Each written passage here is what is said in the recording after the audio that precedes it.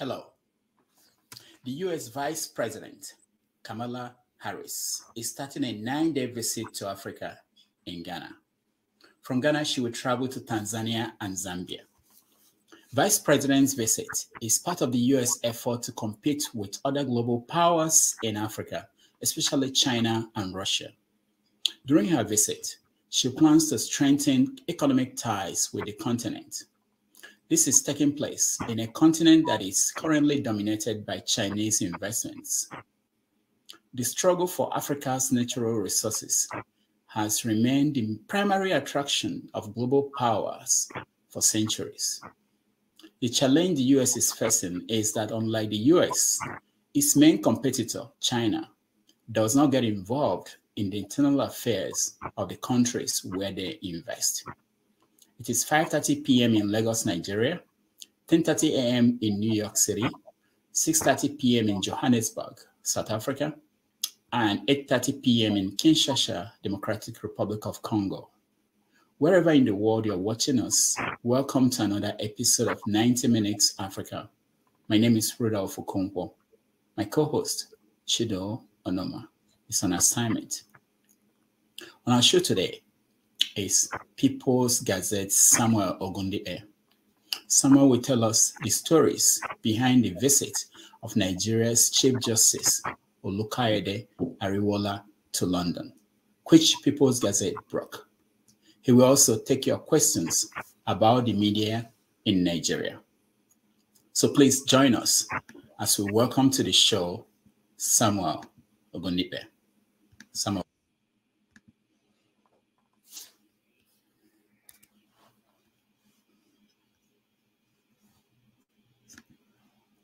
Samuel, welcome to the show. Uh, yeah, got uh, oh, okay. disconnected. Thank you, thank you very much, Doctor, for having me. Yeah, it's nice it's to. pleasure to be here. Yeah, thank you so much for making time. I know you are very busy. Uh, this the job of a reporter doesn't end. There's no weekend. No, it doesn't. No, it doesn't. All right, let, us right. start with from the beginning. Um, the, the story that we just told about uh, Harris, the Vice President of the United States, coming to Africa. Why is she now uh, coming to Nigeria? Do you know? Um, I'm afraid uh, no public um, disclosures uh, were made, you know, um, around why she would be visiting Nigeria. Um, but of course, it's, um, it, it, it's it's not um, um, inspiring any confidence, you know, about the Nigeria's uh, place in Africa. If you know someone like the Vice President of the United States is visiting the continent, and Nigeria is not on the list. I mean, you know, there, there usually is a way that you want to, if you are going to Asia, you know, you know that you must have India in mind. You know, you know that, that's like the cradle, right? And if you if you are coming to Africa, uh, Nigeria almost always should should be the, the priority. But but recently we've seen um, since following up, I mean, after Obasanjo, you know, George Bush was in Nigeria about twice under Obasanjo um, for different meetings. Um, but under, uh, since, you know, um, uh, Obasanjo left office, we've been seeing, um, you know, U.S. presidents not not prioritizing Nigeria. Obama was was in Ghana. Um, I mean, he spent eight years in office and visited Africa about two or three times or something. And I'm, I'm surprised that he never visited um, Nigeria. You know, not even once. It, it's, it's, it doesn't, you know, it doesn't inspire uh, confidence. I'm not saying that the other countries they are visiting is not is bad. That they should they are still part of Africa, but um, Nigeria just has a place that you know um, everybody uh, envies, you know, on the continent, and we thought that we should we should do something. Other than that, I don't know why um, Kamala is not um, visiting Nigeria, but I'm sure that um, the vice president's team uh, must have you know put a lot of things into consideration in picking um, the countries that um, were eventually selected you know for the trip. And then the the other issue that um, the president-elect, their team, uh, the team of the president-elect, they've been making an issue of that is um, Biden not sending any message of uh, congratulations to to the president elect. What is what is the issue with that? Oh, oh well, um, it's it's it's that's that may be you know different, right, from the uh, uh, vice president's um, Kamala Harris's um, um, trip, you know, in selecting countries. But the, the one on the, um, the president-elect Bola we don't really know specifically, but from the feelers, it seems like um, in diplomatic uh, um, circles, you know, they are trying to say that it seems like a Tinubu's matter, we have not seen the end, you know, of it. So many countries are being reluctant, you know, um, to quickly congratulate um, Tinubu, not necessarily um, because of you know um, his his um, reputation, um, but also uh, because they are seeing legal challenge, you know, that may be potent. You know, they also analyze, they know Nigerian law, they analyze things, you know. But um, the story that we did was that the Vice President Biden, unlike you know previous American presidents, did not uh, congratulate you know uh, the, the president-elect Bola Tinubu, and um, you know, when we gave instances in which they congratulated previous uh, presidents, you know, um, in our country. But why, why is this different? Um, then the president-elect team, you know, started, you know, trying to fact check and do all sort of, you know, uh, nonsense in the media that uh, the U.S. congratulated um, um, Bola Tinubu, you know, on his um, election uh, or declaration as a president. But that's different from the president's office, the White House you know, issuing a congratulatory message. You know, the State Department is like the foreign, you know, the foreign office. Of course, the State Department must have taken its decision, you know, with the support. Um, either, uh, you know, it's almost default actually. You know, the, the Secretary of State um, could, you know, just feel like, look, it, it's uh, it, by default. You know, um, let's just any any new president anywhere in the world, as long as um, it's it's a country with diplomatic ties to the United States, you know, they they they will issue automatic congratulatory message, you know. But there are there's another layer, you know, which is the president of, of, of that country, you know, actually coming out to publicly also endorse and congratulate, you know, the winner of our election and say, look, we look forward um, to either visiting your country or welcoming you to the to the White House in Washington and all that, you know, to strengthen bilateral um, relations and all that. We didn't see that in the context, you know, of Bola Tinubu, and it's quite um, um, frightening because Nigeria is, um, a, a, you know, the cradle of Africa. You know, how could the president emerge? I mean, when um, Ruto emerged in Kenya, you know, the, the, the, the, the, Biden, you know, the, there was a statement, you know, congratulating him and all that. So why should Nigerian president um, elect be ignored? You know, um, so so it's it's really really um, disconcerting, you know, for people who um, care about the place of uh, Nigeria um, on the continent, at least. All right, uh, let, us look at some of the headlines in today's newspapers. Uh, one of them is the death of uh, Oladipo Diya. Um, what do we know about about him since um, he left office as uh, at Bacha's um, deputy? Um, you know, the Diya's um, situation for the family, we condole, you know, his um, family at this, you know, this moment. Of course, he he he was uh, pretty much a uh, senior citizen um, before his passing overnight, um, and we, we condole with the family. Um, however, you know, we, we could we could take, a, you know, more like a cautionary tale, you know, from from his life and then the, the last days you know, um, how was he you know, during his days in the military? You know, and then how did he end up? You know, it's more like a cautionary tale. You know, from my perspective, you know, um, he could have been, you know, better celebrated. You know, um, following his passing and, and even before he, he died, but he became, unfortunately, due to his um, role in on in the Abacha and even preceding um, juntas, you know, before Abacha, you know, uh, but specifically Abacha um, you know, and all that. So he, he, left office not so, um, he left power, he left, you know, the corridors of power, um, not so celebrated. Um, but ultimately, um, he, he, while he didn't um, necessarily receive any accolades following after leaving office. He, he tried as much as he could also to stay away from controversies you know, in, in, the public, you know, even though uh, as a former um, general. So I think that played to his credit, you know, in allowing, um, you know, successive administrations uh, under the civil rule you know, to to do things without, you know, it's not every day that you see DR coming out to criticize anybody or you know commenting unnecessarily about issues and all that. So he carried himself well um, in that light. But the point is, when he was in power, how did he handle power? You know, uh, as the um, chief of um, staff or the uh, uh, um, chief of general staff, you know, which was chief of staff supreme headquarters. You know, how did he handle things? But um, ultimately, maybe people will learn one or two things from his life and now afterlife. Now, the, the other story in the news uh, was um, the DSS issuing threats essentially mm -hmm. to everybody, saying that there are people plotting to destabilize the country and that um, that they are ready to to make sure that that doesn't happen. Do you, what do you know about this? Oh, well, um, as far as I'm concerned, you know, uh, with due respect to the fact that the SSS is an established um, constitutional body, you know, in the Federal Republic of Nigeria. Um, you know, our prime um, domestic intelligence office, um, but, you know, it's, it's just not, you know, SSS is no longer what it used um, to be.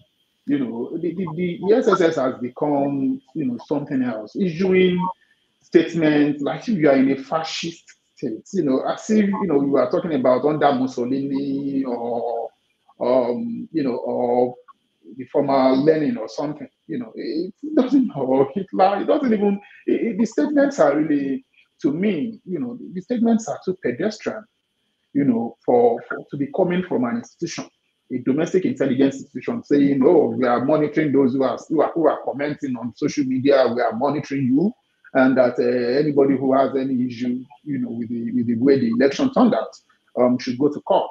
You know, and people are already in court. So why should people be commenting about the issues that are already in court in the public? You know, it, it, it's it's risks of um of, of an of an organization. I'm afraid, you know, that has lost, you know, its uh its um its core uh, uh, uh, you know, uh, basis for, for, for existence, you know, in Nigeria you know, SSS is supposed to be above board. If you see a statement from the SSS, which will be extremely rare, if you see it ordinarily, if you see you know, you know very well that everything is broad-based. You know, it is professional, it is necessary, absolutely necessary for that statement to come out. You know, but that's not what we have. We now have, you know, partisan individuals in charge of domestic intelligence office. They don't even focus on that. They are in the pockets of politicians, you know, and, and, and it is unfortunate. It's unfortunate that, you know, this is what we have. You know, there's a lot going wrong in the country, security-wise, you know, that the SSS is supposed to be focused on. But unfortunately, it's, it, you know, its budget is booted. You know, it's so, so whatever it even has to actually carry out anything, probably enough to pay salaries of workers.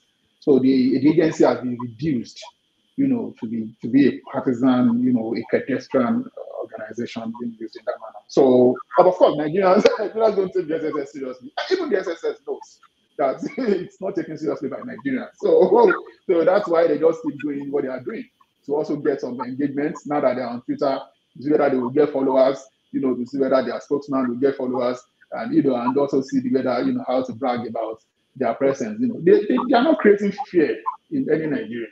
you know, they are not. You know, and that's that's to tell you how sad um, things have become. Nigerians are the Nigerians are they are just going there and even insulting them because they know that they are not capable of anything really.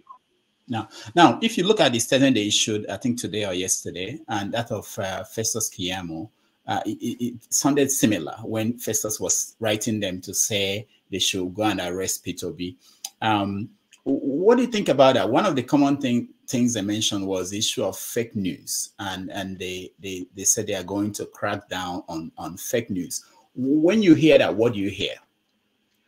Uh, well, quite frankly, like I said, um, the SSS and you know um, um, the APC, you know people in power right now, or even PDP, You know, it depends on which states, you know, or, or, or what influence, you know, you have, you know, and how much, how deep your pocket is. You know, SSS is easily influenced by anybody, you know, in the country with with with some some some some you know resources to deploy. You know, um, it, eh, so SSS um, and uh, you know statements seeming to equal uh, Festus Keyamo is, is hardly surprising. Um, they are not going to go after Festus Keyamo. You know, Festus Keyamo is all over there, you know, distributing false fake news, you know, making false, uh, you know, uh, uh um, um, how do I, statements that will inflame the quality. You know, that's what we are seeing, you know, with, with, Festus. But the SSS is not going to say anything because the SSS knows, you know, very well its own boundaries, you know, and it's the same thing that you use. The same thing is if you go to the the section of the, the government of the day, you know, um, you see a lot of fabricated information, you know, being circulated in their own portals around their own conversation, you know, and, and that's what you see. You see this typical one from the from, from Keyamo, in which he was, you know, accusing Labour of rigging so that you can't say, oh, it was only APC that rigged. And maybe Labour also rigged. That's what they are trying to say here right? Yeah. And then accusing Labour yeah. And this what is not what is you know this is pure propaganda using false information to debamboozle the public, you know. But but the fact that this was this has been called out and they did not take it down. He did not take it down. Festus yeah, yeah, yeah, that's to tell you that's to tell you how much he doesn't care. You know? And nothing nothing is happening there in terms of the SS DSS that is um, talking about fake news. Uh, didn't do anything. Also, we have this from Bayo, um, Bayo Onanuga, who um, is also um, threatening uh, people with. Um, let me let me show you his um, his Facebook, uh, you know, Twitter Twitter page, and you see certain things that he tweets. And I want to know if you think this is this is something you expect from someone who works uh, very closely with uh, the president elect. This is this is uh, Bayo. I don't know if you can see this or the viewers can see this. Okay, this is Bayo's uh, face uh, Twitter page, and and basically calling uh, people all the all those sons of bitches tweeting the hashtag Tinubu the drug dealer. Uh, your days are numbered. Now, when you see this, what do you think about the possible government of um, Bola Tinubu and what it will mean for, for Nigerians, especially those in the media, social media, and all those? I mean, look, it, it's it's uh, we expect it to be rather uh, chilling, you know, um, when these um, people come fully uh, power by you know in another two months thereabouts, because they know, they understand very well the power of the media. Bayo Onanuga, Bola Tinubu, you know, these are the people who who led, you know, serious media, you know, uh, onslaught against the Abacha era. Don't forget, you know, using their, uh, you know, different publications out of Lagos, you know, and that's what people are saying today about uh, Bayo Onanuga. That ah, you were you were very very much involved in the whole, you know, for democracy um, campaign media roles and every other thing at the time. So how did you how did you get here? Right. So these people understand what it means to crack down the power of the media and not just to crack down and how to do it. You know, and they've been so far you can see them, you know, insulting Buhari, saying that oh Buhari does not know how to use power you know, that as soon as they come to power, they've been they've been tweeting it. You know, people like you know, Bayo, people like all their supporters on social media. You know, they and their enforcers being uh, Lauren Pong and some of these other people. They've been tweeting that you know, Buhari, yeah, Tinubu is not going to be like Buhari in the in the area of uh, handling media because they know that they know the damage that the media can be used to do because they have done it before. You know, they've been there you know, so they've done it well. So they know very well what it means, and then they are not going to allow it. So they know how to handle. They know the insidious, you know, uh, plot, you know, to make to make sure that um, the media. So it's it can be very very chilling how far they, they are going to go, you know, to make sure that they dominate the conversation. Now, Samuel, look at this this tweet. This was on March 21st. It says that Peter Obi of Labour Party seeks the annulment of the election of President-elect Bola Tinubu just like the military annulled MKO Abiola's uh, election of 2000, of 12th June to 1993. So how did can can you explain this to viewers? There's no there's no, no there's no there's no correlation. Um, it's just trying to whip up you know um, sentiment you know around the fact that Tinubu's election is going to be an annulment you know because they are not confident right about what may happen you know um, as the as the case you know goes through the tribunal um, stages. So that's probably why you are seeing you know um, you know things like this being being, being talked about. You know they are they are they are projecting Bola Tinubu as, you know, uh, Moshood Abiola. And as such, you know, anything to truncate his election, even if it's, you know, constitutionally uh, um, appropriate, you know, and uh, by, you know, it's through the Supreme Court and everything, they will still see it as an annulment. They will say, oh, they didn't allow Abiola to get there. And so they, they you know, they didn't allow Lawal to get there. And so Bola Tinubu is also suffering the same fate. You know, even though the contexts, you know, are quite different. Awolowo contested the election, he lost you know, um, up to the Supreme Court. You know, um, Abiola contested the election, he won.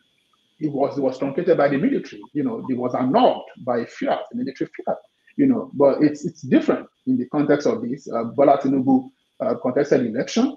Um, he was declared winner, and you know, the court intervened. You know, through the judicial process, and the court has the final say. So the contexts are quite different. You know, there, there is no basis for comparison when you look at these uh, issues. But of course, they just need to rally their base and they don't need facts, they don't need context, they don't need anything, you know, they can strip anything of any any context just to project whatever they want to put out there.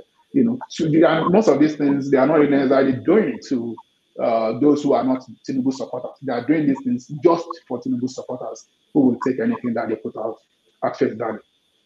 All right. Uh, for our viewers, I just want them to know that in another 30 something minutes, we let them join us and have a conversation with someone.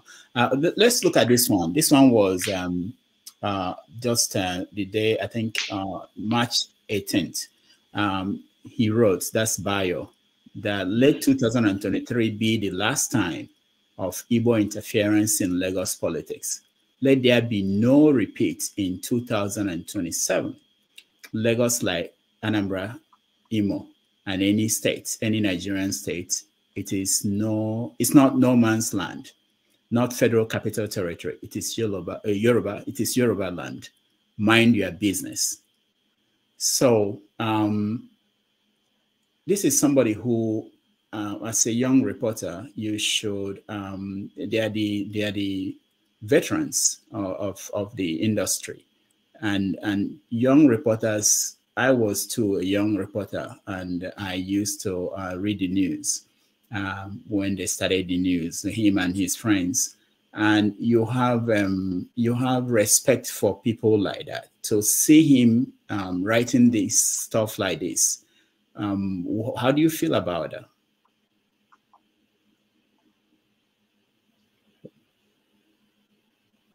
Can you hear me, someone? Hello. Yeah, can you hear me? You said, how do I feel about what? About about seeing this tweet that he sent out on March March 18th, where he was saying, "Did you hear what I read it out? That let 2023 be the last time the Igbo interference in uh, in Lagos politics. Let there be no repeat in 2027. Lagos is like Anambra, Imo, uh, any Nigerian state. It is not no man's land or federal uh, capital territory. It is Yoruba land." mind your business. When you read something like this from someone who should be an elder, a, a veteran of your industry, what, how do you feel about that? Well, I mean, Bayo's um, situation is um, particularly, you know, um, with due respect to him, you know, um, unfortunate because he's an, you know, he's a senior citizen. You know, he's about 65 thereabouts. Um, so he's not somebody that I want to um, really cast aspersion on his character not by virtue of the fact that he was, you know, a journalist as well, but that, you know, he's a senior citizen, you know, and one has to be, uh, you know, I mean, uh, uh, minimal in how much you go. Uh, you can only pity the situation other than that. You can only pity the man's uh, situation. What happened to him? Um, nobody, nobody really knows, you know, what's what's going on. You know, so when you see something like this, the only way you could, you know, is to offer your sympathy. You know, that's all. because otherwise you just end up find yourself, um, you know, um, stooping to his level, you know, to what he has decided to do to himself. Why he would do this, I don't know what is worth, you know, uh, Bayo Onanuga um, doing this to himself uh, and, and his family. You know, you have that is family, and there's a way you do things, you know, in a manner that will just extend the legacy, you know, to to to, to your to your immediate family uh, members, you know. Uh, but when he has decided to go down this road, um, Nigerians should offer, you know, uh, prayers, you know, to to to to, to Bayo, um, just so that um, you know something may happen. You know, otherwise his position is not necessarily as bad as as, as, as we are reading what has said. You know, as as untenable. You know, that to, to even think of what he said is, is bad enough. To even think of it, you know, much less actually putting it out there in the public. At a time that you have, you know, um, um, foreign diplomats saying that, look, you, I mean, there is, I mean, I would be surprised to see Bayo, you know, uh, uh, uh you know, somewhere in, in the West, like the UK or, or in the US, you know, anytime soon, given what he had, you know, probably, probably he knows that he's been, he's been banned. Maybe he knows that he's no longer going to be able to answer the United States. So he's just doubling back you know, I mean, there's no point. So I, I should just be saying whatever I wanted to say. They banned me anyway because of what I've said. You know, so because if not, I don't see him being able to enter those countries um, because he has clearly incited violence, right? He has done it clearly. So there is no way, um, you know, unless he's able to appeal for whatever reasons, and then he, you know maybe maybe he will be forgiven later on. But what he has done, I think, qualifies. And even in the diplomatic circles, they are talking about how disturbing it is. And if they tell you that what he did is disturbing, you know, it means that they've taken action on their own part without necessarily uh, coming out to, to, to, to, say it, you know, and all that. Um, but, his position, like I said, is not necessarily unique as bad as it is. Let's pay attention. You know, the Tinubu's wife, who is about the closest person to him alive, right? Um, you know, she has uttered even worse, you know, um, anti-Igbo uh, um, diatribe in, in the past. So we have to also contextualize that. So if Bayo is talking this way, um, Tinubu's wife cannot stand the Igbo, you know, imagine what Tinubu is, how Tinubu feels about, about Igbo.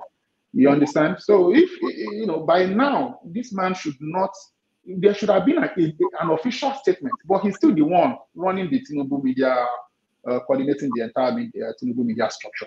That is how disturbing this is. By now, this man should have been, he should have been, become a pariah. You know, he should not be seen, you know, in company of decent people in society. You know, I'm, I'm sorry. You know, Bayo Onanuga should not be seen in company of decent people, given what he has put out. But because he said it on behalf of, you know, somebody that himself, you know, his position is clear. You know, he didn't, he, has, he doesn't they, they, these you know, just like the president, you know, current president, they are not hiding the fact that look, uh, they, they, they, they, they, they, they want ethnic uh, supremacy. You know, they are for ethnic supremacy. They are not hiding it, and and I hope that Tinubu is able to correct that impression, because no matter how you look at it, the way we are going, it doesn't seem like the Supreme Court is going to um, issue uh, anything, you know, before Tinubu is sworn in in two months. So therefore, we all have to be prepared you know, uh, for, for, for, for Tinubu's uh, presidency. And if that's the case, then we expect Tinubu to carry himself as a leader of Nigeria. You cannot carry yourself as a leader of the Federal Republic of Nigeria. And your chief spokesman, your chief spokesman, your literal face, you know, in the public is saying things like this without any action whatsoever from you.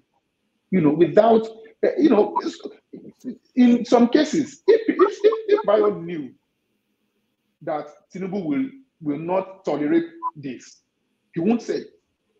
So saying this in the public is because he knows very well that he is not saying anything contrary to the position of his principal. That's now, the only way. That's that's interesting. Uh, I look at it. Yeah. Uh, now, now look at this way. Uh, the DSS forget about Tinubu. Maybe Tinubu is in, uh, in alliance with um, uh, Bayon, and we don't even want to talk about Femi Fani Kayode and what that one is saying. But uh, what about the DSS trying to uh, plead or trying to um, basically threaten people, saying we want people to behave well and don't divide the country. But they are not saying anything to these uh, actors like um, like Bayo or even MC or Oluomo. Oluomo. What do you think about him and, and the fact that they are about you know talking about dealing with people, but they didn't um, mention anybody like that, people like this in in their statement? I mean, again, I, you know, we've spoken about the SSS and what the SSS has become. So, you know, it's just going to be a repetition of what I previous, previously said. Um, so, the SSS is not your typical country first institution. You know, when you are the state security service, your name is clear state security. You are for the state, you are for the nation you are not an individual security service. But what we have seen is an SSS that has no, you know, it, it's not, you know, it's, SSS is suffering from the same thing that many of many institutions in Nigeria, you know, are suffering, you know, which is basically lack of competence and lack of, you know, um, institutional backing. That look, we are an institution. All of us would rather resign than allow our offices to be used as a tool for political partisanship. We've gotten, uh, you know, we've gotten to a certain level in our lives, you know, as directors in the SSS, that we will not take orders, a partisan order from, from, from politicians, you know, we won't.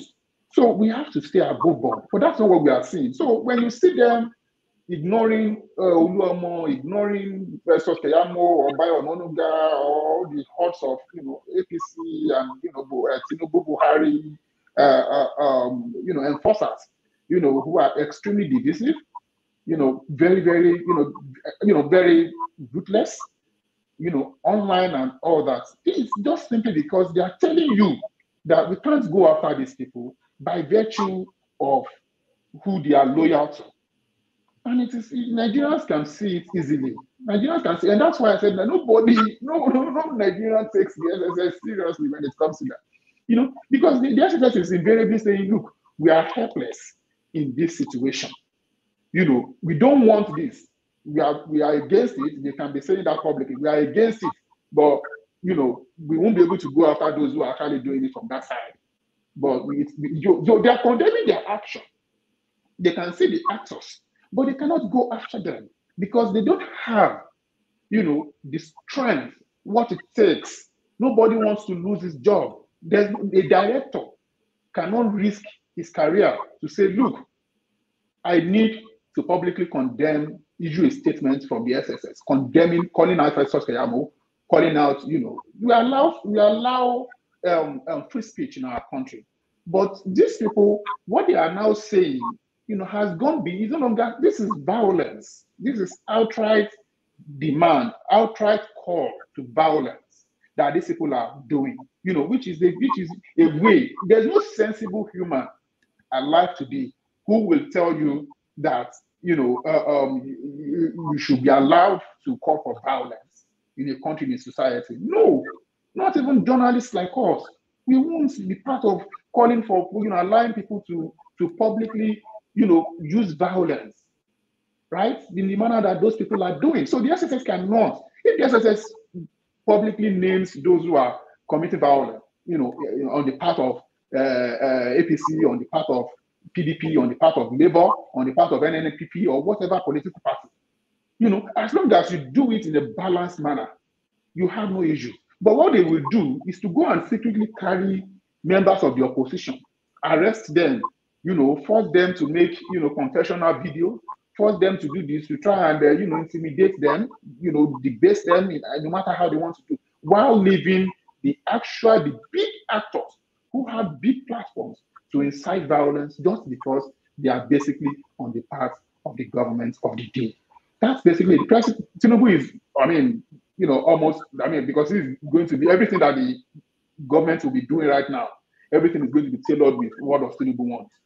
Every agency of government right now is no longer thinking about Buhari, how he's president. No, it is what does Tinubu want.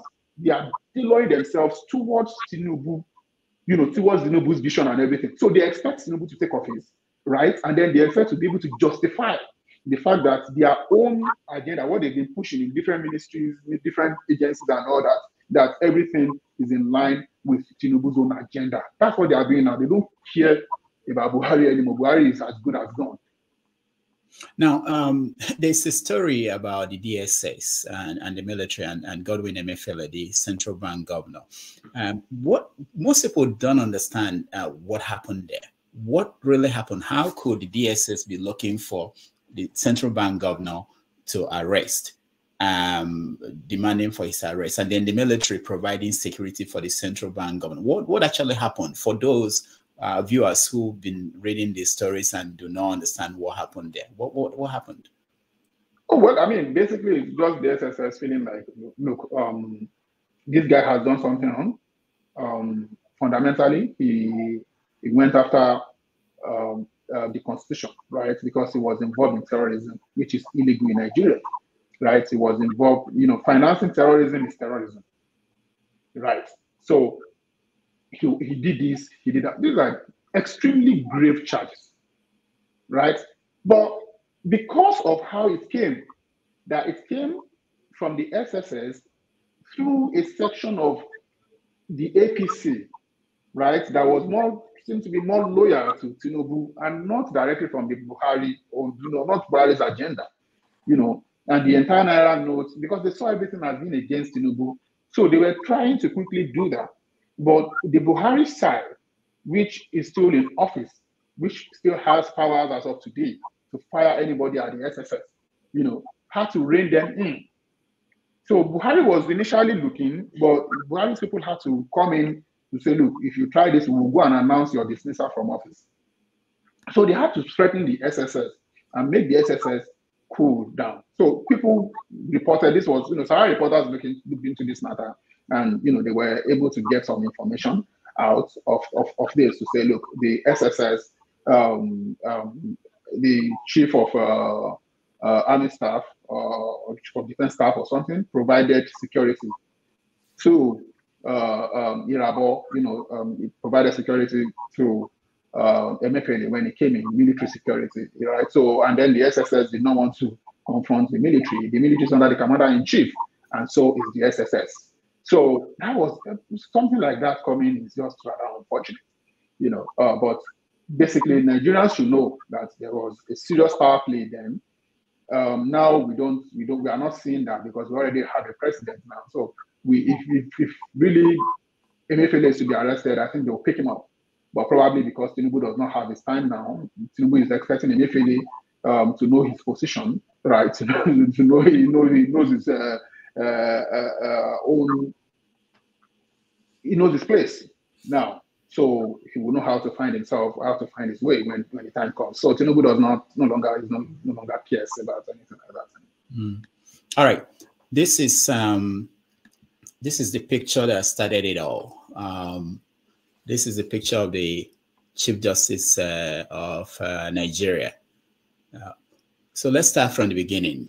Um, what can you tell us about this story? That's why everybody, that's why we have you here today, and uh, everybody is interested in hearing from you. How did you hear about this, and whatever you can reveal? I don't want to reveal your sources, but anything you can reveal, tell us the story behind this. Oh well, um, the the the story is just um, um, we got the story through you know similar means of getting stories, right? We are a news organization, and um, every now and then we have um, you know strong sources who are in strong position, and then they feel like um, they have enough information to disclose about a matter. Sometimes they are conflicted, you know. Sometimes they just you know they don't they, they, they want to be loyal, you know, to the principal or to you know just want to be loyal. They don't want to rock the boat. But sometimes they see things you know, that are just too too bad for the country, right? And rather than keep quiet, they try as much as they could, you know, to say something about it. Um, the Chief Justice of Nigeria was, um, you know, days before um, we reported the story on um, on on the 23rd, uh, which was I would imagine Thursday or something. We initially had two days earlier somebody, you know, tipped us off. You know, is is you know, strong top person at the Supreme Court tipped us off and said, look, this is a judicial, another judiciary matter had happened. That was how even the person put it, another, because the person, you know, and yeah, uh, supplied, you know, information to us before that we published before. Don't forget, in 2020, we reported that the Chief Justice Tanko was in Dubai receiving health, you know, medical treatments and all that. He was not able to function. That was in 2020, around December. And he remained in office until last year when our sources again at the Supreme Court sent information that look, judges, associate justices were protesting and that they, they had even written a scathing um, um, petition against the CJN, you know, demand basically calling him a corrupt, you know, incompetent uh, uh, um, um, chief justice, and they were saying that they wanted to demand his resignation for him to leave office. When we got the documents and we reported the story, the initial reaction everywhere was that this cannot be true. There was that there was no way associate justices that who were seeing the Supreme Court, I mean the CJN every day. So why wouldn't they just communicate with him verbally rather than putting? There was no way they could read, they could have written a memo, you know, attacking the, the Chief Justice in the manner the memo that we cited, calling it fake.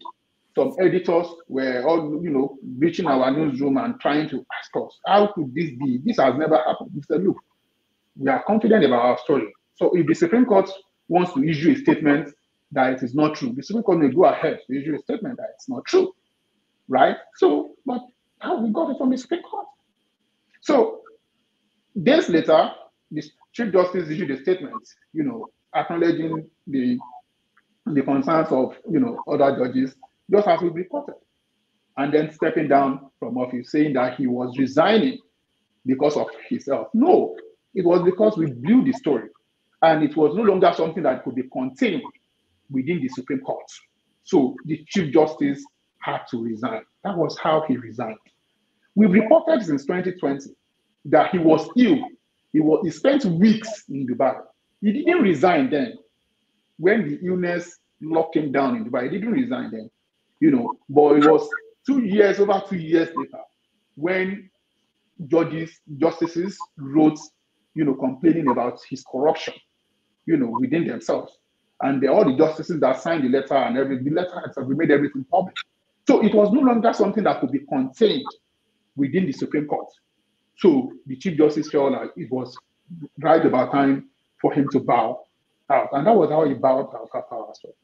So we, we have very strong sources inside the Supreme Court, which is what every media, any serious media organization should be able to do once you have the capacity. So we have our sources again coming to tell us that the Supreme Court, the Chief Justice of Nigeria, this time around, um, has been in London. Evidence that he was in London was provided. How he left Nigeria, we got the information.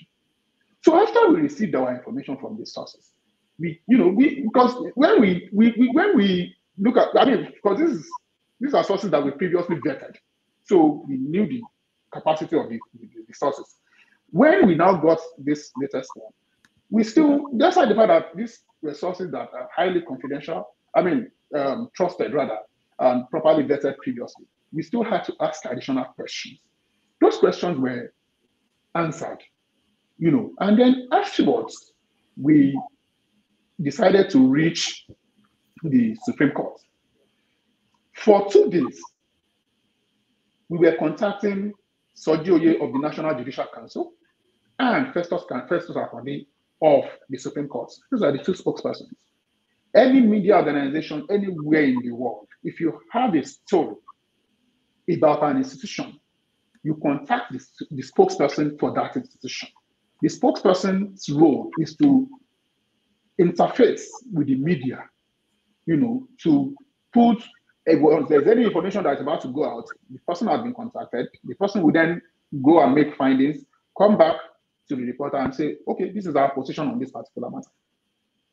For two days, we tried to get the Supreme Court to tell us what was the Chief Justice doing in London. What was he doing there? The court has been in recess. I mean, I'm sorry, the court has been in session, not in recess. The court has been in session. So why would the Chief Justice just leave Nigeria quietly? Who did he tell? He didn't tell anybody now. This is the Chief Justice. In any serious country, movements of not even the Chief Justice, judges, you know, judges are publicly filed. Associate justices of the Supreme Court must disclose any trip. In the case of United States, over $415, you must disclose your movement to the citizens so that people can see. Transparency is extremely key. So they couldn't respond to us. And that was how we knew. And our sources were clear that they had something to hide. And we felt like, look, the best for us was to blow the meeting to the Nigerian people so that the meeting will not hold. Because we, we, we couldn't guarantee that we would know, we would have the information when they meet, where they were going to meet specifically, and then what they will be discussing. So we felt that why should this meeting even hold in the first place? If we are not going to get what specifically Tinubu, the president-elect, you know, who is having legal, you know, is facing legal challenges now, you know, and the Supreme Court, Chief Justice of the Supreme Court, who is going to empanel member, who is going to oversee the entire judicial challenge to legal challenge to Bola Tinubu's victory. Why should they be meeting? And why should they not tell Nigerians? They could easily meet in public, have a handshake. There's no problem about that. They could meet at an occasion. You know, as long as Bola Tinubu is sworn in, you know, you could meet the Chief Justice. the Chief Justice and the President are holding a meeting. You know, as long as it is disclosed, I'm not sure that there's anything untoward. I'm sure that um, uh, Buhari must have met several Chief Justices you know, in the course of his administration, you know, that might, you know, at the surface at the villa or something. So, but why why do this abroad? We didn't know. We, we, we didn't know everything, you know, about what we were going to do. So we didn't have that information. But what we had certainly was that the Chief Justice was hibernating, you know, at a hotel in London for reasons that he never disclosed, that nobody knew. And that for two days, for two days, director, you know, communication directors, and both the Supreme Court itself and then the National Judicial Council, couldn't tell us. So we felt that look, rather than just hold this story forever, let's immediately let Nigerians know that this thing is in, is, you know, is, is taking place. So immediately, of course, we gave them like two days. That was like two days in advance for the Chief Justice to know that that thing, that meeting has blown. It's no longer going to hold. No longer going to. So it was just it was a coincidence that the day that we dropped the story, he was also returning to Nigeria on the same day, right? And so far, the Supreme Court has been unable to come out to tell Nigerians that the Chief Justice was away in London for so, so, so, and so reasons and then show Nigerians the documents backing that trip. You know, so that, because it is the Supreme Court and our role, we are, we are, we are, we are journalists, we are media practitioners, we are not prosecutors, we are not judges. Our own is to see and quickly raise alarm about something that is fishy that we've seen. We have we didn't convict the Chief Justice, we, did, we didn't hold meeting. We never said they held meeting. We said that they were going to meet. From the opening paragraph of our story to the to the end, it was that, including the sources at the Supreme Court that we cited in our story, that we quoted in verbatim in our story, it was that they were going to meet, and the plan was for them to meet in London. Bola Tinubu left the country quietly, you know, at the same time. And so, so we, we already got information that the Supreme that the Chief Justice was in London and that he was going to be meeting Bola Tinubu even before Bola Tinubu, you know, before we got to know that Bola Tinubu had departed Nigeria. Don't forget, Sahara reporters dropped the story on the 22nd that Bola Tinubu had fled Nigeria. You know, was flown out. I'm sorry, that Bola Tinubu was flown out of Nigeria. You know, on the 22nd. Nobody knew it before then. We got our story from the 21st. And then we reported 23rd, two days apart.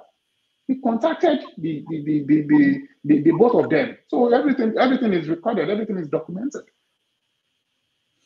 So how so how, so so so this is how things this is how we do things here. We don't we don't just we don't just have we can't just have a school.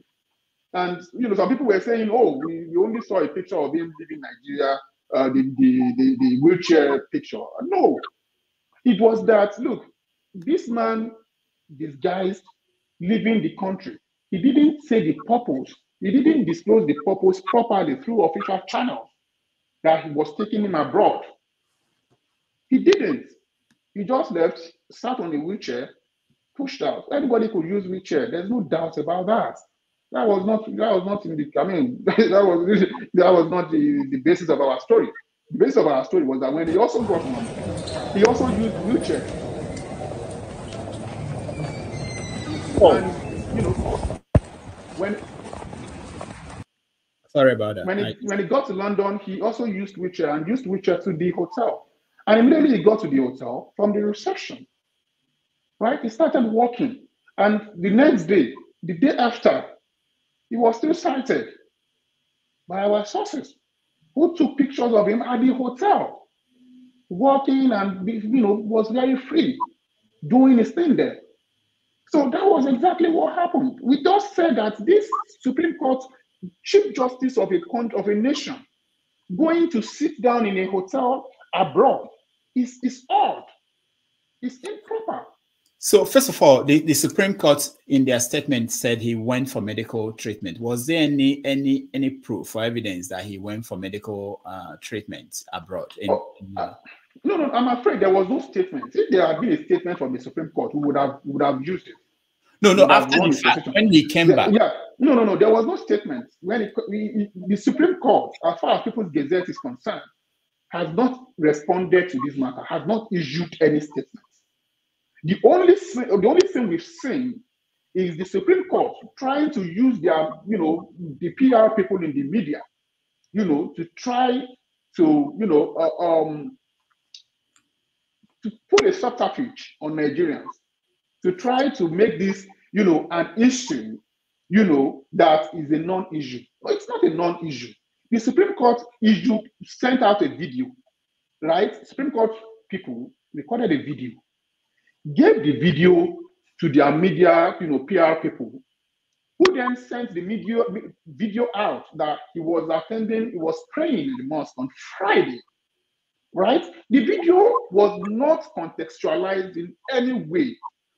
He might be praying in the mosque on Friday, but People's Gazette story was on Friday, the Thursday afternoon, a day before. Was he in London or was he not in London? Supreme Court should not be seen doing dishonorable things like this. It's, it's, it's, it's embarrassing. Trying to fool the public because the only thing they said was that, oh, he was seen at the mosque, but without saying that, oh, he was in London or not the day before. So they just wanted to fool Nigerians, thinking that Nigerians, it was still in the dark days when people when people when people cannot open their eyes to know that something is wrong or to be able to see. This is a jet age. This is the age of the internet, right? People could see that people were saying that, well, London to Nigeria is only six hours. You can't just put out a video and say that he's praying on Friday afternoon. It's London to Nigeria is only six hours. Was he in London or not? That's what we want to know. You don't use your media, PR people in the media who just to make money from you or whatever they want to give them money, who are happy to collect and do whatever they want to do.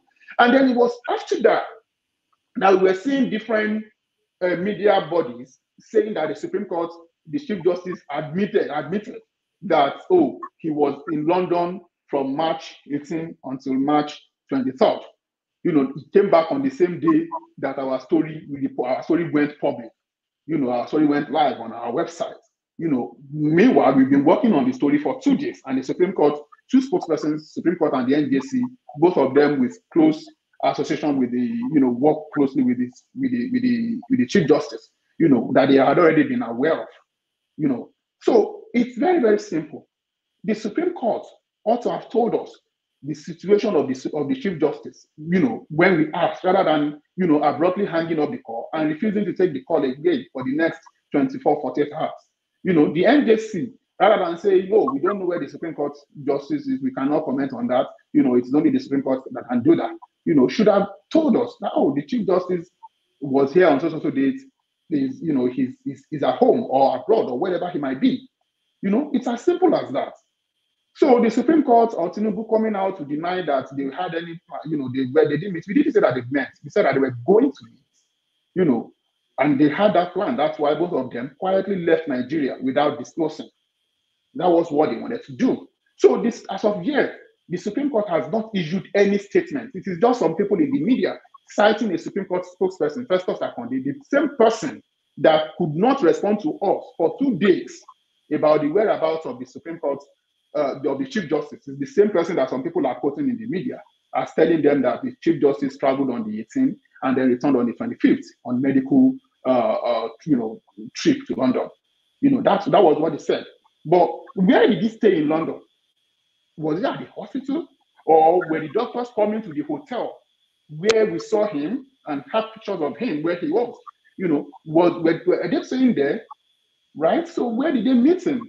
All these things must be clarified. The Court is supposed to be above board rather than playing this, you know, throwing religious card into it, throwing sentiments, undue sentiments, you know, about about about about the Chief Justice. We, we don't need this.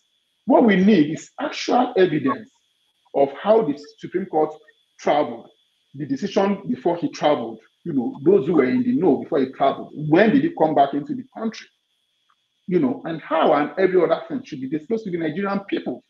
You know, it is the way things are done. It is the way things are done. All right. Um, so that's... the Supreme Court deliberately did not issue statements because the Supreme Court knows very well that a statement it can be held responsible to a statement that it, it, it releases on this matter. That is why, they, and they don't know what we have so the Supreme Court is being extremely careful. So that's why they are using media, they are, you know, throwing money to, to the media to try to, you know, downplay the story, you know, using their own narrative.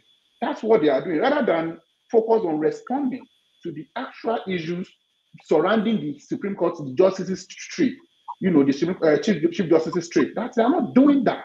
What they are doing basically is trying to pull wool you know, in the eyes of Nigerians. And people are, of course, people could, could, see that for the Shara that it is.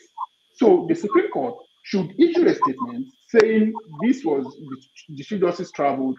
He was not in London to meet with Tinubu. He was in London to receive medical treatment. He received medical treatment at so hospital, you know, and then he moved to the hotel, or he was not even at the hotel at all. Maybe they want to come and claim that. Let them come out and tell us you know, they know that they will be held responsible. People will say, oh, so you were actually in London, truly.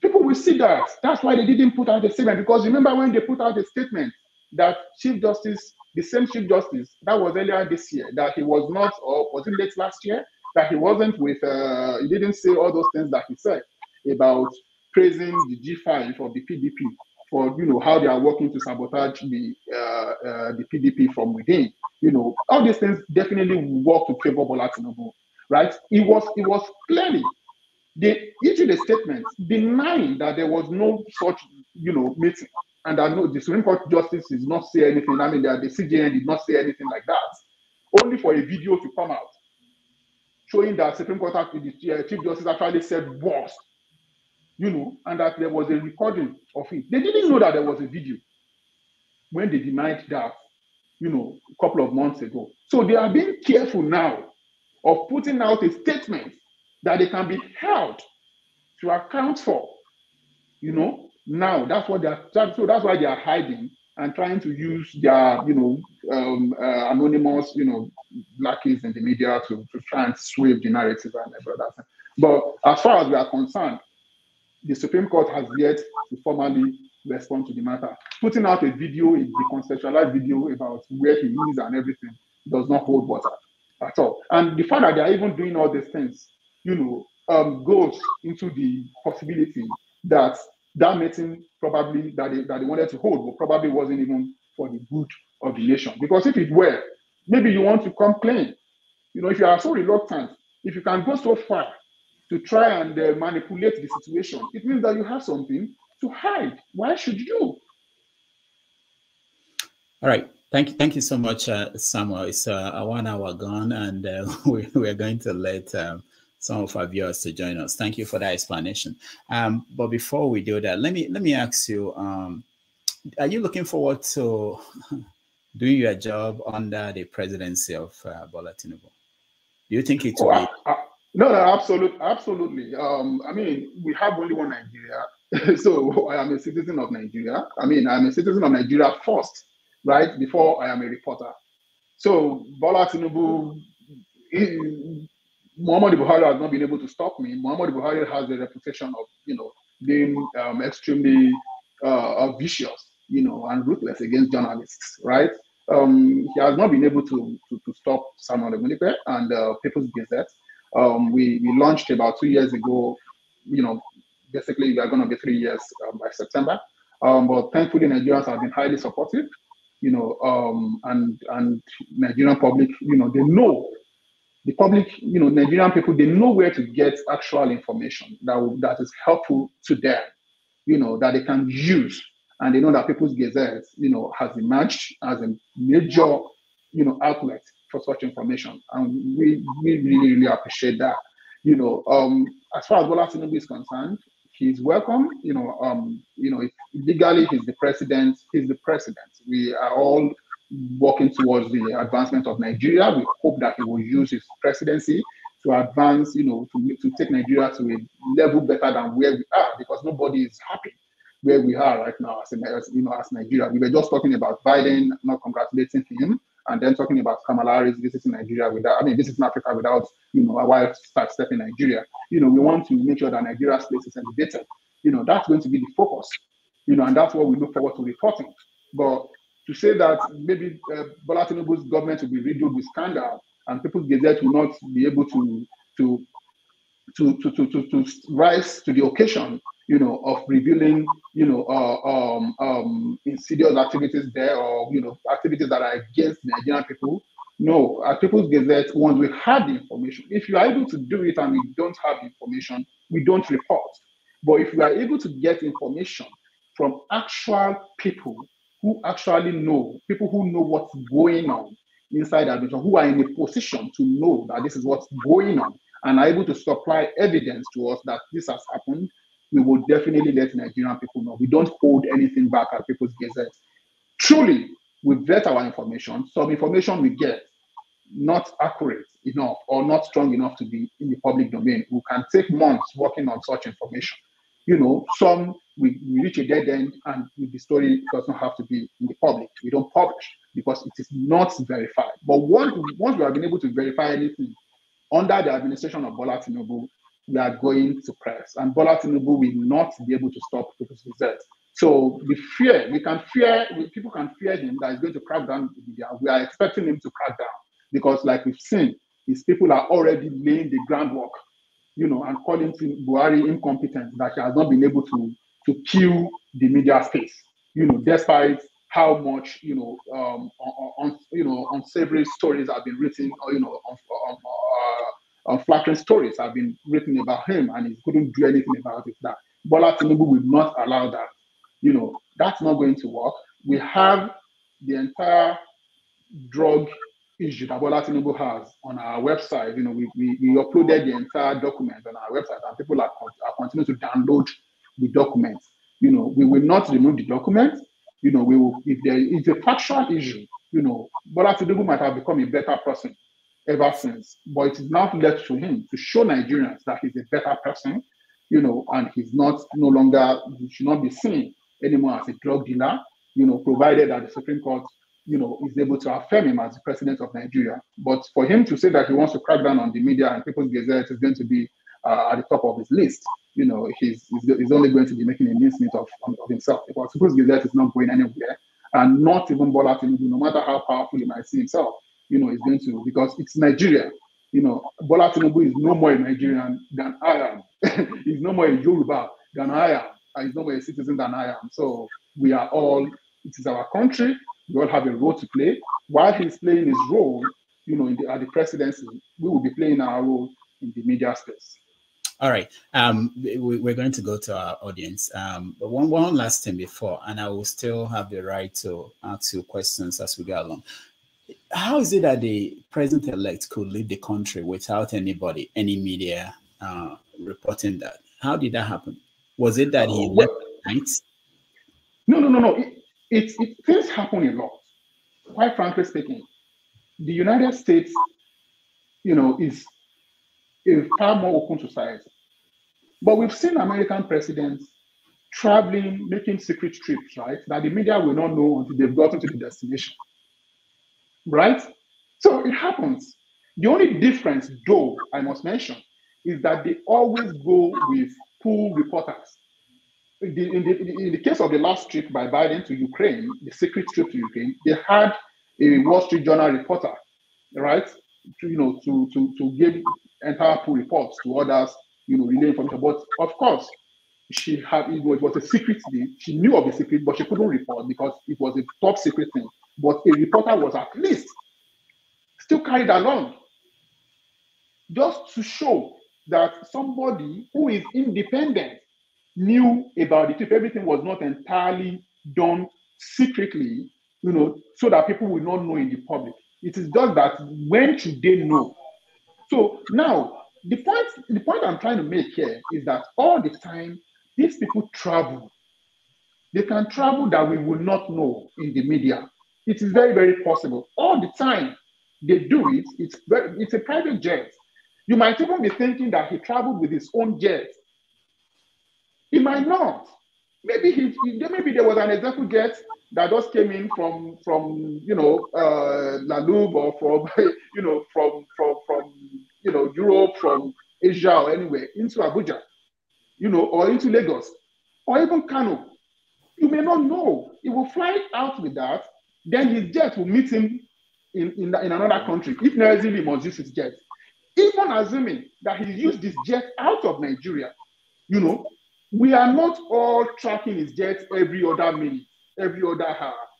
If you are sleeping as a reporter, you've gone to bed at 12 a.m., usually the time that our reporters sleep in Nigeria, right? If you have gone to bed, you know, and he flew, he left Nigeria at that time, he would have been in Europe by the time he woke up. He had already left the country. And the first thing that is on your mind will not be to go and check, check his plane.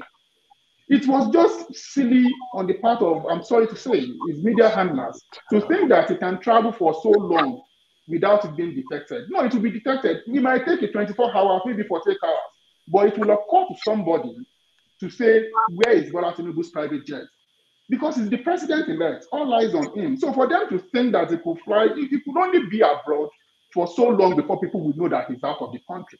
In 20, uh, 2017 or 18, Buhari left Nigeria. I think I was still at Premium Times then. Buhari left Nigeria. I mean, I'm sorry, he left the United States. He left the joint base Andrews, you know, after a meeting in Washington. And the, people that he was on his way to Nigeria.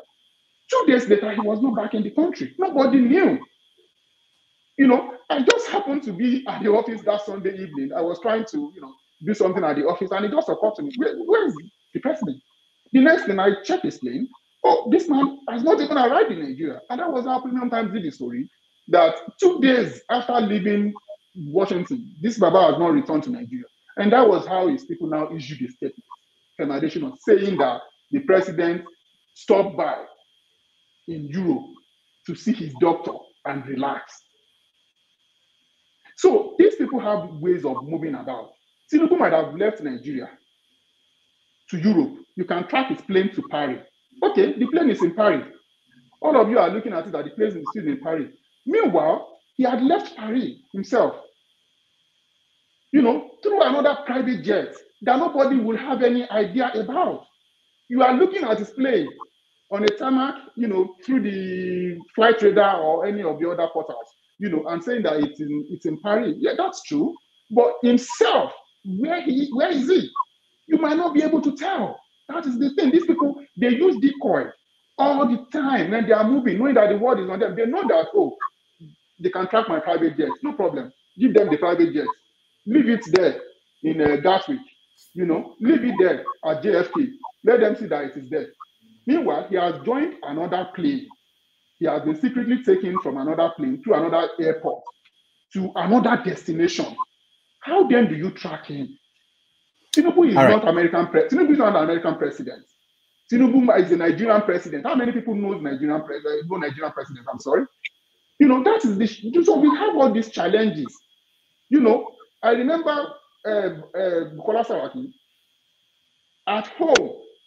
You know when they wanted to remove him from the parliament as a senate president, he used the decoy. He was at the parliament. Meanwhile, the SSS, his own oddly, didn't know that Bukola Saraki was not at home. Everything was in order with the with the SSS at home in Maitama, but the man had left the National Assembly. So if the SSS did not know that Saraki was not with him, you know, with them rather, how would the media know? You know, so I don't see it as a failure at all. I'm sorry, I'm not being defensive about us. You know, I don't see it as a failure. One thing we just thank we are thankful for was that Sahara Reporters was the first, right, to you know to, to just occur to that. Oh wait, um, where is this man? You know, where's this man over the past 24 hours? Where so let's try and check his plane.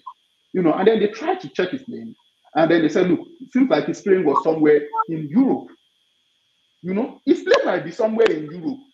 Maybe he has gotten to Singapore through ExecuJet or any of the other airports. He might have flown to Teterboro. You won't know.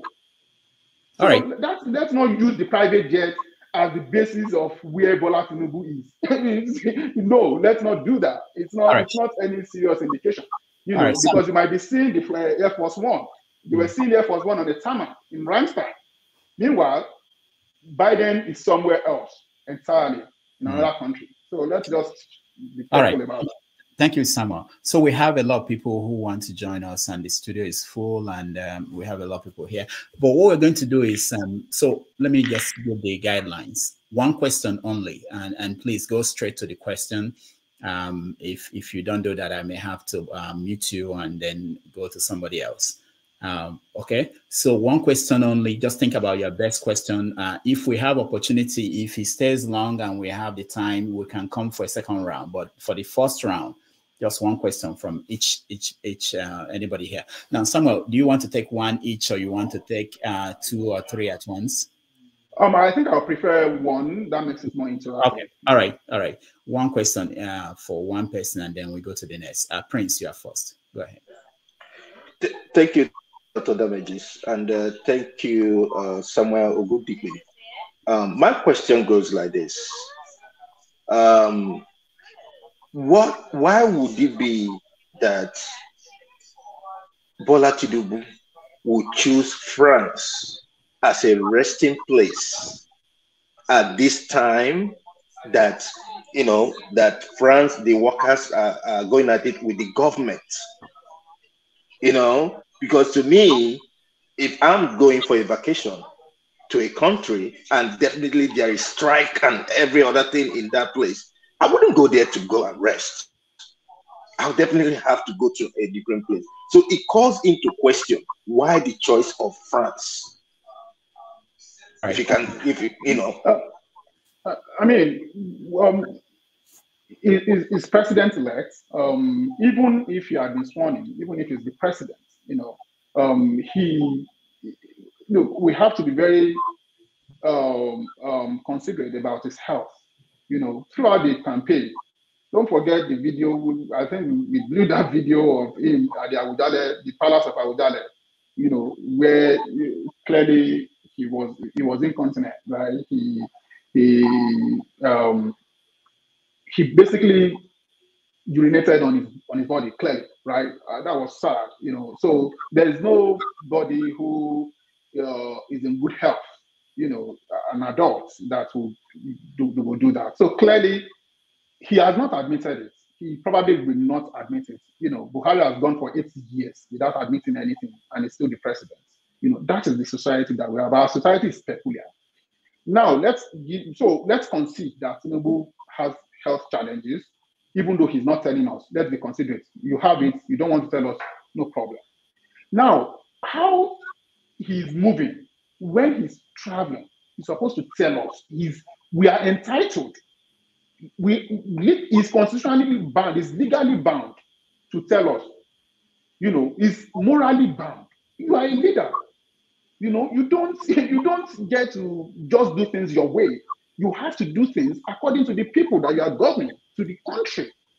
You know, I am not I'm not a family man anymore. I am the father of the nation. So therefore, the entire nation will know, should know where I am, what I am doing, and everything and everything. You know, we, we see menu of food. The every blessed menu of the White House is subjected to FOI. It is the way it's supposed to be. It's not a security breach for me to know what the president ate last night. It's not a security breach for me to know that the president is going away on the medical to receive medical care. Our country, unfortunately, we, we, can, we are blaming them. They are they should give us medical facilities where they will also be able to receive treatment. But they haven't done that, right? Okay, let's also concede that. They haven't done that, but we have to know that they must take care of themselves. It's, it's extremely costly for you to, for a president to die or because of lack of medical care and everything for a nation. So we don't want a president to die just because the president couldn't get medical care within the country that he's serving. You know, we, we yes, it shouldn't travel abroad to receive medical care. Please let's understand my point. I am not saying that it should be going abroad to receive medical care. They should have a good hospital befitting. However, because of the priority, right, his health comes first for the Nigerian people. Wherever he's going to get it, no problem. But you should tell us why, where rather, he's going, because we are paying as taxpayers. So we should know where he's getting the treatment from. We don't have hospitals in Nigeria. We recognize that. You are the president. We recognize that your health is paramount. Go and take care of yourself. But tell us where you are going to. If it is Paris that he feels very well, that he was able to get doctors, you know, maybe he had been able to interact previously with doctors in Paris, it's okay for him to go there and receive medical treatment from his doctors that he trusts. Because one thing is I mean, we all know the role that doctors play. We all have doctors, you know, and we know how confidential our health information is to us personally. But with that, we are individuals. We are not the president. You know, the president should be able to be very, very proactive in disclosing information. So if he's in Paris right now, receiving treatment in the, you know, amid turmoil and every other thing, if that's where he feels comfortable, you know, I don't think it is particularly suspicious that he's using Paris at a time the city is in turmoil in its own. You know, it's possible that he's there. I have no guarantees, right? As a reporter, we don't know where he is. You know, that's what I would tell you. The fact that his private jet is there, some of his oddlies might be, uh, some of his aides might be sighted in a hotel in Paris.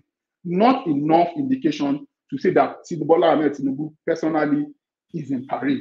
So we don't know. We can just it will be, it will be safe for us to say that at least we, maybe he's not in Nigeria, but where he is specifically might be so difficult to tell. All right. Thank, thank you so much. Thank you, Prince. Uh, let's go to Ayo. Ayo, you're next.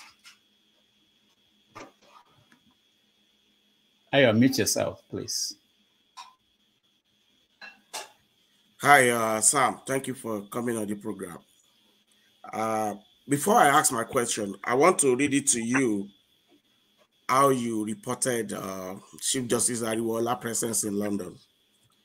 Chief Justice Oluka Ariwoola has been sighted in London pretending to be physically challenged old man. People's Gazette learns in what Supreme Court sources said was a clandestine preparation for a meeting with President-elect Bola Tinubu. Um, pretending to be physically challenged old man in preparation to meet the president. This is a very categorical statement. It didn't say suspected. It didn't say uh, uh, alleged, but you were categorical that he acted like a physically challenged. So I was listening to you while you were doing the narration. The only thing you have said is that it was on a wheelchair. You live in New York.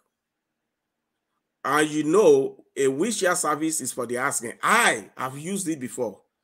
I was tired. I wasn't even sick.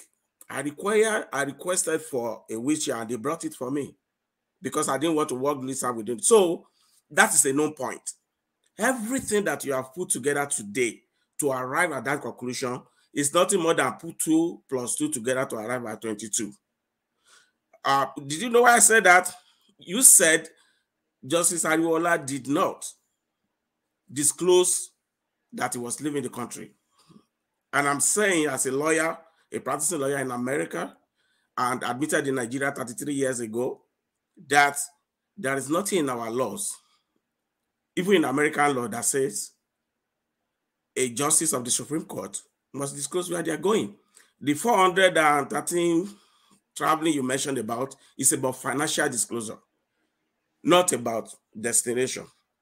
So, considering the weight of the accusation you have made here, it is country that is capable of putting that country on fire. So that kind of reporting must come with some responsibility. We already have a very contested election. Everybody is still bitter about it. Your outfit came out to report that a chief justice of the country that is likely that is most that is definitely going to be sitting on this case because we all know it will get to Supreme Court eventually is meeting and you are so categorical about reporting it. And now when you are trying to explain, all I had was congestions. And it was on which year, then it was seen at the hotel working. Of course, when you leave the airport, you start working. It doesn't mean you are sick, it doesn't mean anything. You can ask for it just because you are tired. This man is an old man. Nothing in the picture shows that he disguised. His trademark hat is on his head. His beard is there. He didn't disguise anything. He left the country on the 11th Tinubu left country in 21. If I'm coming to meet you, will I go 10 days? And Tinubu didn't even go to London. You said it. He was in France. I think it was Spain, France. And he has not even gotten to London at all. 10 days after this man has left the country. So what I see there is that I didn't see how I can put together your story to arrive at your conclusion. And I think, and it has become a major issue. And uh, I think you still need better explanation because everything, the premises you are laying that he need to tell you, chief doesn't need, need not tell you that he's traveling off the country, especially if he's private traveling, like I was sick, I'm traveling. The aid too need not disclose to you, especially when it comes to medical matters. It could be part of privacy for his medical situation. They didn't have to disclose that to you, except you are going to show me what law says that.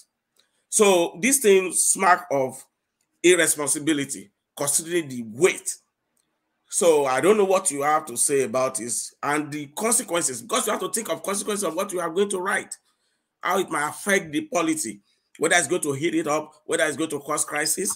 Okay. And I've not seen that in your explanation. So I want you to clarify further. And now you are able to convince me, or except you want to show me the laws that say you should have disclosed, or anything else he did apart from sitting on the wheelchair at the airport to show you that it's meeting Tinubu. All right. Thank you, Ayo. Uh, someone. Okay. Um, Ayo, yeah. Thank you very much for, for your take. Um, the fact is clear. Our story is clear. You read it. You just read the opening paragraph. You know, um, like I like um, I told um, uh, an NGO that uh, communicated with us on this matter from um, Belgium. Uh, clearly, you know, what we reported, we didn't touch a single word a letter in our story. Our story is the way we put it out. We said, you read it, that this man was sighted in London, you know, pretending to be a physically challenged old man, you know, um, from our sources at the Supreme Court. And then they said I was in preparation to meet him. Preparation. We didn't say that it was for him, it was during a meeting. He was preparing to meet. And our story was clear from the opening including the sources cited, that the meeting had not held as at the time we reported from our sources.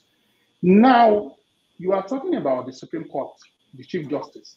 You know, that it shouldn't be known that in the United States, the uh, uh, movement of if you are moving outside Washington, D.C., it is subjected to the FOI in the United States. I don't know where you get your information from, but I prefer that people should be knowledgeable. You need to read better for you to understand before you come to the public, you know, public here like this and say that the United States uh, Supreme Court justices can travel, can move about, you know, without disclosing. No, they must disclose. The only reason why some countries are better than ours is strictly because there is transparency. Wherever you have transparency, you will be very reluctant to do a wrongdoing because you know that people are watching. But where you know that nobody will see you, you can go on and do anything in secret. You know, it leaves room for people to do things. Our story was clear. The movement was suspicious. We, we were clear. We didn't know what they were going to discuss, but they said, so Chelsea said that it may you know, be built. It is, it is absolutely journalistic to see something and say something. The entire Trump collision started just shortly around his, being, uh, his inauguration, while he, when he was president-elect. He was briefed that there was a dossier put together by Christopher Steele, the former MI6 uh, uh, agent, you know, about his activities with Russians it wasn't like, oh, they were sure, the media was not sure whether or not Trump colluded with Russia. But they were seeing, you know, things that shouldn't be. Trump was a private individual at the, at the time, you know, and there was people were saying, no, he went to Russia there, he slept in a hotel in Moscow. His people at Trump uh, Tower in New York met people in Moscow, all while he was still a private individual. People were holding him account, to account because now he has become a president elect and they mentioned everything and it was reported for like two years. Ultimately, there was a judicial panel that looked into the matter led by the former FBI chief Bob Mueller, you know, and said that they couldn't see that he colluded with Russia, but they gave details that the suspicious activities, some of his close aides, you know, were indicted, some were charged, some pleaded guilty, and all that and all that. Ultimately, he wasn't charged personally himself for colluding with Russians. But the activities were suspicious enough, and the media reported enough for them to win the Pulitzer. The Washington Post and the New York Times shared the Pulitzer for their reporting of suspicious activities of Trump campaign and the Russians. That is the that is the you know the preeminent journalism award. No matter how you no matter how high you rise in journalism, you cannot win more than the Pulitzer award. And the Pulitzer panel felt that it was worthy of getting an award, you know, just by making noise that something happened so that it can be looked into. Our story was that the Chief Justice movement was suspicious. You are here saying that there's nothing that says they should, should disclose this movement. Uh, the Chief Justice of the Supreme Court yes. should just be seen going into a hotel. Hold on, going into a hotel in London to to staying there and why should that be? Where do you say when you travel? When Not he was when he was am I Chief Justice? So we, it, uh, where are they supposed to stay? Government officials, where are they supposed to stay? Under the bridge? Right? It shouldn't be seen going to a hotel in London to stay for nothing. What is it doing there? Why That's is that your business? It that's your duty to find out, not to make congestions. I am, a, I, am a, I am a citizen before being a reporter. I'm a taxpayer. You didn't say suspicious. You were categorical in your statement. You didn't say suspicious. You were so categorical that he was meeting Tinubu, but you are not able to prove it. Read a single paragraph that said that he had met Tinubu.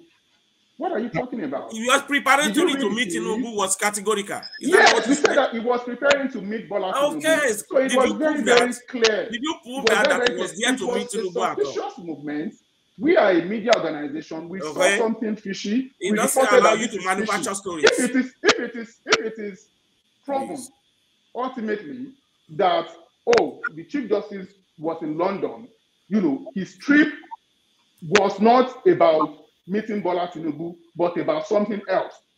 So be it. We are not prosecutors in the media. Journalists are not prosecutors. All right. Journalists I, are not judges. We I, say things and we say it. That is the way we play. That is the role of the media. If you now investigate fully and you don't find anything, that is fine. But for media to see something this huge and keep quiet on it, knowing the reputation of our judges, of our politicians, or the Supreme Court itself that lied, that told a barefaced lie in an, in, lie in an official statement that Ariwoola was not in Port Harcourt where he said all those things that he said, only for a video to come out afterwards showing that he actually did. That is to tell you how bad things are, and we cannot keep quiet. So while you may you may you, you may think about how this is your own personal position that the Chief, uh, Chief Justice should not say, should not disclose his whereabouts, is free to do things in secret. I personally don't think that is proper. My organization, the, the People's Gazette, as a media organization, does not agree with you, with due respect, that the Chief Justice should be moving about without any sort of safeguards, any checks at all about his activity. You know, and that is the position of Hello, Dr. Dr. Damages. No, no, no, nobody. No, no, no, no. I did, I did. No, no, no, so- I sorry. did. I just want to switch on. I did. Why is everybody talking? Hold on. Uh, thank you, Ayo, so much for, for your question. And let's move to Okija. Okija, you're next. Uh, thank you, Mr. Olum- Olumide and uh, uh, Dr. Damages. I think you you guys kind of, you know, uh, from the questions you asked asking me, you know, have answered my question, all the, the question I had about uh, Bayo and uh, Tinubu, you know, what they are thinking behind why should Bayo be making such statement and the way you attributed it to what Tinubu's wife said before. And so that, you know, like, um, um, you know, shows us, you know, what's going on in the background. So, but okay, now, um, uh, the question I'm gonna ask you, uh, you know, just speculation, you know, I want to speculate if there if there will be President Tinubu, uh, f- based on all these things that have been said, you know, like bio and other things, you know, about you know people of South East uh, origin, uh, you know, uh, what do you think would be relationship between uh, Tinubu presidency and the people of Southeast, and also in relation to like a release of Nnamdi Kanu? Um, basically, I would um, expect the the the the, the, the uh, situation is a national security situation. Nigeria considers a national security situation. Um, even though substantially um, it's about a speech that he was making from abroad, um, whether he incited violence, um, because we've seen some um, IPOB elements in specifically inciting violence, uh, whether the state has evidence of Nnamdi Kanu um, calling people to violence. Um, you know, I, I, you know, it's not. It, it may be out there. You know, um, I'm not saying that it may not be out there. You know, but I haven't seen. But so that is. But they are treating it as a national security issue, and I think the president, if, if Tinubu becomes president, he will be briefed on the, you know, the entire case with Nnamdi Kanu. He will see more than what you and I might have seen in the public, and then he will be able to decide. Uh, So, you know, now just suppose that I will be able to juxtapose that with national, you know, the national interest. Because I I'm did try sorry. John to I'm sorry. I'm sorry. Let me let me take uh, the. Uh, Okay, Go ahead.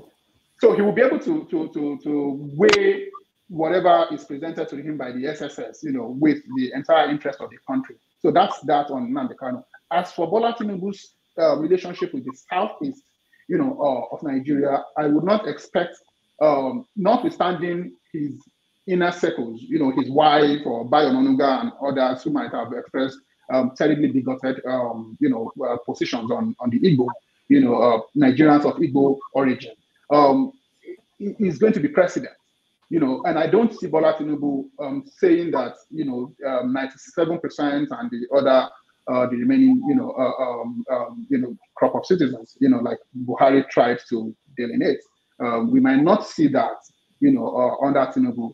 Um, however, we should we should pay very much attention to how he treats the people uh, of the southeast. Anything short of treating southeast people in the same way that he would treat me, that I'm a fellow Yoruba like him, you know, I don't think would be acceptable to any Nigerian. You know, and I think that's just fine. All right. Thank you. Thank you, Okija. Uh, Ngozeka, you're next. Good evening, Dr. Damages. Good evening, Mr. Samuel. Thank you for saying this. I really read the story and I'm interested in what's going on. So, the first one, I I want to say that before I ask my question, let me just say something. You don't blame Nigerians for believing anything that is reported about these people. So, Because I'm afraid I didn't hear. Ngozeka, we can't hear you very well. Yeah. Can you hear me now? Okay, try Okay, again. You may want to, yes, go ahead, please. Okay, so I was saying that you can't blame any Nigerian for believing whatever is reported about these people. So any anybody that doubts it, that's their problem. But the average Nigerian believes it. But my question is, this attitude of having our politicians, our public officials, travel outside for medical purposes, especially somebody in a sensitive position as a president elect, is it not dangerous? As in, it it won't it affect us? Can't it be used against not just him now because he's representing the rest of us? Can't an enemy country, I don't want to use the word enemy, but a country that wants to harm us, can't they use his medical record? Do they, is, is it safe? How safe is it? How can we get them to stop this thing? Because I am thinking it's not safe, but I just want to hear what you have to say about that. Hmm. Hmm. Um, thank you very much. Um, I mean, it's it's a very interesting question, um, the- especially from the perspective that you brought in. Um, look, I, I will be free to tell you that it has serious national security implications. I agree entirely. Why? President Buhari was abroad at a stretch, right? Was it between May and August? About 109 days, you know, 105 days, the longest stretch, you know, when he traveled uh, 2017, because when he came back was when he was, you know, talking about um, what month do the Igbo want and all that back then. That was highly controversial. But he was away in London to receive treatment, so to undergo something fundamentally, you know, uh, um, um, effective, right? That almost it was basically like rejuvenated. We are very happy to see him that way. But what process, right? What did he do? What did he give up for from you know what what what portion of Nigeria did he have to chip away for that to happen, for him to be rebirthed in that manner, for, for you know, for him to, to, to become what he is now, he is now is. Because we can all see that the difference is clear. You know, the, the doctors that revived uh, uh, Muhammadu Buhari, what did the Buhari give them? This is what we are talking about. It's our country. We should be concerned. What did he have to give up to be there? We are happy that he's fine, no doubt. But at least it should come with some level of transparency. He did this in the UK. That's what they told us. We don't know whether he was actually in UK.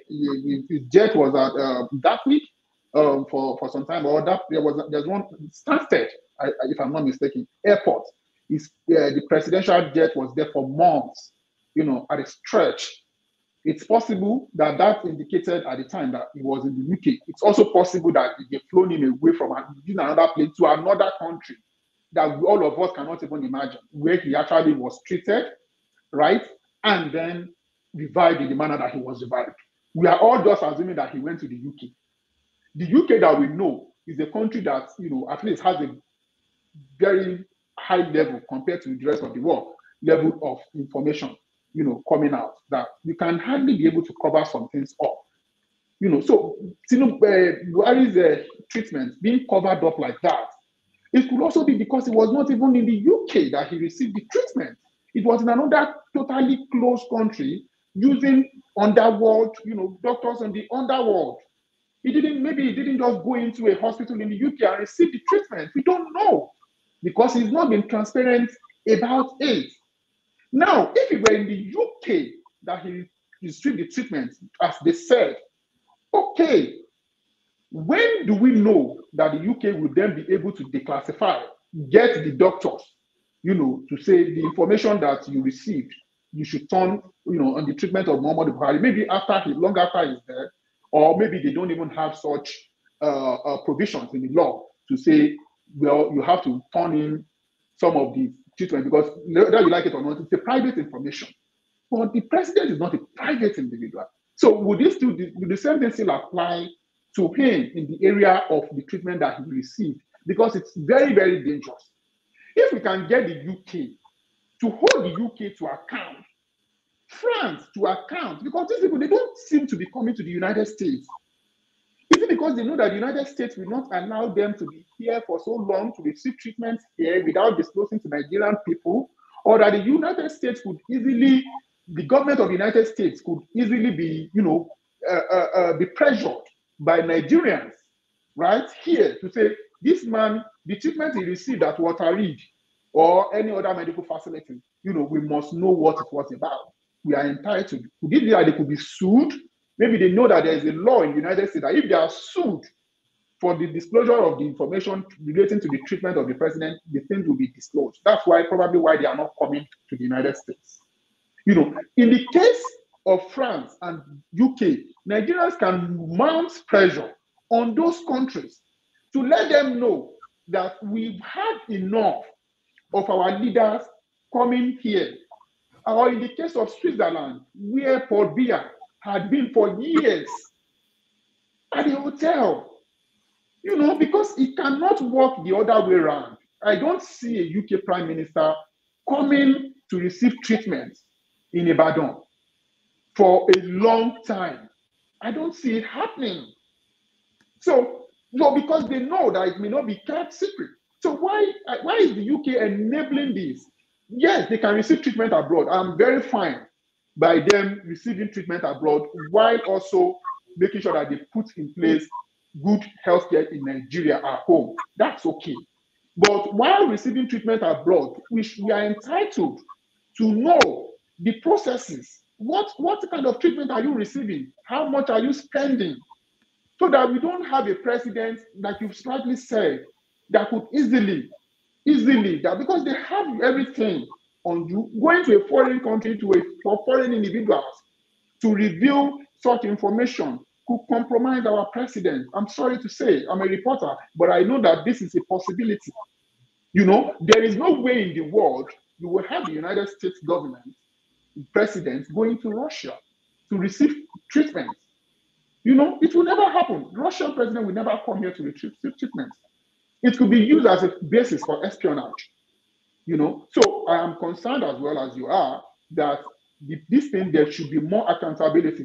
And since we know that we cannot hold our own leaders to account, we might we can demand from them, but they will not acknowledge us, and there is almost nothing we could do about that. But in the UK, in France, we could pressure them and they will cave because there is accountability in those countries. You know, so we can we can so maybe the pressure should shift to those countries those countries in there so that they will no longer so that they can look for other places to receive their treatment. But maybe they are not even in those countries, and we are just giving, you know, we are just, they are just giving us implication, I mean, indications that they are there.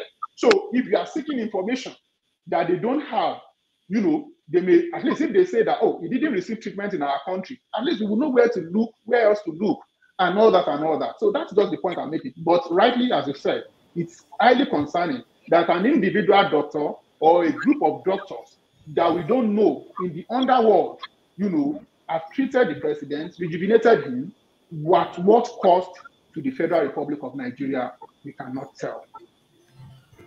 All right, thank you, thank you, Angozeka, thank you, Samuel. Uh, let's go to Igbo Basics. Igbo Basics, you're next. All right, uh, thank you, Dr. Damages, uh, and um, Samuel Ogundipe.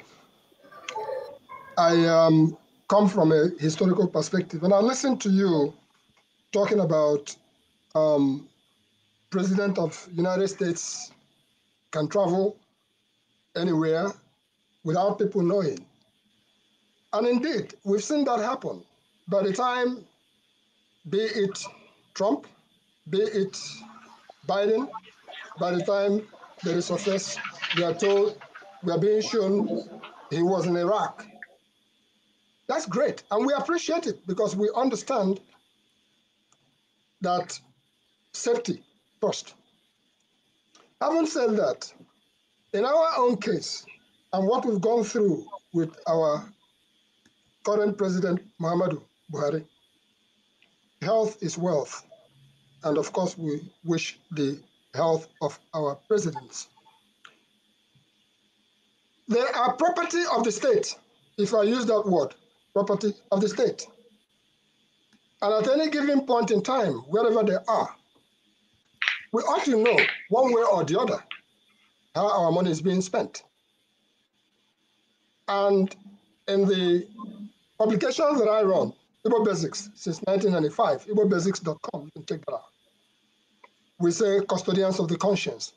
And then in basicsexpress.com, which is the Nigerian space, we don't break news because whatever news you break today, in the next hour, it may turn out to be that you broke the wrong news. Except, of course, if we are there, we saw it korokoro by our eyes. Without much ado, I refer back to 1998 at the University of London. Zeri.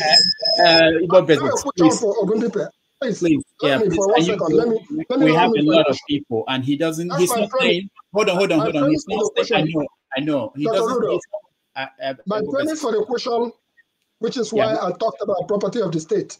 Yeah, what I'm. Out Hold on hold on, at the. University of London. Give me Hold one on. second, please. Let me ask my on. question. It's a historical perspective. It's, it's not just about you. Hold on, because after you, other people will do the same thing. What I'm saying is this: we have so many people, and he's not staying for too long. So we want to get as many people as possible. So can you can go straight to the question? I'm saying it's not just for you, for many people, because you are not the only one that want to give background. Okay. All right, we'll, Go we'll have that conversation. Ogundipe, history. Whatever we are doing today will be judged as history tomorrow. The question that I have, are you related to Samuel Ogundipe? S.O. Ogundipe, the publisher, the writer that we wrote, we read when we were in high school, in elementary school, in secondary school. Are you related to the Ogundipe? All right. Thank you. He hasn't answered yet. Are you related to him? He will. Oh, okay, okay. Oh, I thought that was your only question. I was going to answer when you. Uh, because that- Rudolph keeps uh, slicing me off. I was Okay, talking okay, okay, about. so- no, no, no, no. Um, I'm only, I'm only related to uh, Baba Femi Ogundipe, the former, um, the Aguiyi-Ironsi um, chief of Supreme Court, uh, chief of staff Supreme Headquarters under Aguiyi-Ironsi. Do you know about the historical writers, the people who published those books that we are reading? Yeah, yeah, yeah, of course. I know the, I know the Ogundipe. I know the book that you are talking about. I know the series that you are talking about. I think that one is uh, Ogundipe from Oyo. I am from Ijebu. Thank you very much. I rest my Right. case for me. All right. Thank you. All right. Let's go to the next person. Electricity. You are next. Thank you, Dr. Jam, uh, Dr. Damage. Uh, since we don't have the time, I will go straight to my question. Uh, Mr. Samuel Ogundipe, as you understand, emotions are high in Nigeria, and uh, your reporting is my. I'm following up with uh, your a matter of the law. So if you can refer me to, if we are holding our leaders accountable, we are we are applying the law. I believe I'm correct in that. The Chief Justice of a Federation is it required by law to disclose his movement to the general public? Please listen to my question very well. To the general public or to certain departmental in the government for security reasons. Could you refer me to the law where I can see it, please? We all, um, there is no actual law that's even said that the president of Nigeria must disclose his trip to Nigerian people. But we are all demanding that our president, we, should know where he is. I don't know how we keep doing things like this to deflect. It has, thank you. in You've fact, answered my is- question. is- Sorry for no, there is no law. There is no law that says that the United States president must disclose his, his, you know, his trip, you know, in the manner that you are talking about. But they always do. We are a civilized society. There is no law that says he must do that. But we in the media, we can hold him accountable for his I- movement. I- you know, I he can be you. held accountable for his movement. So Mr. it is not. So, so the question is not about whether there is actually law. There is no law that says he must do that. We did not say Okay. he, ha- but even if he had met Tinubu, there is no law that said he cannot meet with Bola Tinubu. So, so the question about whether it is on law or not is not the actual basis here. Our story Okay. was that the Chief Justice and the President-elect had a an undisclosed secret meeting to meet. You know, an Okay. undisclosed plan to meet at a secret meeting. That's all we have. If, No, if no, any Nigerian I- I understand. in that information, Sorry, I, I don't want to drag this for my. If there's another Nigerian not interested, one second. I understand. substantially, from people that I've related with, they are very much interested in knowing the Chief Justice's whereabouts. You know, if you are not interested, it is your personal position. So I agree with that as well. Okay. Go ahead. Uh, thank you, Okay. Elis- thank you, Electricity, for your question. No, Rudolph, just one second. No, what I'm trying to say is this. hold on, no, hold no. on. It's my question. No, what hold I'm on. trying to say is this. Hold on. We may be putting the man, reporting the story, may be putting the man life at risk, given to the sensitivity of his position. That is just my point I am making. I believe in holding our leaders accountable. But you see, when government disguises, presidency disguises that they are going so so place and they are going to be, you agree with me for security reasons. They don't want to people to know where they are. And the chief justice position, even in the context of Nigeria, is a very sensitive position. It has to report to certain individuals for security reasons so that they know where he is. He's not exposed to any anything. But for the general public, it becomes a great risk. That's what I'm trying to say. Thank you, Mr. Rudolph. I appreciate Okay. it. All right. Thank you. Uh, let's go to Ovie Ernest.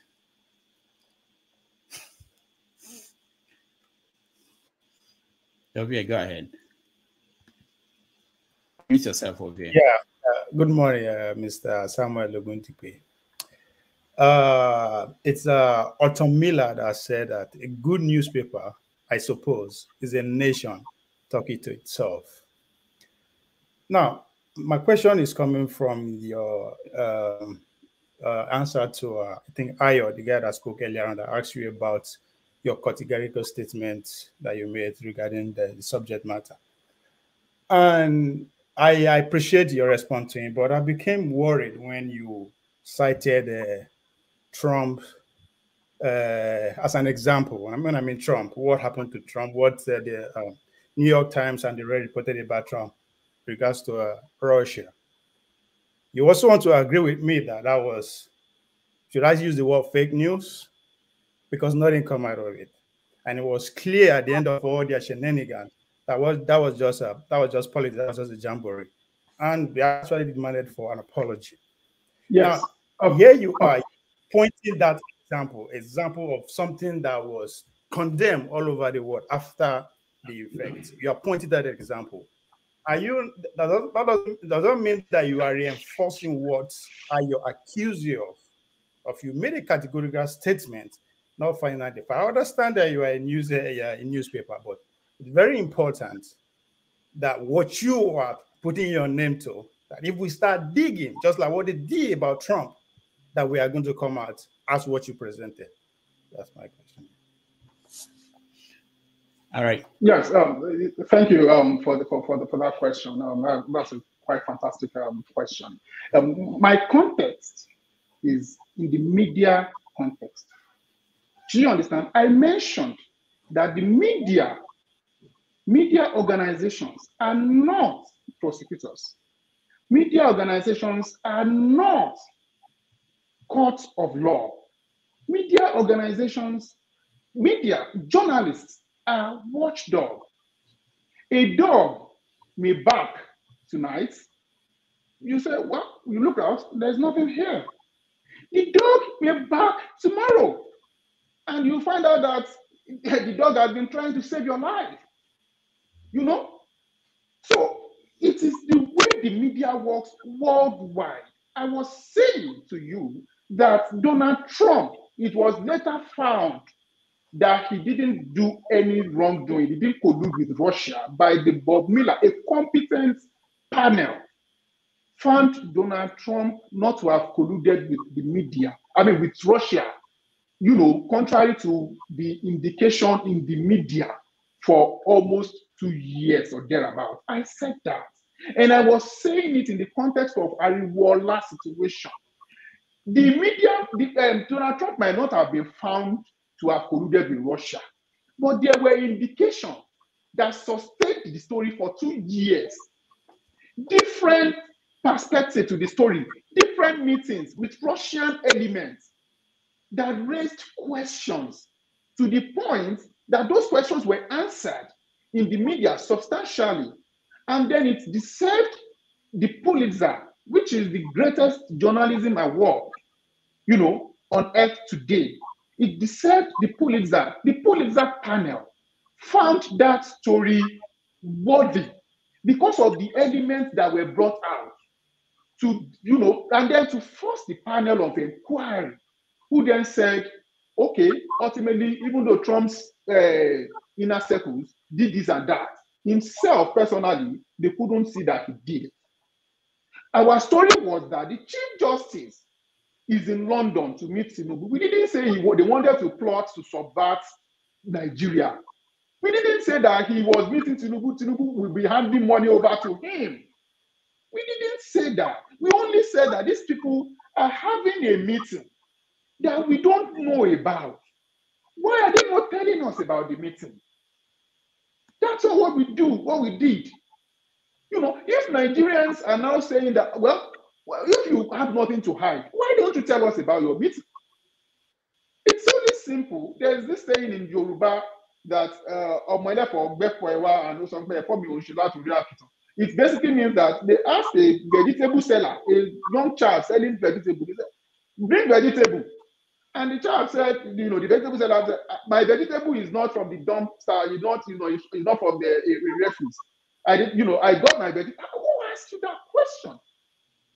Let's buy vegetable, that's all. But because the, the, the, the, the Yoruba implication is that the vegetable is actually from the, the, the, the dump. So it's very straightforward. Our story was that you, these people are meeting. We are a media organization, and we felt that we owe it to Nigerians to let them know. Look, this story might not have been published by another media organization because they, their own editorial judgment may be that okay, and they want to meet. Both of them are leaders of Nigeria. Maybe they just want to discuss, you know, handover, or they want to discuss, you know, transition generally, or something. No problem. We have no problem. That is their own judgment in the, that organization. In our own judgment at People's Gazette, you know, we had a meeting of all editors. Two meetings, in fact, before this story was published. And it was a unanimous, there was no single dissent in our team of editors, you know, male, female, young, old, in our organization. We all saw that the best for us was to blow this thing out so that that meeting will not even hold. And if there was any such plot to have any meeting, you know, there it will not even hold anymore before the Supreme Court finally decides because we don't know between them who is even going to initiate communication anymore because this one has been exposed. So they are not going to probably risk it again. But it is Nigeria. It is Nigeria. Nothing can be taken beyond these people. But at least in this particular instance, our story is that the meeting wanted to hold. Our own was to preempt it, make sure that it doesn't hold, and it didn't hold. In 2021, around April, many of you might not have noticed, we reported, we reported at People's Gazette, citing a memo, which we still have a copy of till tomorrow, that the Attorney General of the Federation, Abubakar Malami, had written the president, telling the president specifically to suspend the fifth schedule of the Constitution, the, the, the section that guaranteed fundamental rights to Nigerians. The difference between a dictatorship or a martial law and martial rule, rather, and a democracy, a constitutional republic like ours, you know, basically it's about the rights of the people on that, that regime. So currently, we are in a civil rule. What is holding the nation, the constitution, is basically the fundamental rights section in which you and I have rights as Nigerians that we can challenge. Not we are not living under Abacha anymore. That's just what that part. Now, Attorney General said that the president should, should, should suspend it because of Nnamdi Kanu and Sunday Igboho. Now we blew that story open. It would have caught Nigerians by surprise because the president we knew and we probably still know that is very much listening to Malami. And it was it was a, a minister, you know, of the Federal Republic that was very concerned about such a memo getting to the president and happened to, to, to know about it that said this is cannot work. And then was kind enough to share the document with us. And some people would have heard the story and say, oh, it is too dangerous to, to drop. No, because it will mean that they will, Nigerians will wake up one day and they will see that the president has, has declared that because of uh, the Nnamdi Kanu and Sunday Igboho, uh, people's right to be suspended for some time. Like, you know, like, you know, it, that kind of arrangement. But when we blew it and they saw that it had been exposed, they couldn't proceed with that. With, that memo never was never discussed again after that. What did they do? They used alternative means to go and abduct Nnamdi Kanu in, in uh, Kenya, you know, and then they also trapped Sunday Igboho in Benin. No problem. But the greater danger had been averted, which was to suspend the fifth schedule of the Constitution. So we need to know that the media, our role is to watch and say things. We wish we even see more to tell Nigerians, but we only report what we have. But we know how what, what our society is like. We know how much people compromise in the society. We know how much these judges and lawyers, how much they collude. So please, people should, if somebody had come out and reported that governor of uh, uh, uh, Kano was seen that they see they saw the governor, you know, pack, collecting dollars in bribe from a contractor and putting the dollar in his babaniga and cap and all over the place. People will not believe. They will say it was fake news to cause rancor in the country, to, to degrade the governor. Is it that the governor does not have SSS or D that he could send to collect bribe or any other people? Why would he put it in his Babangida, Babariga? Is it that he doesn't have uh, Ghana must go? Is it that he cannot buy Ghana must go that he would be putting money in Babariga? But we saw a video of it. It happened. Let's not be be be seeing things and we will be, you know, no, it's not done.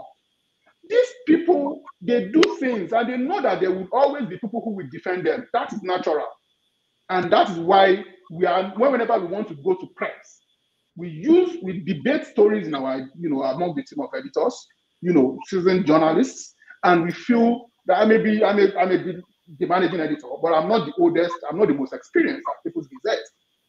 You know, so but we all know we you see this thing, we look at the law. Sometimes we consult our lawyers to let them know that this is going out.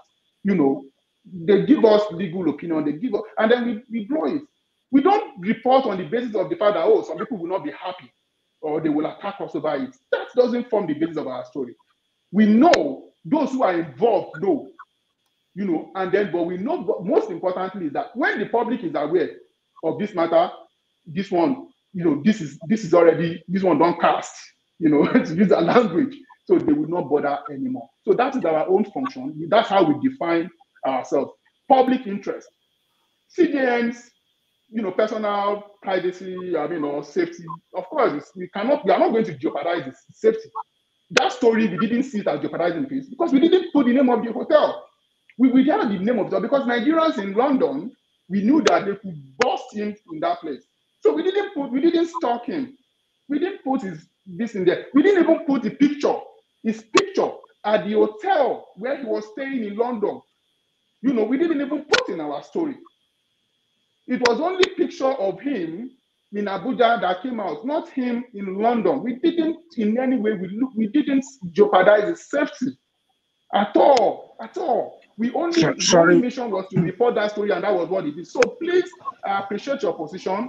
You asked a fantastic question, but we have our own mission, and we felt that what we are doing, you know, ultimately, we will see how history or posterity plays out.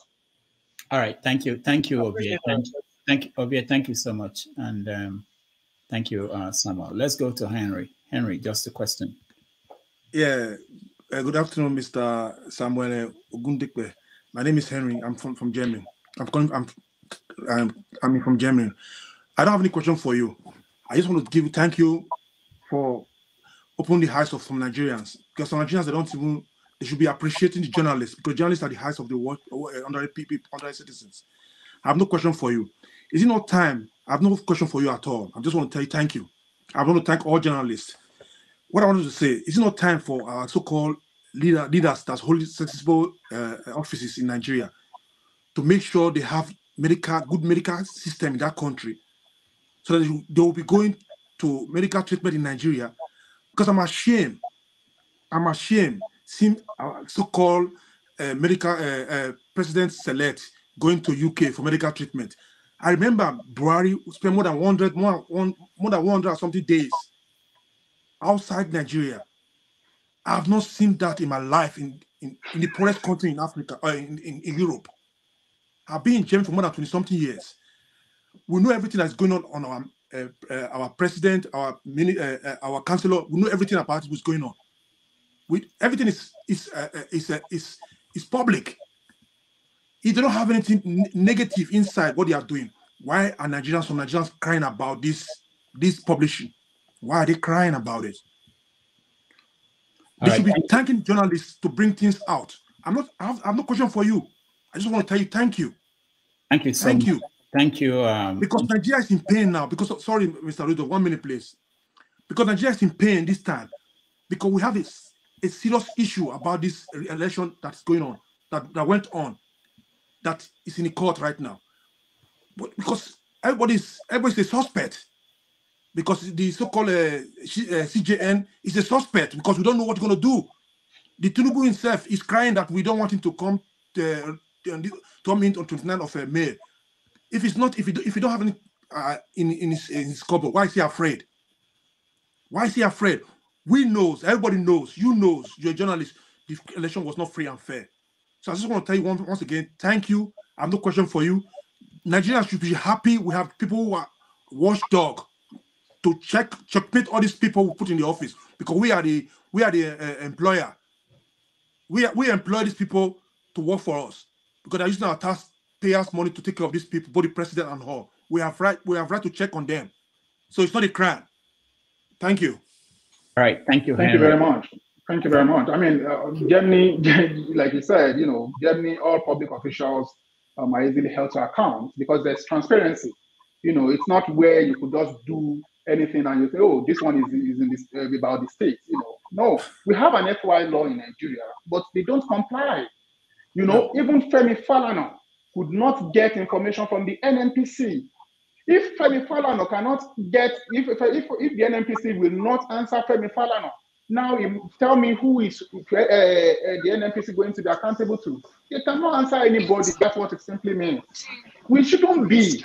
If you know, if you and I know that this money that is on this table, the whole world is looking at it, the eyes of the world is on the money. We won't touch it. But once the once light goes off, if light goes out, you know, there's darkness. You can quickly say, "Oh, let me okay, let me take small. You two take your own. Let's make it come out. That it shouldn't be. There must be transparency.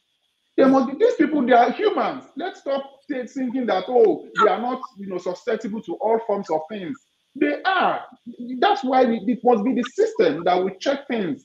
You know, don't say that uh, the, the CJN, you know, trying to make a victim out of the CJN. He's number four citizens.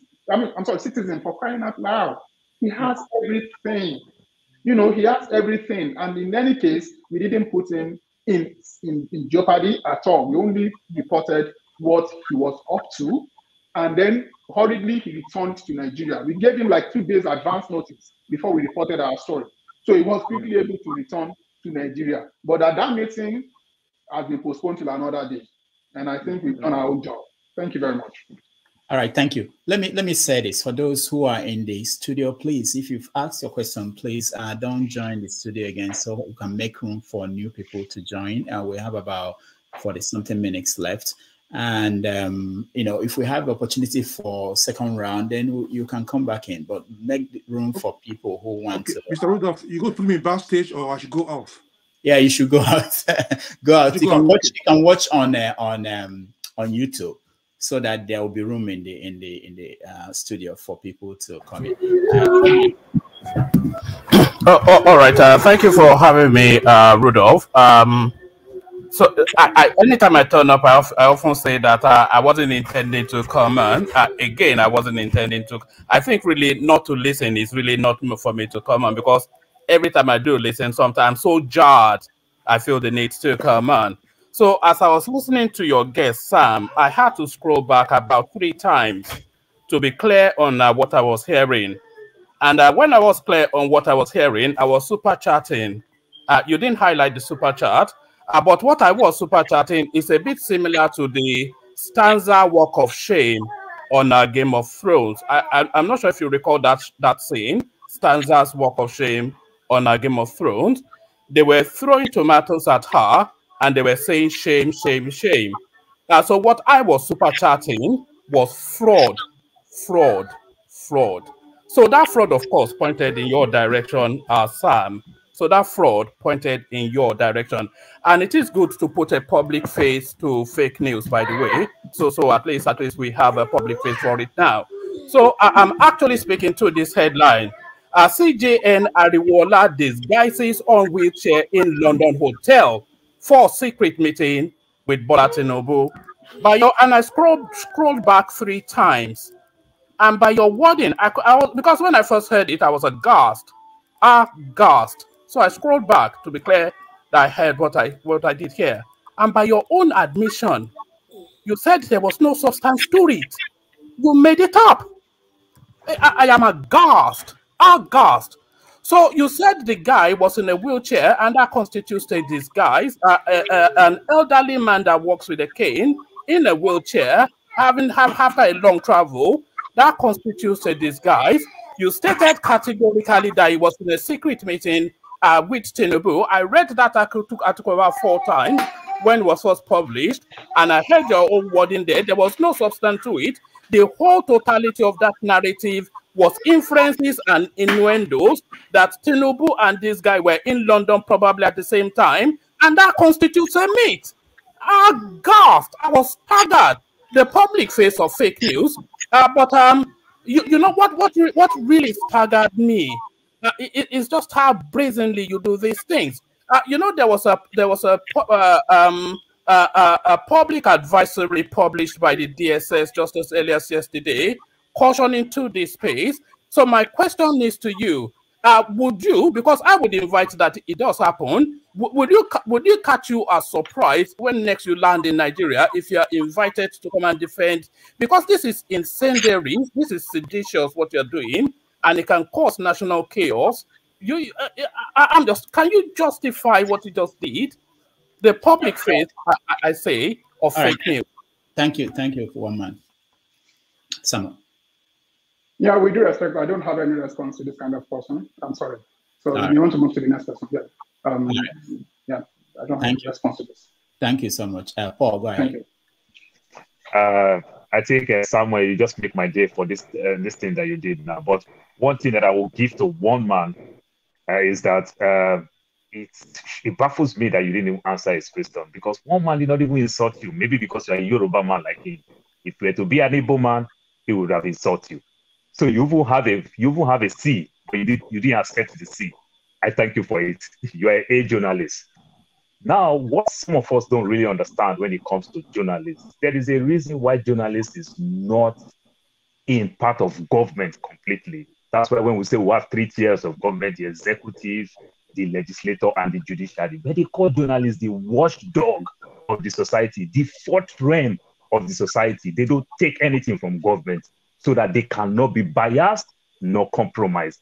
Thank you for the great work that you are doing. Sometimes some of us don't understand the implication of when leaders travel. It's a big risk for just a colonel in Nigeria to send his kids abroad to go and school. That's a compromise. If I hold a colonel's son in America right now, I can compromise whatever he's doing in Maiduguri. I can compromise whatever he's doing in South South, in, the, in, in, in Niger Delta. I can compromise him because the love we love our kids we can't quantify it. We can't explain it. It comes natural. Our kids did not do anything special before we love them.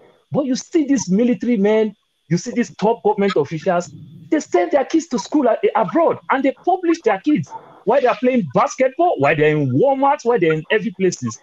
People don't really even understand the implications of what we are doing. Sorry, doctor will fight me. Please talk more about Ekweremadu. Thank you. I love you, but I gotta go. All right. So, Samuel Ekweremadu, do you have any any anything to say about Ekweremadu? Um, I mean, it's it's Ekweremadu's um, situation. I think um, has been has been uh, properly adjudicated, and you know he was um, accused of um, wrongdoing and then convicted um, afterwards. Um, initially, when we, uh, you know, there was a mix-up initially with the information that came out was that the person was a minor, you know, who was um, taken to the UK, and then we later saw his passport and you know saw that Ekweremadu in fact wrote the the Nigeria, I mean the the British uh, embassy, the High Commission in Abuja, saying disclosing specifically um, that um, the name of the, the, the, the, young man and, and also saying that specifically he was going, taking him to the UK to donate to his uh, son. So as far as process, you know, it looked, everything looked properly done, you know, for a Nigerian politician in the way Ekweremadu handled, handled that issue. You know, what was, what became unfortunate and what did him, him, unfortunately, was the part where he was seen, you know, evidence apparently, um, to have offered money, you know, cash monetary compensation to the victim, to the, uh, um, okay, well, you can call him a victim now, right? It's, it's, the case has been dispensed in court. So to the victim, you know, so um, that was what caused the issue. You know, that was what caused the issue. Ordinarily, he, he went through the process, you know, he was transparent, he didn't lie, in, at least the documents we've reviewed on this matter. But he offered monetary, which was against the law in the United Kingdom. You know, you could get kidney transplant from anybody as long as it worked. Unfortunately, you cannot offer to give that person, to compensate that person for giving you the kidney. You know, that's where it became illegal. And apparently that was the path that the Ekweremadu, you know, team, you know, the lawyers and you know advisors on the entire process, you know, didn't uh, that was a loophole, you know, that they unfortunately didn't catch, you know, before setting off the process. So what this has told us, of course, as many of us have seen, is that it's a different because this in Nigeria, of course, we all said it wouldn't even have gone to court to begin with, right? You know, uh, because that particular uh, uh, compensation helping, you know, the, the, the, gentleman, you know, to make his life better after donating kidney to your to, to, to, to his daughter, right, would have been seen, you know, in fact, by some Nigerian courts, you know, as an act of virtue, you know, they, that, that was how they would have seen. But in the United Kingdom, where different, you know, rules uh, apply, you know, they said, know, we violated our law, and as such, you know, convict you, and they did. So it went through the legal process. I think he also recognized the error that he made. It was an error, but sadly, because it's a, it's a, you know, I mean, I'm a father of, you know, of a two-year-old son, um, and and I could, I could just imagine, you know, how, uh, um, how worried, how disorganized, right? I would be, how desperate, you know, I would be if I must you know, find myself in this situation. What I'll be looking for is situation. I mean, is is a way out. You know, is a way out. I am not going. I'll be the last thing. Will be probably maybe I will go to jail down the line. Will not be in my mind. As long as I properly I go through the law, I will think that I, I've been through the law. I've done every process. Everything was legally done. You know, but the part of compensation is something that any of us would have fallen for because I can't imagine somebody donating a kidney right, to my child, and then I would abandon that person. No, I would definitely have to ensure that I take care of that person as long as that person will need my help for the rest of that person's life, as long as I'm also in a position to help that person. You know, but it's against the law in the UK, and that's what we have. So All it's right. a quite frankly. Thank you, thank you, Samuel. Uh, let's go to Buddy. Buddy, yeah, you're. Uh, good afternoon. Uh, Yeah. Someone, uh, can you recall the headline of that publication again? The news that you broke on the CJ, can you recall the headline? Absolutely. Okay. And again, the next question will be can you define the word disguise? Okay, hold on, hold on, buddy, buddy. Um, because we don't want uh, one one question for everybody, no matter how you frame it. So frame it your question as Okay. one. Uh, because Okay. we are not here for you know. So Okay. can get other people. Uh, the next question, the, my question will be: Can you define the word disguise? And that would be your only question. Because No, that's- that's not. No, Question- then you have to one question, please, buddy. buddy okay. And uh, my doubts stem from the timelines. If you can like reel out the timelines of uh, CJN travel itineraries and president-elect travel itineraries, and the doubt was stemming from the fact that you've broken certain stories in the past, like on the one on Ibe Kachikwu, that you said he stole a car from UK and shipped the car down to US we've had issue of that. And then there's a story you broke on Osinbajo, whereby you attended an event in 2021 in Abuja, whereby you published a story and they completely debunk it. And another thing that I have to tell you this afternoon is that you talk about the fixed schedule. It's not Malami that will be the first person that will suggest to the president to suspend this fixed schedule. I could remember vividly if you have follow of event in 2015, immediately Buhari came over to government. Barrister Femi Falana suggested it that if you want to fight crime really hard in Nigeria, we have to suspend the switch schedule. So there have always been a suggestion about it concerning our country. Thank you, Aid. Okay. Yeah, I'll take the last question first. Um, I mean, I don't remember Falana, Falana, you know, advocating um, the suspension of, you know, rights um, in Nigeria because the Falana that we all know is, a, you know, is a rights person. He has spent his life, you know, um, fighting for the rights of Nigerians. I recognize Falana. Falana and I are, you know, very close as far as a reporter and then a senior lawyer like himself, um, you know, goes. Um, other than that, I may not be able to speak to the specifics of what he, he advocated, but it's possible for him to say that look, to fight, you know, uh, uh, corruption, some people, um, you know, have to know that they can't just take Nigeria, steal Nigerians' money and then enjoy it hiding under, um, you know, rights statutes and all that. It's possible that he might have done that. I'm not disputing what you said. However, I can't speak to the specifics of what he said, but I can speak to the fact that Falana is a rights personality and he's very, very much um, celebrated globally for his right for, for that. So um, that's that. Um, as to the question, um, you know, about about um, the stories, you know, the, that we that we ran. You mentioned two stories. I'm very happy that you were able to cite specifics. That's what we like. When you want to say that, oh, People's Gazette to publish fake news, the other character um, said that you know this is the fake of face of fake news. You know, but unfortunately, you didn't cite any example. But you cited examples. That's what I want. You mentioned two specific stories. One, you said that we reported um, Ibe Kachikwu that you know you, may want to. Do you want to pull up the headline? We said that it was a stolen vehicle. We didn't say he was the one who stole it. Do you want to pull it? You may just Google as I'm talking and you'll see.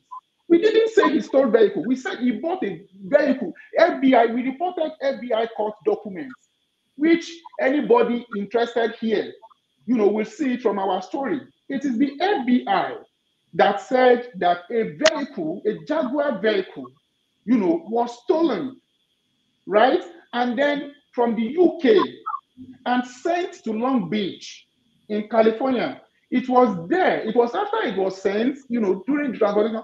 Not anyway, the, uh, the man, Ibe Kachikwu, bought the vehicle. They found the vehicle in his possession. And they said this vehicle was stolen. And then they sought the forfeiture of the vehicle. The vehicle was forfeited. So he then said that it was a man, a dealer, uh, uh, dealer in Victoria Island that sold the vehicle to him, that he didn't know that it was a stolen vehicle. We didn't say he stole it. It happens to Nigerians every day. Most of the vehicles are dealership, vehicles stolen from abroad. They will bring to Nigeria and they will sell to you. You won't know. Sometimes they even, you know, manipulate the uh, the VIN, the the the the, the, the VIN. Yeah, I mean, sorry, the the mileage of the vehicle. They roll it backwards, right? Meanwhile, in the United States, using Carfax and some other Uh, uh, uh, resource tools, you could actually check history of a vehicle that came out of the United States. You know, I have seen a vehicle. There was a vehicle we wanted to buy. You know, a fairly used vehicle we wanted to buy from one of our dealers. You know, in Abuja for office, office, you know, for office use. And when we checked the VIN, it didn't correlate with the last reported mileage of the vehicle just earlier this year. It didn't correlate with what, what, what we saw in Abuja. Clearly, it had been manipulated. They, they rolled it back. So people do it like that. People steal vehicles from abroad and then they take to Nigeria and then they sell. That was what we reported. We never slept and we didn't accuse, we report, and it was an FBI full US government court government document. Not from us. That was that. The last part that you mentioned was actually quite fantastic and it goes deep into our journalism at People's Gazette. It is true that we reported that the vice president was involved in an accident. That is the story you are talking about in Abuja. He wasn't involved in an accident. We heard in that story. What happened was that we saw, we were sent a video in which crowd gathered. What the, in the person speaking in the video was shouting, oh, you know, was panting, and then said that, oh, Vice President, so it's Vice President Yemi Osinbajo. Unfortunately, we didn't know from the context of how our reporters and the editor that unfortunately passed the story was that the person was panicking about the accident itself and then saying that vice president was among the rescuers. Not that he was among he was a victim of the crash itself. So the vice president intervened. He was on his way to the airport he stopped his convoy to do a very good service to the nation you know, by saying that let's quickly use the ambulance, you know, not in the to, to take in his convoy to take the the victims to the hospital. So he didn't just order that. He got down from his own vehicle and helped victims. That's how a leader does. That's how a leader behaves. You know, that was what the vice president. Unfortunately, we made that error, and immediately we realized our error within a few minutes after publishing that story. We retracted. We retracted immediately and we published our retraction to Nigerians. We didn't just delete the story and keep quiet. You will see it on our site. We, we, we published editor's notes fully, and then we put we distributed the note to all our handles. That's how we do at People's Gazette. We don't mind people, all those who are attacking us. Oh, fake news! You should have checked your story better. No problem. It is true. We could have done a better job, but unfortunately, in this particular story you cited, we failed at that job and we took responsibility and we retracted, which is what any media institution in the world, any media institution in the world, no matter how big, you know, will also do. They make mistakes every day and they publish retraction every day. It happens. In our own case, in this particular instance, we failed and we owned up to our error and we retracted. So you can hold us to account for that error, but the fact is that you know we didn't we didn't hide away from that responsibility of our own failure. So I appreciate that you mentioned this. It's very specific, you know, and I appreciate that you mentioned it. But we took the measure that any organization, any responsible media organization would take. And also, you have to pay attention to our stories. If we make any retraction, we publicly say. We don't hide, we don't delete stories that people Gazette. We started publishing September 25. I'm saying this in a public forum. People's Gazette launched on September 25, 2020. We have published thousands of stories since then. You can get any CMS expert in the world to audit our website. You will never find us having deleted a single story. We don't. Many other websites including those that all of you know, when they publish a fake story, you know, they what do they do? A story that is er, you know an erroneous story, not necessarily fake, because saying fake means that they deliberately publish it.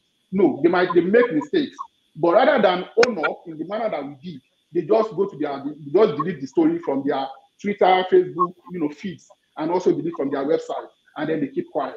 We don't do that here.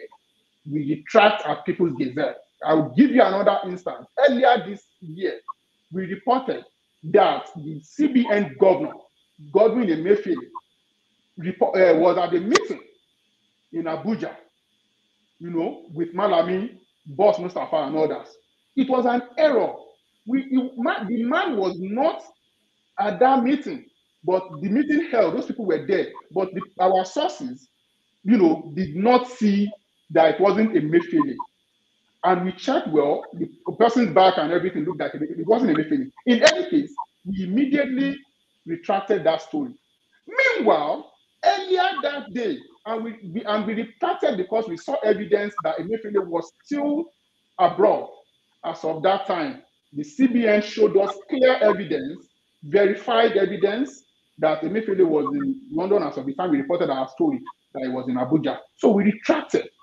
Now, a media that is far bigger than us, which I don't necessarily need to mention, so that it doesn't seem like we are castigating anybody, reported earlier in the day that Emefiele was in Abuja, was back in Abuja. That story, till to now, that media has not taken that story down. It was false. Emefiele only came back to the country two days after, and also two days after our own story, but we retracted. So to say that we don't make mistakes at People's Gazette is false. We make errors. We rarely make errors, but we do make errors. And we always own up to our errors so that Nigerians will see, you know, that this was an error, this was what led to the error, and then we will do what will clarify. So thank you very much for for raising this, you know, but we don't we don't we don't The first question, you didn't answer me the first question. The first question you asked about disguise, right? Uh, that I should define what it means to disguise. That was what you asked, right? That what you see, the situation where you whereby you find the CJN, does that constitute a disguise by your own definition? No, no, no, no. Listen, listen again, listen again, listen again. His disguise, you understand, was not necessarily that the only thing, the picture that out, out of the airport. You know, we said that this man, immediately after he got to the hotel, he started walking briskly over the, all over the places. Why is that?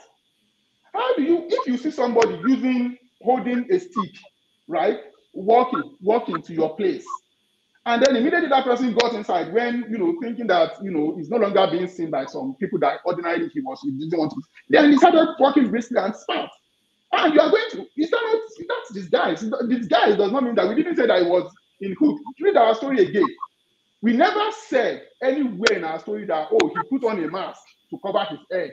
When no, we said that he was on a wheelchair, pushed through the terminals.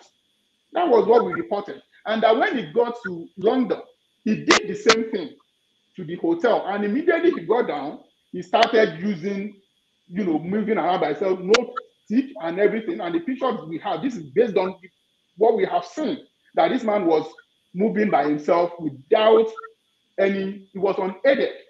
And that we stand by it. You know, your definition may be that for somebody to disguise, the person has to put on a hood that you cannot see the person's face, or the person must wear a military camouflage. That is not necessarily what disguise means. Disguise simply means, you know, you try to pretend in a way that people may not immediately be able to recognize you. You know, if you are going, if you are going anywhere, you know, ordinarily you are not going to expect that the person on that wheelchair is the number four citizen of the country. You know, I, I know, I know Rudolph, and I would, I'm not going to be walking at the terminal at the airport, and I would say, oh, because somebody on the wheelchair is doctor. I'm not going to do that because I, I, I, it won't occur to me, even though it might be, but it won't occur to me. So therefore, when you move like that, you know, and then in the manner, the entire thing was highly suspicious, and it was on the basis of suspicion. That suspicion was what we reported, and it could be there. There could be an inquiry in a serious country. There will be an inquiry that will either clear the CJN or say that ah, the CJN, even Dayos movement, the CJN's movement was truly, you know, suspicious and it should not have done that. And then they will put in a better process, you know, to guarantee, you know, accountability and openness, transparency, so that whenever the CJN is traveling, everything is disclosed, right? If everything is disclosed, proactive disclosure, there will be no issue. You know, there will be no issue at all, no questions to be asked because everything was disclosed. You know, that's what we should do. So that's that's just the basis about this. Thank you very much for your question again, buddy. All right, thanks, uh, Buddy. Thank you so much. Uh, but let me just say that uh, Buddy sneaked in three questions as one, and um, I, I, won't let that happen again. Yeah, actually, actually his questions, I, I, I must admit, his questions were you know, they were, they were they were specific questions, and I think they were questions to be addressed. So so I think I'm very fine by the way. Okay, um, great. Asked question, even though his question might be adversarial, but they are very critical questions, and I'm happy to answer them.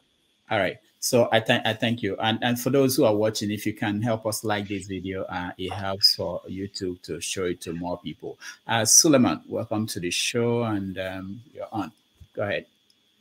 Okay, thank you. Um, thank you, Samuel. Um, Dr. Damages, you guys are doing an awesome job. I mean, for our democracy to improve, the, the conversations have to be upped, they have to be improved, and so uh, people can get to understand a whole lot of things. Now, uh, you you could see that uh, Buhari was able to survive a whole lot of the things that that Jonathan couldn't have survived, you know, owing to the nature of this us versus them narrative in the country.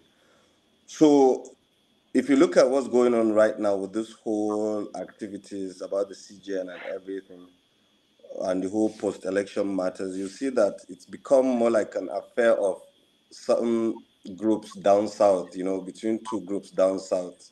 The north is doing more, more of a don't look on the matter, you know. So now, um, talking about these things you're doing somewhere, you would see that the whole thing you're doing, as objective as it could be, and why the citizens should have interest about it. But you see that maybe it's become more like certain tribe only supporting your work that you're doing about these matters, and some other tribe, that's your own tribe, the one you belong to, are probably even looking at you from some type of way right now.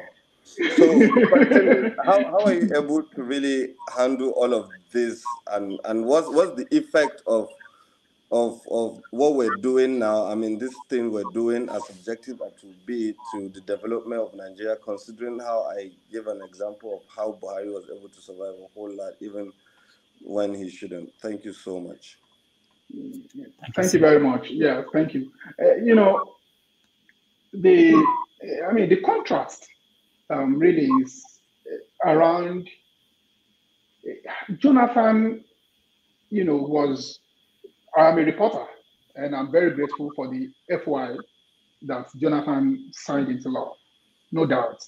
Um, unfortunately, he was not in office long enough for us to be able to have a bird's eye view of how the FOI performed under him compared to uh, Buhari. Buhari has had eight full years now. So we can tell very well that Buhari's government is a terribly close government. And this is the first review of the FOI that we can have. You know, there is no hope for FOI under Buhari so far. We hope, we pray that Tinubu will be different, you know, just for the interest of Nigerians. Any FOI we file, any lawsuit that our lawyers are pursuing, you know, in the towards the FOI, you know, it's for the Nigerian people. We are not going to get any documents through FOI and then we will sit on such documents. No, the public, we are asking for the documents on behalf of the citizens of Nigerians, you know, to report that this is the information. You know, that's that. As to how Buhari, you know, was it Buhari is close, right?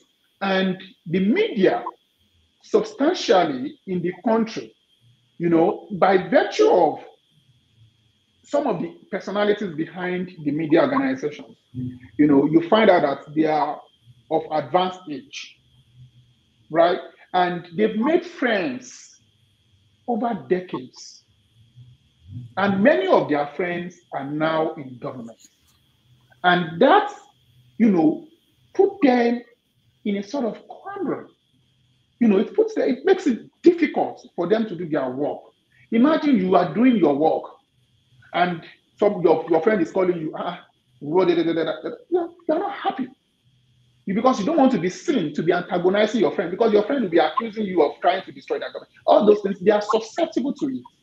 And that is why, you know, we keep saying that look, we have the NTA, right? We have none. We have so many radio, FRCN, right? People's Gazette does not have the audience of the NTA and Radio Nigeria. So why don't you leave? And then they are funded by the taxpayers. So why don't you leave the business of covering the government, trying to protect the government and all that to those ones? That is what they are supposed to be doing. You, as an independent media organization, your primary concern is to expose wrongdoing in public service, is to make sure that there's no hiding place for people doing wrong in government. Leave the PR job, like the job of that, you know, uh, all those TV stations that, that they were doing for uh, was it the Chief Justice the other day, airing the video saying that the Chief Justice, right, uh, was seen at the mosque praying amid speculation. That's that's that's that's that's. Look, it was wrong.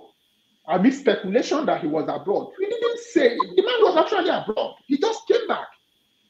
You know, leave the NTA to do such job. You are an independent media. Don't do it. That is the way to hold the president or any administration to account. Jonathan, in his own time, you know, he was held to account to a large extent. You know, thanks to Sahara reporters and all that. You know, they were very much out there and then trying to. We were not there at the time. We were. We only came in 2020, barely two years ago. So definitely we were not there. But we knew how much uh, reporters put Jonathan's feet to fire. That is the way. We didn't. Nobody is saying here that Sahara reporters was perfect. I am not going to sit there, sit here as the managing editor of People's Gazette and tell you that People's Gazette is perfect. But, but overall, our reporting is towards what we are supposed to be doing, holding them to account. They are not their PR people. They have all sorts of spokespersons, all sorts, billions of naira budgeted every year towards their media. And then you will still be an independent media and be carrying water for them. How is that supposed to make a society work? So Jonathan did his own. Buhari got too much of a pass for me, and I'm not. Um, you know, I'm telling you, my colleagues, you know, really, really, they know it. They know my position on this matter. You know, nobody is against Buhari. He's our president. Let him do his job. Let us do our job. That's the way society works. Like you have said, there's judiciary, there's the executive, there's the parliament. Even within government, you have three different distinct arms doing different jobs. So the media has its own role, a totally different role to play, and it was allowed to play it. Buhari did not allow media, and that is sad. As to my colleagues, I mean, all my, you know, I don't know, my compatriots of Yoruba origin like myself, who might be, you know, looking or implying whatever they want to imply about me, like you have said, this conversation, the, the pattern, you know, seems to be like, oh, uh, people from other parts of the country are saying that you know people's commending people's gazette work, while people from you know my tribe and Tinubu are seeing it differently. You know, but we welcome criticism. That's the only way we can get better. There's no doubt about that. You know, but we just want people to follow our reporting at People's Gazette, to ignore those who are saying, oh, fake news. No, follow us they, they, they made the mistake here. Did they correct themselves? Did they own up to the mistake? How many mistakes did they make in a year? How many mistakes do media organizations, the BBC or you know Sky or you know the New York Times or the CBS or all sorts, how many mistakes do they make in a year? Do they correct as well? People's Gazette also corrects. That's it. We don't. We really make mistakes. But we are not going to say that we don't do it at all because we are human and we would forever be human. And as long as we are humans, we cannot in our life, you know, escape, you know, nature, which is the fact that you will err at a point, you know, in your career. What you should must just pray is that it is not too consequential, you know, and that you are able to recover. That is it. So thank All you right. very much for your question, and and and you know, it's just the way it is. Thank you, thank you, Suleiman. Let me let me just say we have about twenty minutes left. Uh, we booked him for three hours, and three hours is a long time for an editor to be away from from the phone. Yeah, I mean, yeah. yeah. So um, we have to be quick in terms of uh, questions. Just go straight to your question, and uh, Mark, you are next. Yeah, hello. Good uh, good afternoon, everybody, or good evening, UK time. So um, I was so happy yesterday when they said that uh, somebody coming who can shed more light on this so-called ghost meeting or secret meeting. There were a couple of talkers before that were talking about the issue. Um, uh, I just wanted to add that uh, if someone who you cannot get anybody higher than him in terms of law, law in the whole of Nigeria, and a president president elect who is known to be a little bit fishy. Suddenly disappear and then the other guy is saying oh it's because of security reasons that uh, they didn't say so that's why he went abroad. The whole illegal something about it is if it is true the meeting and then it, the whole of the meeting is uh, because of pride that is what the whole issue is. That is uh, that is unfortunately too bad. So the other guy trying to defend, say, oh, for security reasons, they're going to put his life at risk. Okay, hold on, hold on, Mark, Mark, Mark. There's a lot of noise where you are, and you are not helping us by going straight to your question. Um, if if you just go straight to your question, uh, we, we can go from there. Okay, no, no need to give this background. Go ahead, go ahead. Your question. Okay, yeah, yeah. So uh, what I was saying is, uh, is there any more information? You're like a journalist, I believe. Something like Do you have any more information about the authentication of the meeting uh, or details of the meeting? Because I am worried. If the meeting went on and it's true, then I think uh, you can forget about the case in court. if you ask me. So that's my question. No, no, no, no, no. The, the, the, the meeting, the meeting, the meeting didn't hold. Um, to the best of our knowledge, um, the meeting was preempted, and the chief justice, um, you know, hurriedly had to return to Nigeria. Um, and so far from indications, um, the Supreme Court, the chief justice is in Nigeria, um, and we also don't think that there will there will be, you know, there, there's going to be a confusion now. Who is going to initiate conversation between the team of the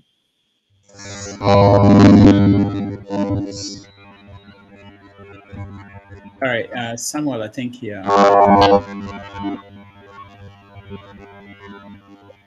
Uh, it's from your end, I believe.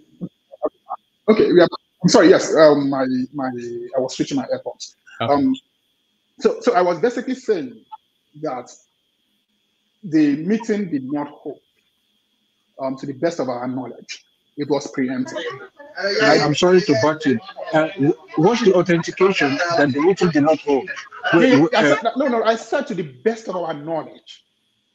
To the best of our knowledge, we preempted the meeting. We preempted the meeting. To the best of our knowledge, we and, preempted and that the is authentic. Now- it's hundred percent. I'm sorry. It's hundred percent sure that this meeting did not hold. No, to the I, to the best of our knowledge, is not a hundred percent assurance. It is that we are a media organization. We can only come to the public to say Yeah, that this yeah, is yeah. what we have. It might not be complete, but we will say this is what we have at this time, so that you know that as we know, you also know. If we have updates, you know, you would also you are also entitled to the updates that we have. What we will not do, you know, is to come to the Nigerian people, you know, and publicly for the kind of organization that we run, you know, for us to come and say that this thing has happened or there are chances of this thing happening when we have not gotten enough evidence, enough facts, you know, to Yeah. come to the public with any information, any information at all, anything at all. You know, if you see it on People's Gazette, just know that we might we have been working on that thing for a while because we know very well that the public will hold us to account for anything we do you know, Yeah. and then we are not going to take the public for granted in terms of info, information to the public domain. So now the question you asked is that the meeting, if it happened, would have been extremely consequential. You are right, especially when it was in secret.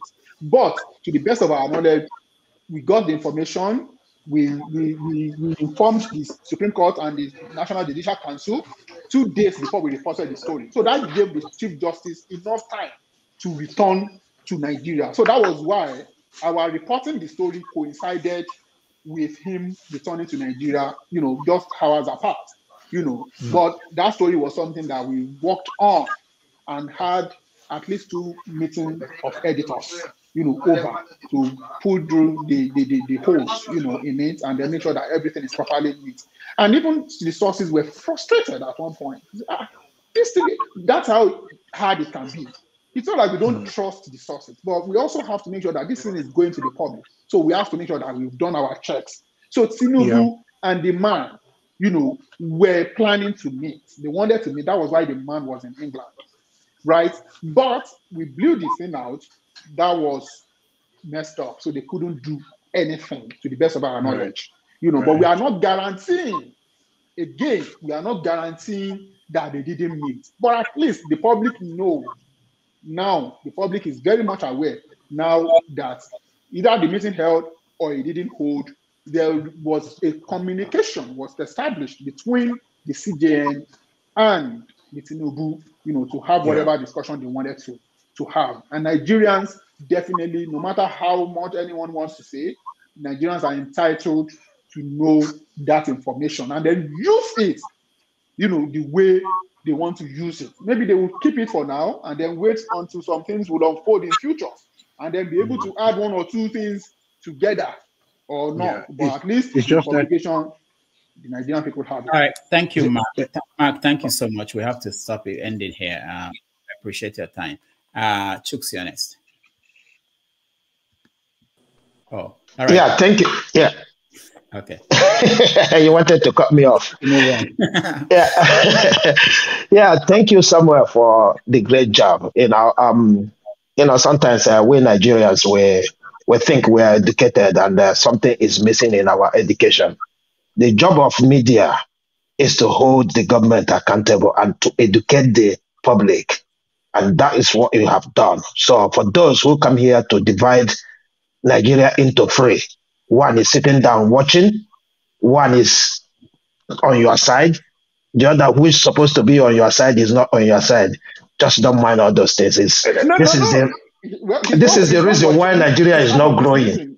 No, he's part of this meeting, and I'm happy he was able to join from the north. He's part of the yeah. And no, he said the north. Yeah, okay, I said. Let me say it as but, but he, he, he, he phrased it. He was noticing the pattern of the conversation. Yeah. Yeah, he said. He said. He said the north was sitting and watching.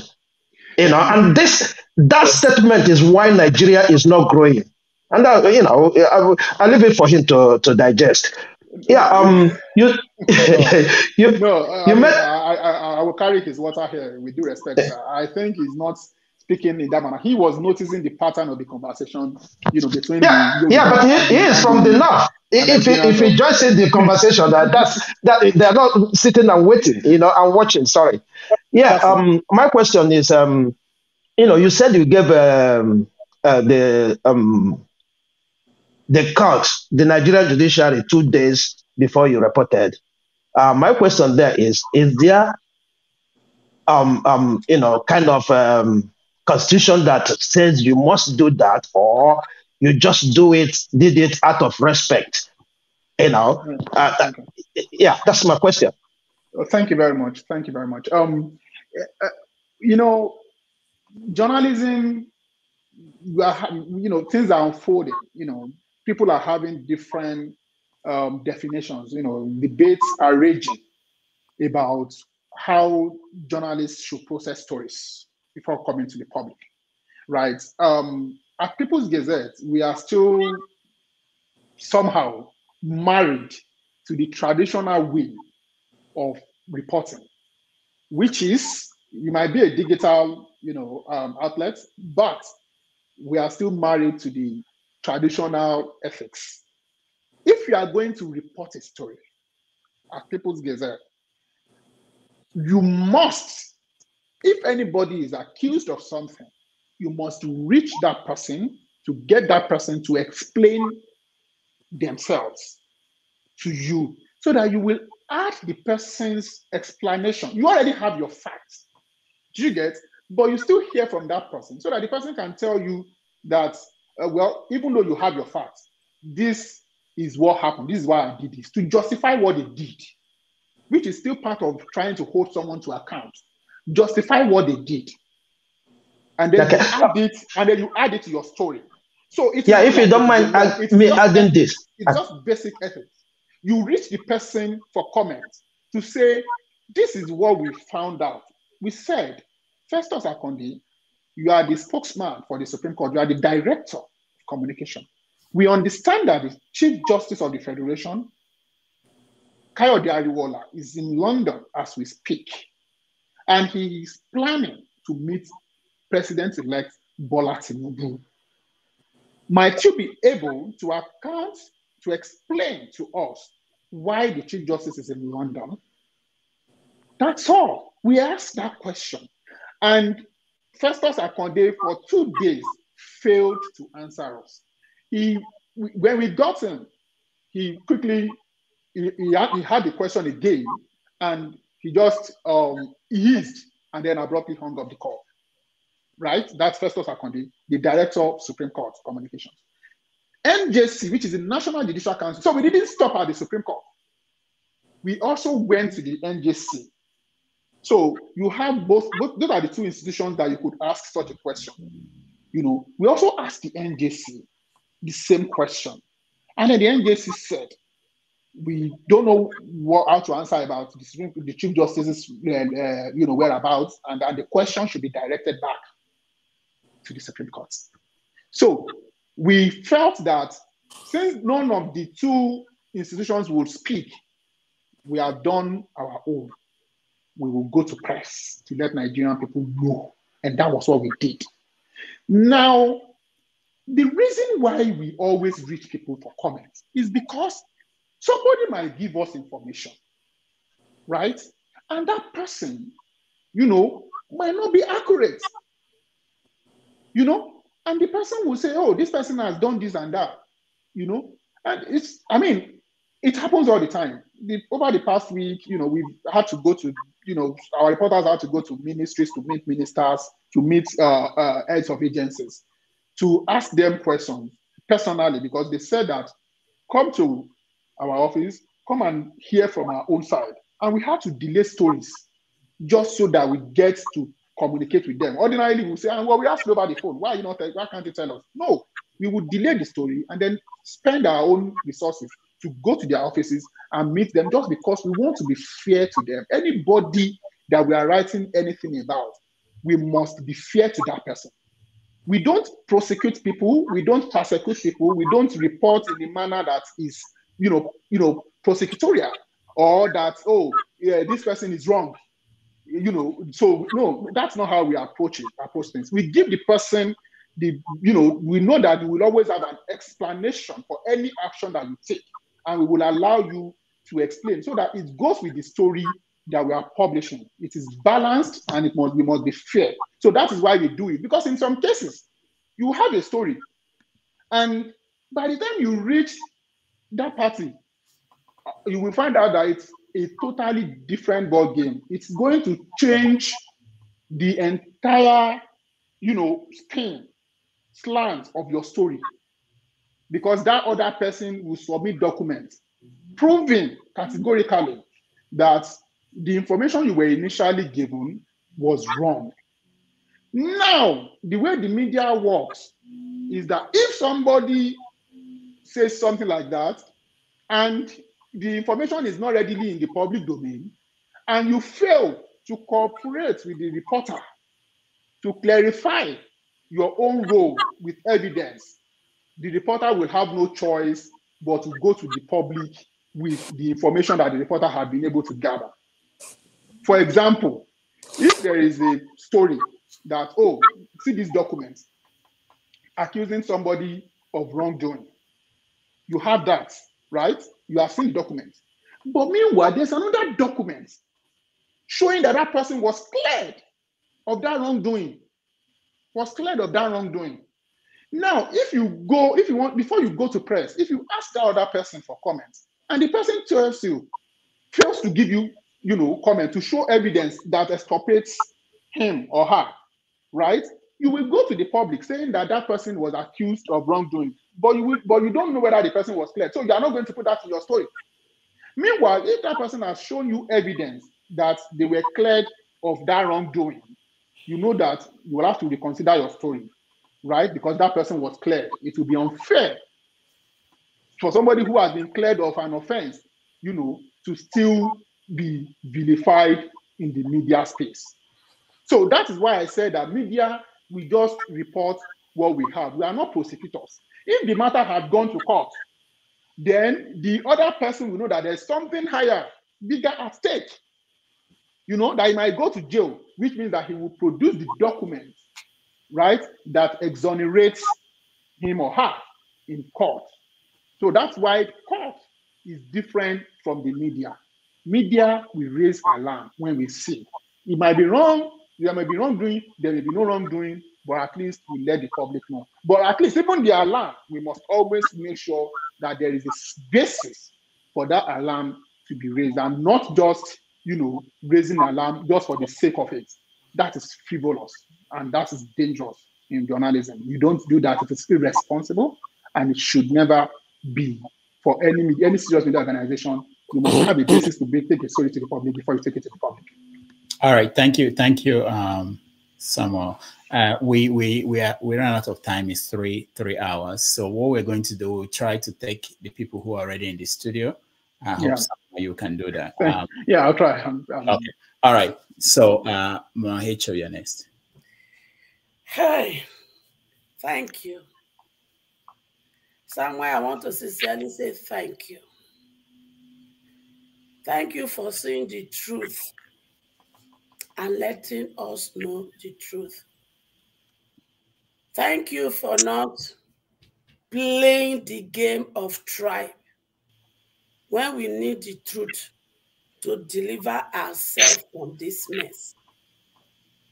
May the good Lord keep you. May the good Lord uphold you. May the good Lord strengthen you. Because we must, we must get out of this. And it's going to take courageous men like you to stand with us to get out of this. My name is Mama Hecho, as the popular call me in the social media space. But my real name is Hannah Obukoho. I am the convener of Ann Diamond Gold Charitable Organization in Nigeria and Ann Diamond Gold Charity in US. And by the grace of God, we are working on, or we are the CEO of ADG Sport Academy Limited. And by his grace, we shall become the CEO of ADG SET very soon. ADG SET stands for Showbiz, Entertainment, Tourism, and Hospitality. Because our goal is not to continue to jump people to complain. Our goal is to turn the wealth of the nation that they have turned to Yahoo Yahoo boys and girls, that they have turned to hook up and olocious, that they have turned to kidnapper, Fulani herdsmen. We want to build a life out of them because the human capital of the nation it is the wealth of the nation. Like I call them my children. I will not join them to destroy them. And I thank you for the role you are playing. At least I have another warrior to work with me. Because one of the things we must do, all our stolen wealth that are stuck in the Western world, in form of bank accounts, in form of properties, in form of company, we will look for them and bring them back home so that we can use it to remove my children the condition to be on the street that they turn to agbero or dog. We want to remove them. So we will need those resources. So we want to work with you. We want to work with Sahara Reporter. So I'm here to just say thank you. I will be leaving my phone number behind. I want your number. We must work together. Together, we shall rescue our nation and build a new Nigeria and leave a better legacy for our children and our children, children. Thank you, sir. And before I leave, we are more than 900 in this place. Everybody, even on a one dollar, buy a sticker. Buy a sticker because this one is a bombshell. So we must buy a sticker to say thank you to Dr. Damages. Thank you to Samuel. And if, if somebody like uh, one man that is so hungry, anguish, and he give us a new English language he just learned in school today, can buy a sticker to demonstrate anguish. All of you that are happy, buy a sticker. If you not buy a sticker, next Saturday, you know they call this platform. Everybody thank, buy a sticker. Thank, thank you. Yeah. I'll thank, you, Mama. Thank you. Thank you, Mama Echo. Uh, thank you, Mama Echo. Uh, good afternoon, Samuel. Can, can you hear me? Absolutely. Good afternoon. Yeah, good afternoon. Um, so quickly, I am I'm just glad that um, in the midst of this uh, craziness whereby uh, we have tribalism playing a part in everything, especially nowadays, I'm glad that you're Yoruba and I'm Yoruba as well. The reason why I bring this up is because I am curious to know what your opinion opinion is in the midst of uh, how, already it's hard enough to be a journalist. How hard is your job right now as a Yoruba man as I am in trying to do your job and being called all kind of names by people that are the, of the same descent as us?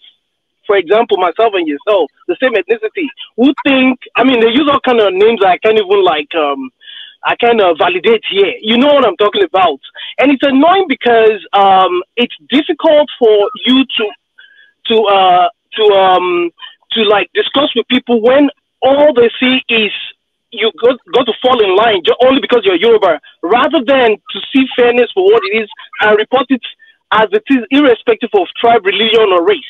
How hard is your job at this time? Thank you, Femi. Um, thank you very much, um, um, Femi. Um, you, you, know, um, I've always been somebody that um, it, it has nothing to do with ethnicity. I, I don't. I really don't um, understand why, you know, why we still have this. It's still a feature, right? Unfortunately, of uh, I'm so so sorry, yeah, because I It's still a feature of our um, society, you know, um, this issue of tribalism and everything. I, from 2020, after we started People's Gazette, a couple of weeks later, we started reporting court, I mean, bank documents from Lagos state government, how Lagos state government transferred money into Alpha Beta accounts. Alpha Beta moved the money into a firm called Ocean Trust, right, which is a fictitious um, um, um, onshore shell firm in which the, the company does not exist. It only exists on paper. The address is in Ikoyi for that for the office that were, you know, addresses in the court documents. You know, the addresses they, they don't exist, right? So it's a it's a fictitious company. So Alpha Beta moved the money into that account, and then from the Ocean Trust, you can see how monies were going into Tinubu's family members. You know, Lubumi Tinubu and all of all the rest um, moving into um, um, TVC, that's a TV Continental, which is owned by Tinubu, moving into Vintage Press, which publishes the Nation newspaper, and other interests of Bola Tinubu. Right? That's how the money was flowing.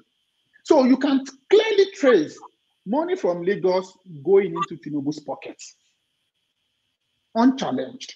So when we started publishing the document, the feedback then because they, I mean, Tinubu's people knew that he was going to run for president. So they started attacking. They started coming to me personally. You know, you want to derail Yoruba agenda, this and that. I was like, did I sit somewhere with you and I told you that Bola Tinubu is my agenda? I don't understand it. He's a Nigerian. If the law, if the law says he's entitled to run for president, by all means. But to now say that my journalism will be clouded by there's such primordial. It's an insult to me personally. I'm sorry. I'm sorry. So, but since that year is the same thing we've been facing. Up when we when we dropped the video of him uh, Abia Palace, you know, urinating on it. It was the the my phone was it was crazy that day for me. You know, the things that people say about I don't, but I don't understand why it's that way, but it's still a feature. And I hope, you know, however it's going to be, you know, we can find a way out of this. We can move from this. We can move from this. A man from Arochukwu, who is my president, I will hold him to account. You have to be responsible when you are the president of Nigeria. If you are from Potiskum, I don't care. I'm a reporter. You just have to be responsible.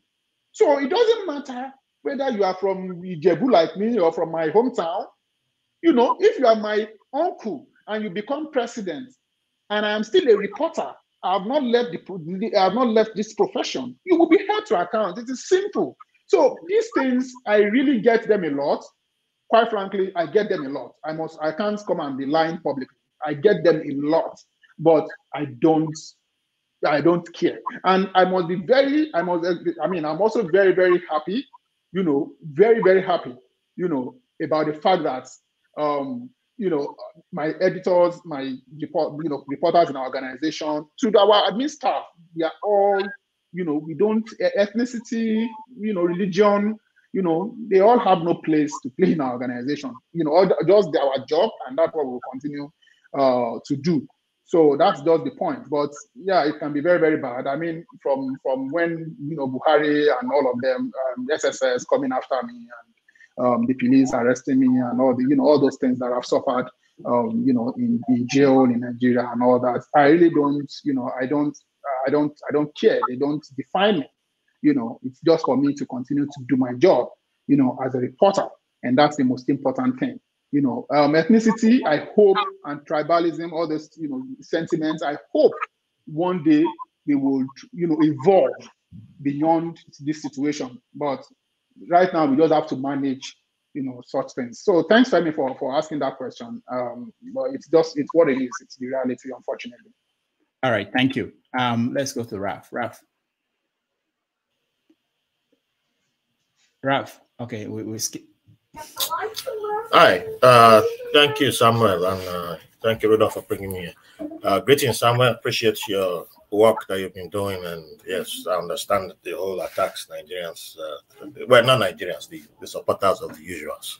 So, um, quick correction, uh, not quick correction, but just a slight thing I wanted to point out. Uh, the president of United States has a press call that goes with him everywhere he, he goes to. So even on the secret trip because you, you only mentioned one media that uh, went with him that was part of the press call. So, and I know some people will try to use that later on. Um, I'm so, sorry. What did you what did you what did you mention? I mentioned the Wall Street Journal. Wall Street Journal followed yeah, him. But that was part of the press call that the the White House press call that the yeah, president yeah, was, yes, part of the White House press. I said the pool. I said the I said the yeah. press pool. The White House press pool. Yeah. Yeah. So, so, she was that, representing. That, that, ties she was representing the press pool. You know, she was Yeah. representing the press pool. You know, and it Yeah, was all very. just because you mentioned uh, the, the the the Wall the Wall Street Journal, because you know how people take things literally. So I know that they're just gonna go with that. But that ties into the question that I have that um because we have the NUJ, the Union of Journalists, right, in Nigeria, uh, and with this story, the way people are reacting to the Supreme Court, uh, the CJN, do you think it- would have made a difference if we had our own pool of you know uh, of uh, reporters that are like you know we have a group that's attached to the Supreme Court and attached to the presidency and like each governor has a pool? So that adds to the transparency. I'm not saying it's going to be perfect. I'm not going to say it's going to you know because we know the nigerian system we have to account for that until we get we eventually arrive at you know Mhm. promised land but you understand where i'm going Yeah, So, yeah, I get your do you think that will help Uh, uh, they've always had press pool. They've always had, you know, uh, um, uh, governors, you know, um, uh, even some senators have, you know, they have media team. Um, they, they, yes, there is official press uh, uh, you know, battery of reporters attached to governors, attached to, uh, um, you know, the Supreme Court, attached to the press, the president. I was, I was once a reporter from you know from the from the villa from the state house and following the president um, around. So um, really, it's just that it, it, it, it's it's almost useless. I mean, in our organization, for example, uh, People's Gazette, um, we we don't say that our we don't have any reporter. Our reporter, you know, covering the villa, you know, um, doesn't sit at the villa. You know, you only go there when it is important. Unfortunately, what they've turned the place to is not the same as where you have like the White House, in which they hold press briefing almost every day, every day of the week. You know, to ask questions of the day, you know, from the presidential spokesperson, you know, uh, the White House spokesperson. It's not the same in Nigeria. Um, they don't hold press briefings. Uh, what they do sometimes be if there's a uh, um, Federal Executive Council meeting on Wednesday, they will take a minister to go and you know interact with reporters, and then the person will just say whatever the person brings is what reporters will put out there, notwithstanding what actually transpired at the meeting. And then the president himself is, as you know, doesn't make himself available to reporters to be interviewed. Unlike you know where you always see from the White House, in which um, as uh, the president is getting down from his uh, Marine One, right? Yeah. You will see question, you will see questions being thrown at him, you know, as he walks from Marine One into the West Wing or something. You know, you will see questions being asked. Um, if he's going, if he's at joint Base Andrews, reporters are at the wait, you know, waiting for him before he steps onto the plane. They could always uh-huh. throw questions at him. That's not the way it works in Nigeria, and that's so. You know, even though they, even though they have those reporters, uh, if they are there, they won't talk to them. They won't relate with them. You know, it's on occasions, on very rare occasions. Probably Buhari have done it maybe three or four times for over the past 80 years, in yes. which he returned from a foreign trip and then allow the aviation correspondents, you know, mm. at the airport to okay bring them to the tarmac, you know, so that they can ask one question, you know, and the questions are usually, you know, rather. Look, the problem is that they have they have why is why is Doctor laughing? Because I know the question. I know the question is always like, "How was your trip, sir? Um, we're happy to see you come back. Are you healthy now?" No, but, but yeah, I, I have to ask this type of question because there are many people who just assume the media works in black and white and they don't take into factor this type of situation. No, That's no, why no, no, no, no, no, they, they happen. Talking, they have, they but have. it's They good to have even- someone long story talking short, about it.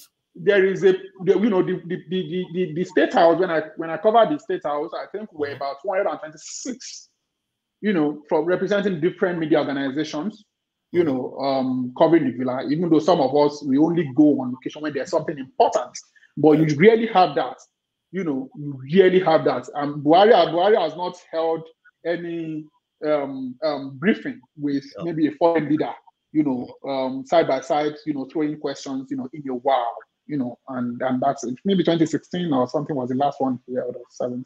So so it's very rare. That's just the point I'm trying to make. It's very, Thank very you. rare. Thank Mm. you. But they could they could have made it better. They could have made the reporters, you know, be relevant, you know, but they block them all the time. They don't give them information. So reporters are just at the state house. They don't give them information. And even when state house sources have information, they give to you know other organizations outside that they are not even inside there, you know, to report. And that's why you always see, you know, what our reporters was doing back then and what we are doing and you know, premium times and all that. We don't need to be there, but we get the information more than those who are actually even sitting there warming yeah, on the chair every day. Yeah, All right. appreciate your work. Thank you. Right. Thank you very much. Thank you so much. Um, Dr. Berichi, you're next. Yeah, uh, can you hear me? Yeah. Yeah, how are you, Mr. Ogund- Ogundipe? Absolutely good. Uh, Thank good to see you. Good to see you. I I, you I, well too. Thank you. I, li- I listened to you and I totally enjoyed your presentation. I actually, I'm actually very excited to have listened to you because uh, um, I think I was, it was even yesterday or so, I was talking to my friend. I'm like, each time I watch news in Nigeria by the mainstream media, I get completely frustrated. So I, I live here. I watch CNN. You know, where you see investigative journalism, right? People actually, journalists go in, dig deep, and reveal things to people. America has what is called, uh, CNN has what is called K file. You know, where they go, they just they. So anyway, anyway, so I I don't have a question for you. Just just, just to say, you are priceless. Perhaps one of the few endangered species that we have in Nigeria. I like what you do. If we could have somebody like you in across all the social, all the news media in Nigeria, Nigeria would be better for it. Um, yeah, uh, because you need to hold these people to their feet, hold them accountable. they have a responsibility. They have they owe us enormous responsibility, especially in the area of transparency. So I sincerely thank you for what you do, and uh, and uh, I encourage you to keep doing it. Don't even be distracted by by you know uh, you know what people who are not as informed as others say about, about about what you do. Just keep doing it. Thank you very much. All right, thank you, uh, Dr. Berichi. Uh, let's go to Sam. Sam, oh, you're next. Can you hear me, please? Good evening.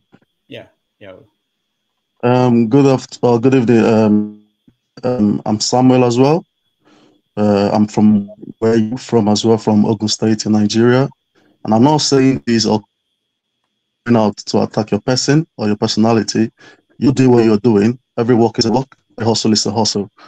But I'm totally disappointed because from all I've listened to in the last one and a half hour, I joined this program. This is reckless and irresponsible journalism. Why do I say so? We all travel around the world. The size of the Qatari airport is different from the Heathrow airport. The size of the airport in Scotland might be different from wherever. You don't expect a 70 something year old CJN, okay, to trek some up to 20 minutes distance, sometimes 15 minutes. And if they ask for a wheelchair to be pushed around, how does that mean that it was disguising? Because I listened to you carefully. We are all students of English. You said is that not prejudice on your own part?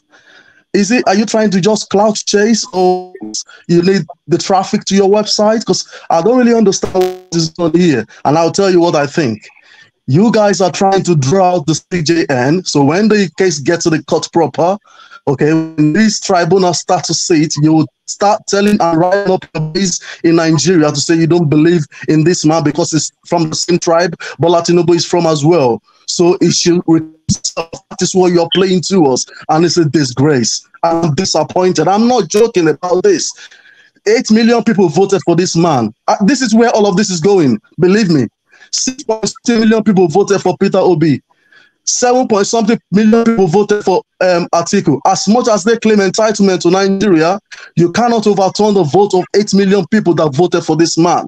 This is where you are going. You and your paymasters are a disgrace. Whoever is sponsoring this is a disgrace as well. This is a shame want a military taking over that country. What you're trying to set up is chaos and anarchy in Nigeria. And I'm saying this from the depth of my heart. Please let us not overheat the politics. Let Nigeria live. It's going to get better. Maybe not in our generation, but then let's take things easy. Let's calm down. The way we are going about these things is dangerous. It's very, very dangerous and it's very criminal what you are doing. When the DSS picks you up, I hope somebody is coming to rescue you. Thank you very much, Dr. Damages. Thank you, Sam. Um, Samuel, you have any about him. He was making a statement. He didn't ask any question. All right. Uh, I can next. Okay. Uh, thank you, Dr. Damages. Um, my question is is really simple, right? Uh, I know people have come on here to say, "Oh, he did a fantastic job" and all that. Point is, it's not the first time something similar has been shared, right? So my question is, what is the point? What has it achieved? Okay, uh, assuming, right? Because you said you like you rightfully said, you said it might be because of your reportage that the Chief Justice of Nigeria went back. So you're not sure if it was. Uh, you're not sure if the meeting was held. And today, I'm in the US. I mean, I'm in Louisville, Kentucky. I, I believe you're in the US or in, in, in Europe. Um, Dr. Rudolph is in New York City, and we're meeting virtually, right? He could have, they could have met uh, virtually.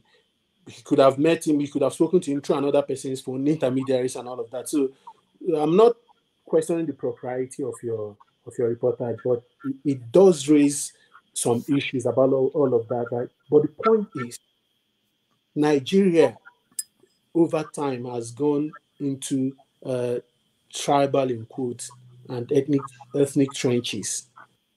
This would not alleviate it. This will not solve it. This will deepen it. Because remember what uh, Asiwaju said? He said, Yoruba local, Emi. So it's about Yoruba and about him. So, and that's how this has played out. One man went to Mo, Mark, Sam, everybody who issued, but except the other gentleman who spoke with an accent, have basically condemned the, the way they condemn uh, Rufai in channels. It is going to deepen the crisis. So the question is, what's the point? Because at the end of the day, it is not about the personality of Tinubu.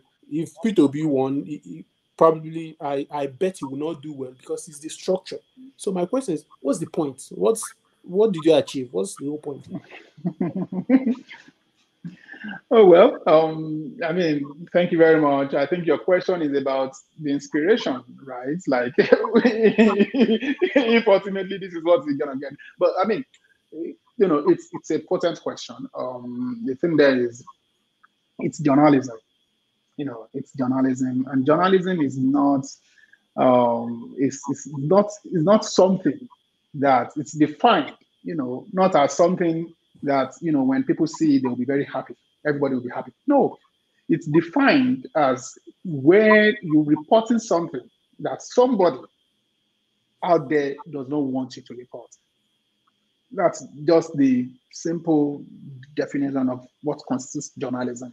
So, if the Yoruba, you know, they are very passionate about this situation. I mean, we've seen the cross section of those who spoke here, and if you try to measure um, those who have spoken on this forum um, and you know compare also you know try to align those who also spoke on social media the, the, the backlash you know sort of um, against people's gazette on the social media you would also see that it's coming from you know a specific section of the country. And that's not how we operate. You know that's not how we operate. Um, the way we operate is that we look at the story. We look at the elements of the story and we feel, look, do we have enough facts? Is the story in public interest? Is it factual? Can we stand by it? Can we defend it? Is it in public interest? Once we have been able to do that, we leave all the how people react, you know, the sentiments, how discouraging it might be. You know, I, I mean, at this point, people like the character that I just spoke now, and um, you know others similar to that. They, I mean, I, I'm not, I'm not going. They are the least, you know, of my concern as a reporter. You know, my primary concern as a reporter is to be able to achieve a kind of an open Nigeria. You know, a society that is open. If we have an open society and everybody is able to achieve to rise to any any any any level in life you know to to make things for themselves in life you know. They won't see the position of cjn or you know they won't be subservient to saying that oh you are in that position you cannot be questioned. You are in that position your security is more important than public interest what the public must know the public's right to know. You know people won't be thinking that way.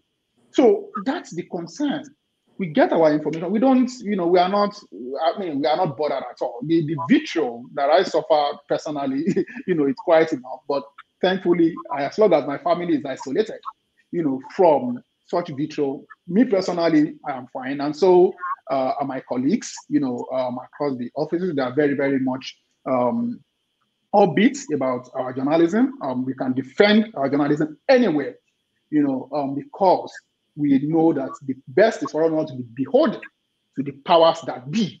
You know, what we must do is to only be accountable to the Nigerian people. Among those Nigerian people are also those who are questioning, who are criticizing.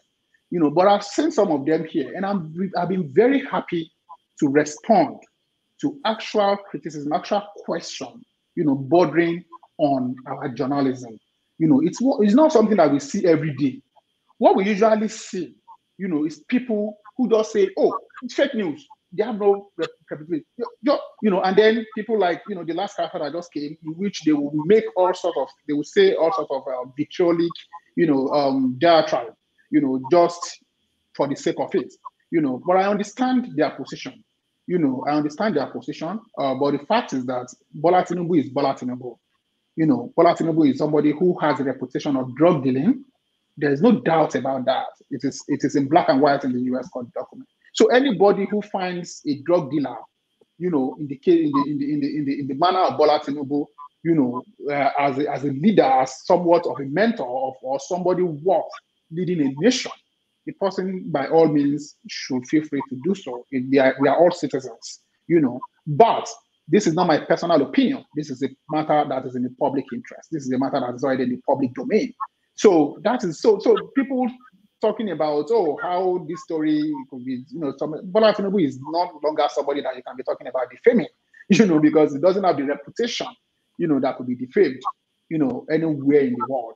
So that is just the facts. And and I'm a reporter, but the fact is that I'm a citizen of Nigeria, and as such, you know, I am entitled, you know, to say that this is our position on things. But then it has nothing to do with how we reporting.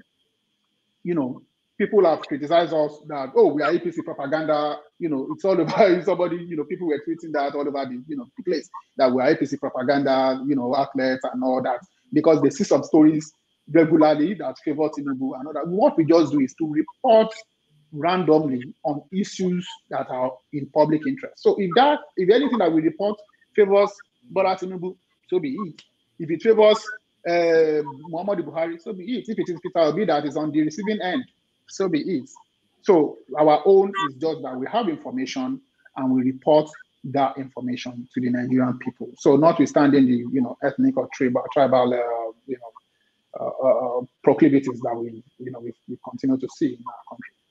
All right, uh, Samuel, thank you so much. Let me let me say before you go, uh, there were some questions on the comment section. I didn't get a chance. Oh, okay. But just two of them. Uh, I will paraphrase what they were trying to say. One was saying, "Are you uh, suggesting that the Chief Justice should not be part of any uh, judgment now that will get to the Supreme Court? Is that what you want?" And that's a question from somebody, I don't remember the name. It's been a while that I saw that. And there was another person who said, uh, are you, is there any way to, to uh, support or donate to your organization? So. Um, okay, what was the first question again? The first one is whether you you are suggesting or you would like this Chief Justice of the Federation to recruit recruits. Okay. Oh, okay. Okay. Oh, oh okay. Any, okay. any, Uh, any, no, no, no, no, no. I mean, um, the Chief Justice's action is highly suspect. What we are saying is that why did he do what he did? It's possible that he might be able to account other than trying the fact that he's even using trying to use media to manipulate the public shows that he's not entirely you know clean the way in the manner that he's handling this thing. He should have been more forthcoming. You know say look i have nothing to hide. This is everything about my trip why is he not doing that? We reported this thing since thursday. Today is sunday. Supreme court is using pr paying media people do you know how bad that is? To try to whitewash a serious issue. It's because something is hiding there. If there is an inquiry into this matter that clears the Chief Justice, so be it. We can't say that he should forcefully recuse himself. But if there is no inquiry, you know, and it still goes on to be part of, you know, the the, the, the panel because he just, I mean, he's the chairman so it's the chief justice and then the you know his succession, the, the next um, six persons, you know, to make up about a seven-man panel for the for the presidential um, election um, judgment, petition judgment. So if it goes on without clarifying what he had done, you know, that his London trip. If it goes on, if it just continues to use anonymous people to attack on social media or to, you know, use media, you know, pay, continue to pay, spend money on the media to whitewash the situation without actually, uh, you know, explaining, being, being, you know, accounting for his own movement to the Nigerian people. Then, then and then, you know, by the time the judgment comes and it's part of the, you know, whatever Nigerian, however Nigerian takes it, however Nigerians take it, is the way that you know it will be. If, if, if you know, so it depends on how it goes. So I'm not here to necessarily say that oh he must recuse himself. No, Nigerians, that's left to Nigerians to to to to to to, demand, you know, from him. What we are doing because we just report the facts to the Nigerian people. We don't, you know, do advocacy against this and that. No, we just report.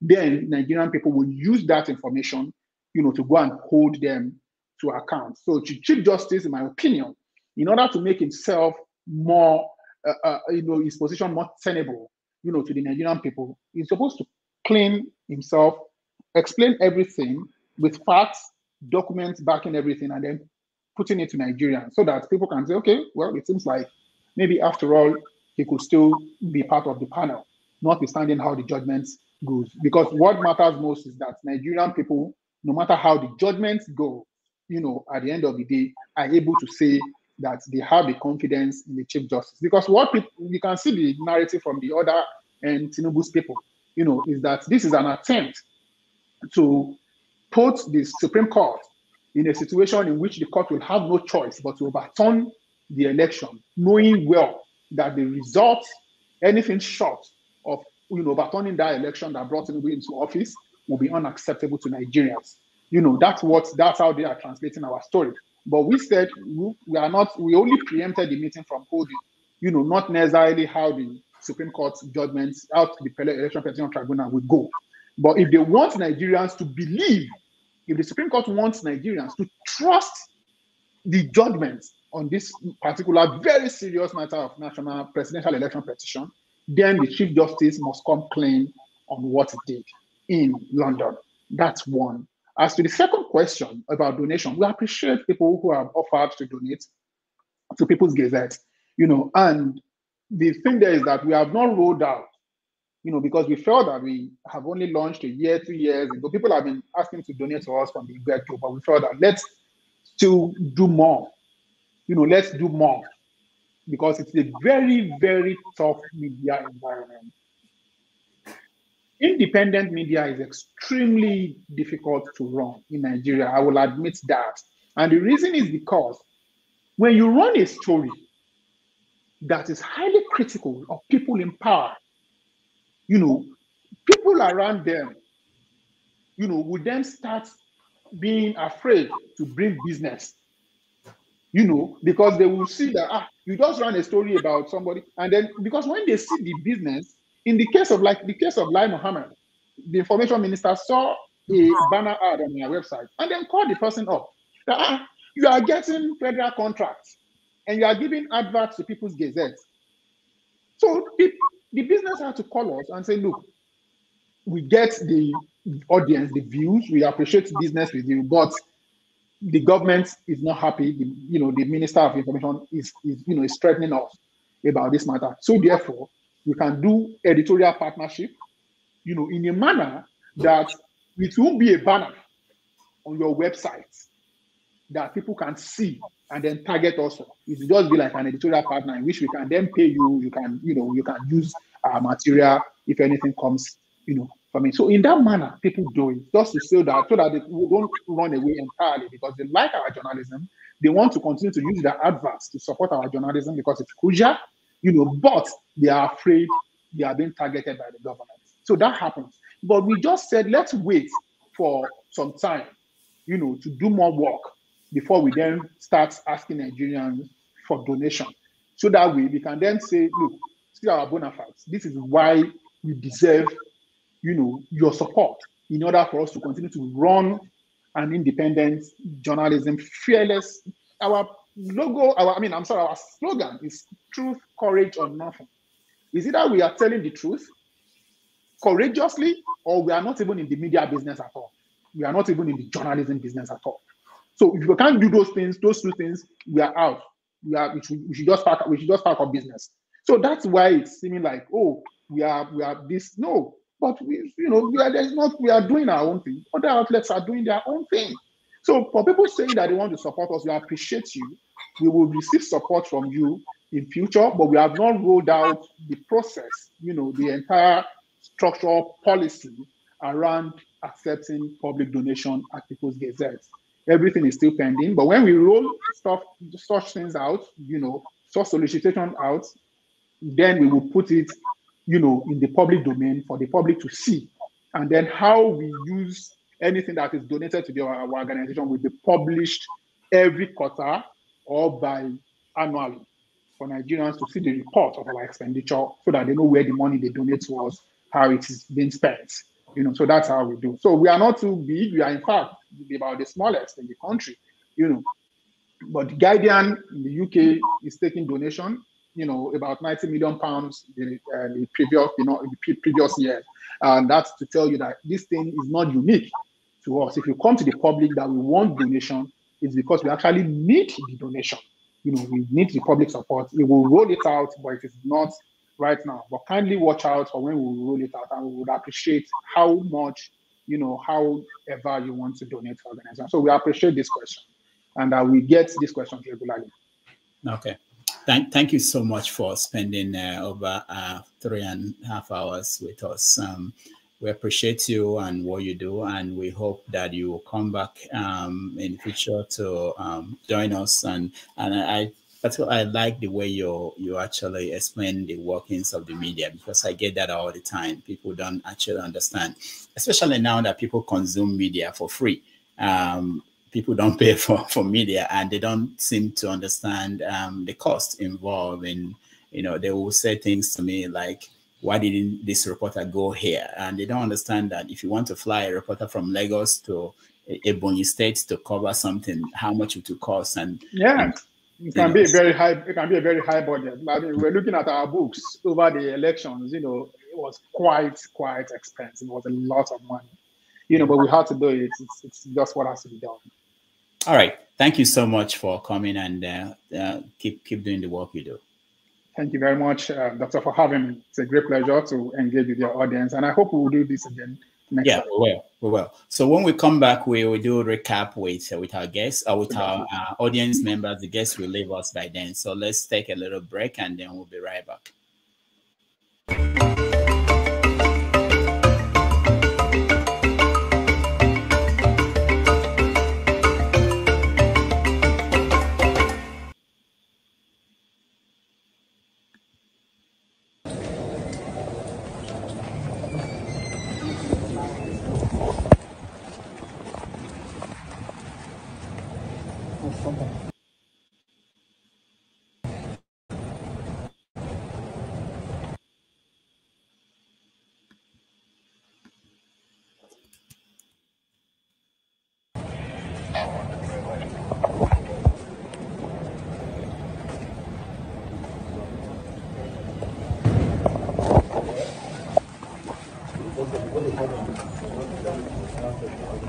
My feet.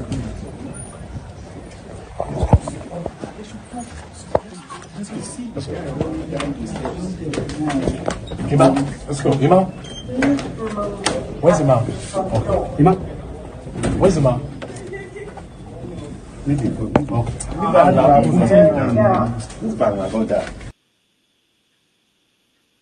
Network television debut. This is his most uh, recent album right here. It's called Spirit of Love. We're very pleased to welcome Majek Fashek.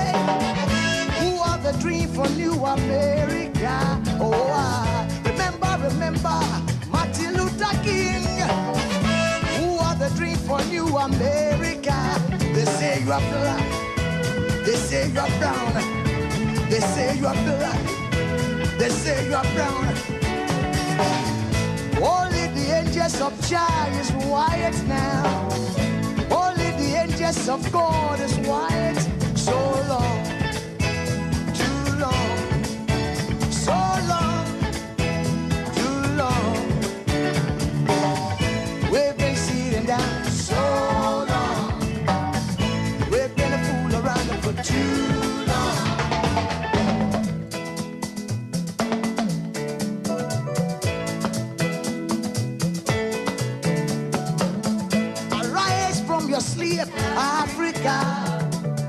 Arise from your sleep, America. There's work to be done, Africa.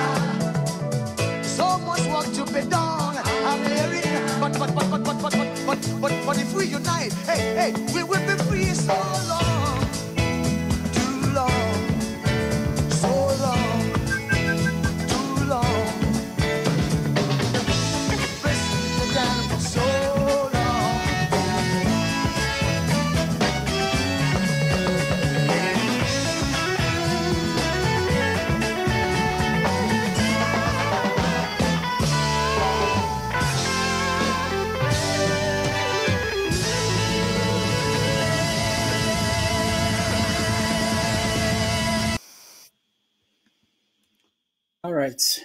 welcome back, everybody. Um,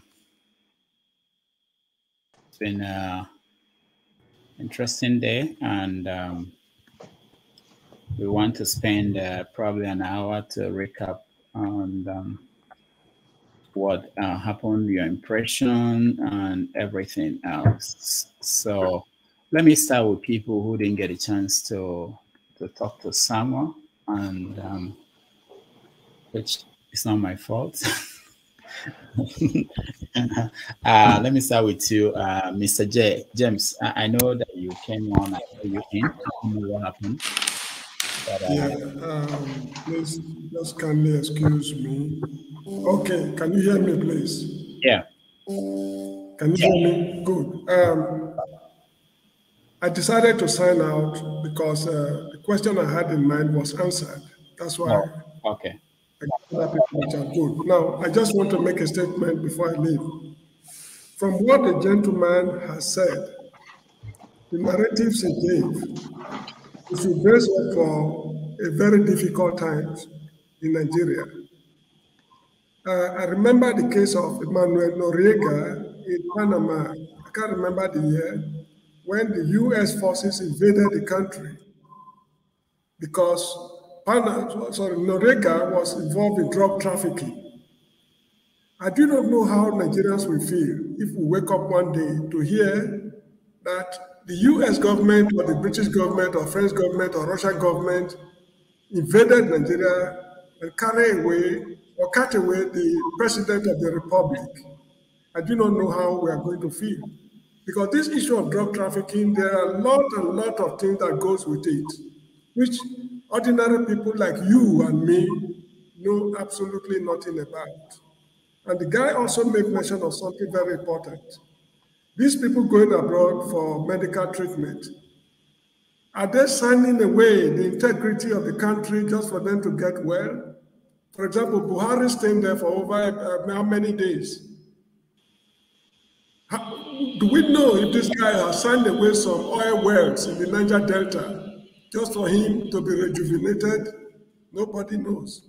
So we should brace up for a very, very hard time to come. I'm saying this because about a year ago, I said on think Symphony platform, Symphony TV online platform, that this election should be called off. The country should be properly organized before we conduct the election. But anyway, I was a voice in the wilderness. Thank you so much indeed, uh, Dr. Damages. I want to sign out again. I'll be with you on YouTube. Thank you. Thank you, uh, James. Um, Adewale, you're next. Good afternoon, Dr. Damages, Nice. and everybody on the show. Well, thank you for bringing me in. Well, uh, I think that uh, uh, Samuel Ogundipe, uh, the uh, guy from People's Gazette, has done the job that a journalist is expected to do. Uh, I don't know why, uh, you know, people are hungry that, you know, a journalist is just doing his job, reporting uh, what they, they, suspected to be a foul play. So, in my opinion, if uh, somebody like the CJN uh, would be traveling out of the country, it should be known to Nigerians, right? He's answerable to us. So the election is over, right? The, the election is over. The, whether by hook or crook, they have given us a president-elect, and he should be ready to subject himself uh, to public scrutiny. So you sneaked out of Nigeria. People, you know, journalists have the right to report about it.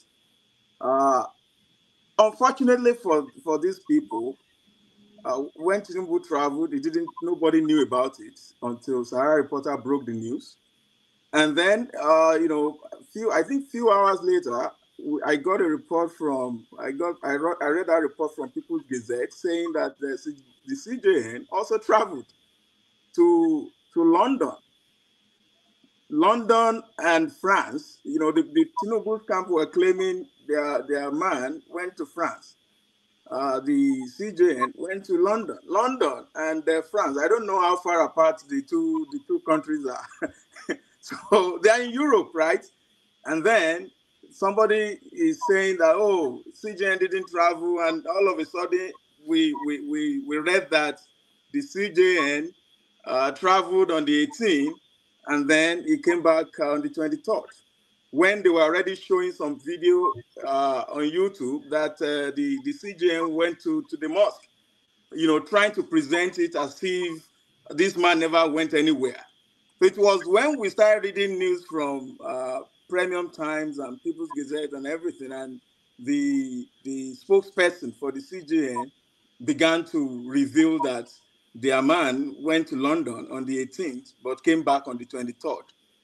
So I think there is something is suspicious. You know, that is a suspicious movement, and I think uh, Ogundipe is right.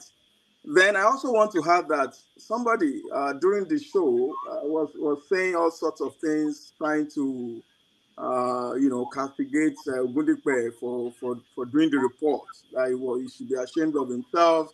He's uh, you know that he doesn't. If Nigeria may not be good now, it may not be better in our lifetimes, but you know Nigeria will be good. And and the, the guy is living in the United States. You said you are living in the United States, and you are saying it doesn't matter if Nigeria is is in bad shape now. That it should continue to be a bad country. I think that is very disgraceful. The man has done his job.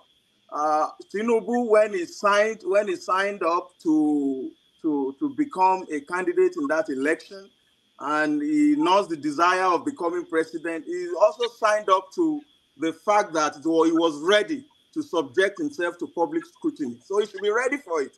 Uh, we have been reading from Bayo Onanuga and many of his uh, many of their friends that uh, very soon, very very soon, as soon as the president-elect is sworn in, people should be ready to be to be taken by the DSS to be arrested and locked up. People posting things on YouTube, on on Twitter, they should be ready for arrest. So I think the media, everybody needs to be aware of that. They are already threatening. Well, we, we may be we may be we may be uh, in for something even worse than we experienced under Buhari. Everybody should be aware of that. But we should not be afraid. You know, this is their way. Uh, and I and I think you know people pushing that kind of narrative at this time should be ashamed of themselves too. So the man has done his job. Kudos to him. I love the job they are doing. If they didn't have anything uh, in the whole thing, they would not. Both of them would not travel at the same time, and the man would not be sneaking around in London and uh, disguising in wheelchair. Thank you very much, Dr. Damages. All right, thank you, Adewale. Uh, Ndubisi, um, Hello, Doctor. Happy Sunday to everyone. I I joined late. I just came back from mass, so by the time I joined, uh, you were, I think, the last two uh, panelists were asking questions, Mr. Ike and uh, one other person. Well, the journalist has done his job. We're in a critical period in Nigeria, and every movement should be reported. Uh, even if they just saw him at the airport, it should be news, because this is uh, a very um, this this is an unusual period in Nigeria. We know how the election went, and uh, the man INEC declared um, the winner. We know his antecedents, the way he does his things behind closed doors, here and there, secretly, and all that. So, like the last speaker said, we should be we should brace up for a more difficult time. I mean, like Adewale said, under if Supreme Court turns their eye the other way and allow him to to be president, because his men, they are they are specialists in spinning news. They are the chief spinners of news under Buhari, trying to propaganda and lies are what they eat with. They know it very well, and uh, though others know it, they, are not the only ones that know it. But what we know is that they will go all out to guard the press, to guard the Nigerian public, and to do things the way they like. They claim they are progressive and they are Democrats, but they started showing what they would do when they come in. You see that Mr. Bayo Onanuga saying all he's saying. I'm disappointed. That man is one of those who people saw as those who fought uh, the Babangida regime. In fact, after News Watch went off the scene a, a little, News took over and they were telling us, giving us reports of things, and he was one of the arrowheads. For him to come this time around and be uh, making all kinds of comments, even hate speeches, and um, uh, even asking the the DSS to beam a searchlight on those who they feel are opposing Tinubu and trying to spin the court, the the the court, oh, sorry, the tribunal um, appeal, Obi and Atiku has taken their matter to us a ploy to annul election. You can see the West is using annul, annul, as if yeah, try, trying to make it look, look like June 12th. Those younger Nigerians who didn't, who didn't even know what happened during 1993 we think that, oh, they're trying to annul uh, uh, Tinubu's um, election. This is completely different. These are contestants who normally are not satisfied with the um, uh, the, the INEC uh, uh, ruling or INEC um, decision that Tinubu won, and they are going to court.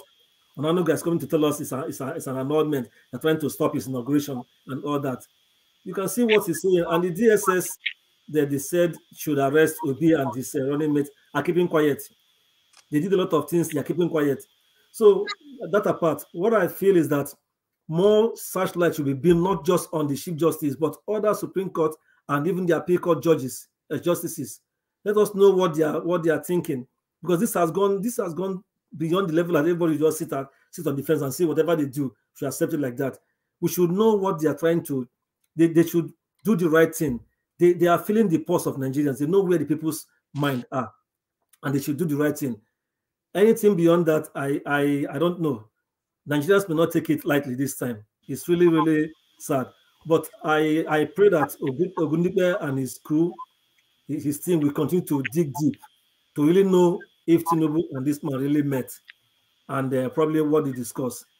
Uh, Doctor, to, to, one more thing I want to add is that it's unfortunate that currently now in Nigeria, some sections of the press have taken sides.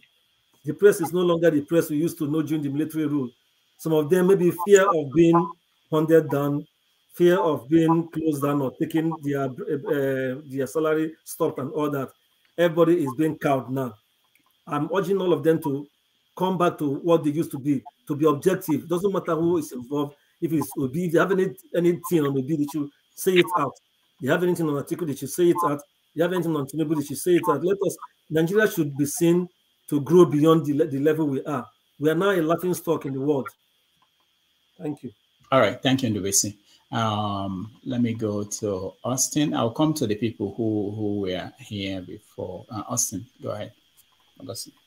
And I just had to tune in, uh, and I saw, I saw Ndubisi talking. Really, maybe I just need to wait a little bit for some few minutes, then go with the flow. because I, I wasn't here to to to listen to uh, Adewale about the story that came up. So I'll just stay at the background. Maybe in the next two minutes you can ask me. Okay. All right. Thank you. Mama Echo.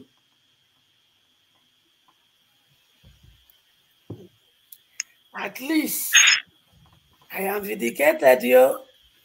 Yesterday they were saying, How did you know? You didn't want to carry Ghana must go. Cuckoo, cuckoo.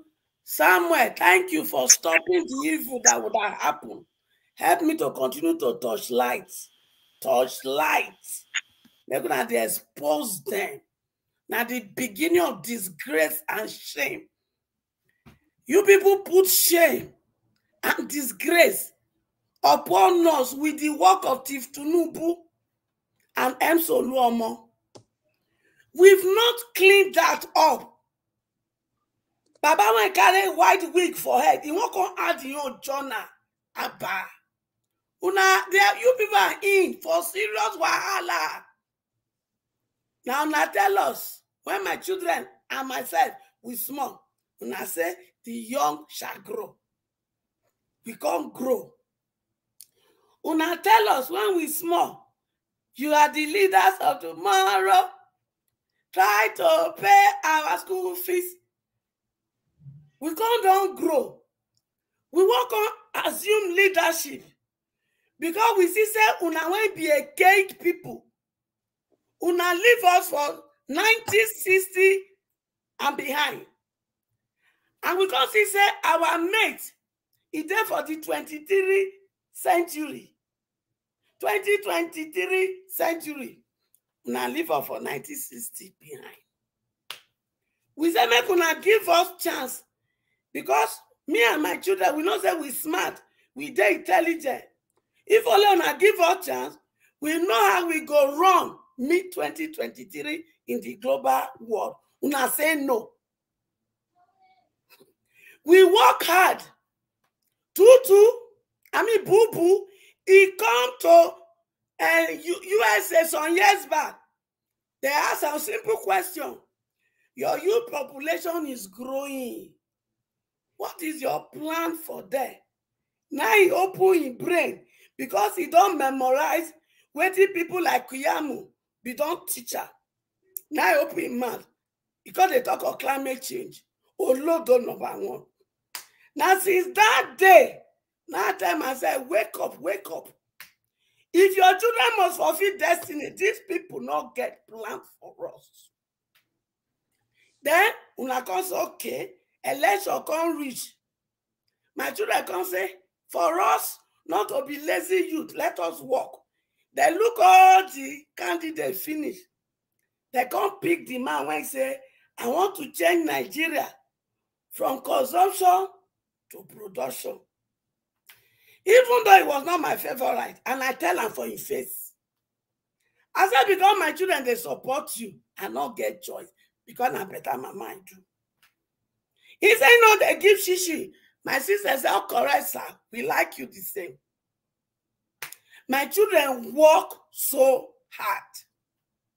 Day and night they go villages.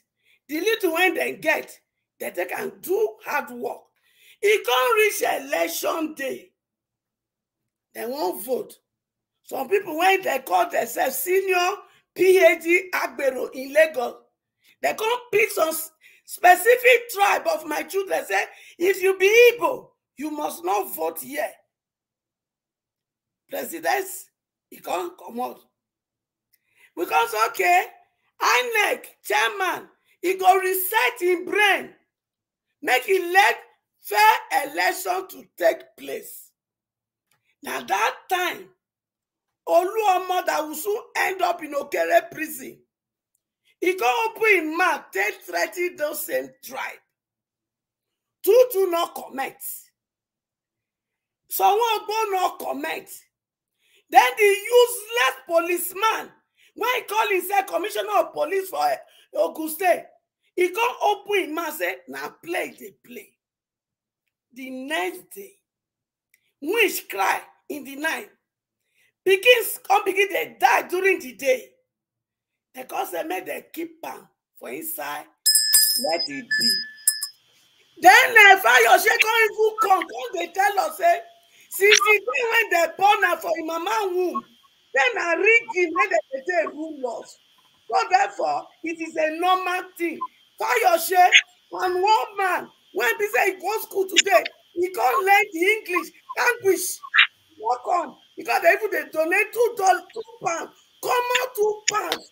Na i come dey donate to my pikin uh, doctor damaging for all the work he dey work. If you if you if you sabi dey donate why you no give us hundred pounds? As e fair be like that of a emiloko itan you people would is not business as usual you see this monday e dey hot for hand we go collect am because if we allow this drug barrel come with tinubu to rule us hey all the drug barrel all over the world dem go come collect their po position in nigeria we no go gree enough is enough this Thank you. is a done deal. Thank you. Thank you so much, uh, Mama Echo. Uh, Dr. Berechi, you're next.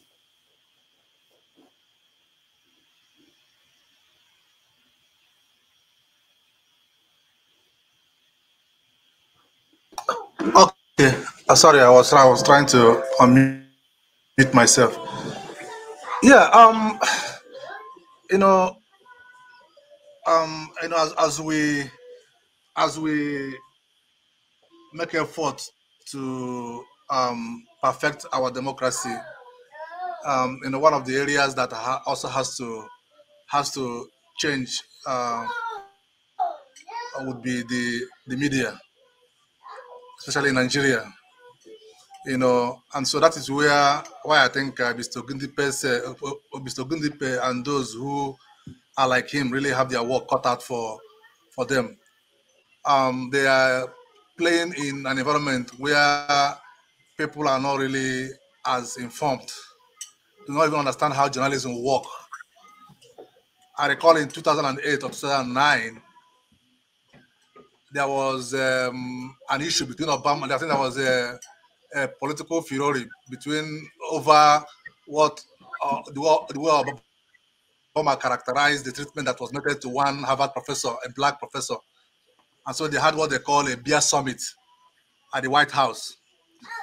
I that was just shortly after I, I, I left Nigeria for my master's here in Canada. So, what I found unbelievable and very very fascinating was that for a number of days, the media in, in, in America, especially the CNN, was digging to find who paid for the flight ticket and the beer that these two, that Obama and uh, and uh, this professor of, from Harvard drank when they had their summit uh, in White House.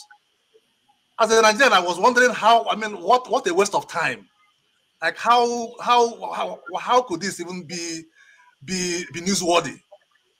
Uh, but so it took me time, but it took me time to understand that you know um, that um, little things we, we, were, you know you would ordinarily consider as as as as not being newsworthy could actually could actually lead to a newsworthy um, uh, story. So and that is the level of accountability that the Western democracy has attained, and that is the kind of uh, accountability that we Nigeria must get to if we if we, if we really want to have a country, a democracy that actually works.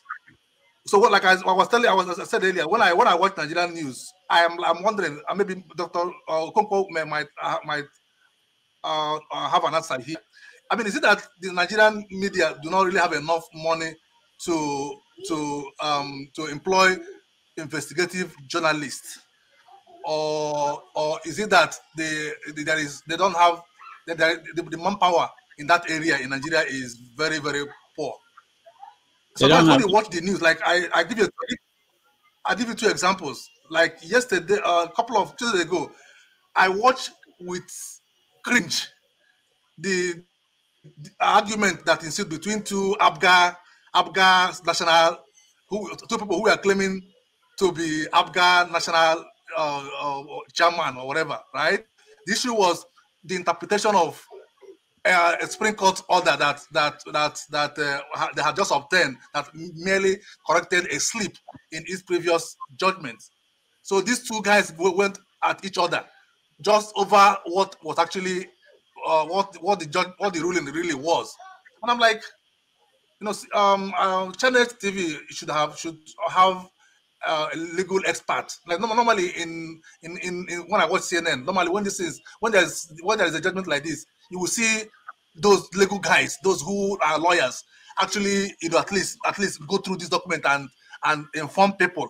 It's not as opposed to just say, oh yeah, say what what what, as, as, like what I saw, what I saw the CNN uh, the channel guy doing was hold on, hold on. Yes. I think you're talking about this. Let's see if we can watch it.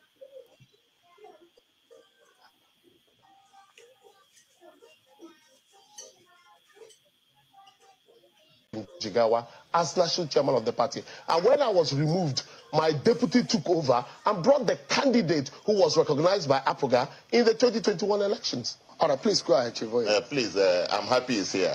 And he said it for the first time we're, we're meeting. I've never met him. Physically? What, what do you mean? Me and Sally Wichi, when we sat there, do you know what do you mean? I've never, Never met, you. We've never met your- like this. we've Wait, met I'm- one-on-one, my Wait, friend. I'm Don't- coming. don't Don't, lie call me your friend. I'm not your friend. Sorry. Now let me let me make a point. Ask him. He's here. Who witnessed your national convention in Owerri? Are we here for that? I'm saying to you that. Answer the question. I'm saying to you that when my deputy, INEC when my, when my, stop pointing at me. no, no, no. Did INEC when my witness? That's a simple question now. Sorry, Did INEC witness when, when my deputy Yes was or no? recognized, when my deputy was Who recognized, recognized him? INEC now I gave him Mochi. did not recognize anything. Did Mochi? me- was. Mochi You not the candidate? Was Mochi not the candidate? Gentlemen, let's let's take one after the other. So go ahead, He talked about his deputy. This is my who's de- which deputy? What happened was on on June 15, 2021. Some people gathered at uh, Boating Hotel, area, areas 11 or area 11, area 7, sorry. And they hold a sham NEC meeting. Aired live by by uh, AIT, live.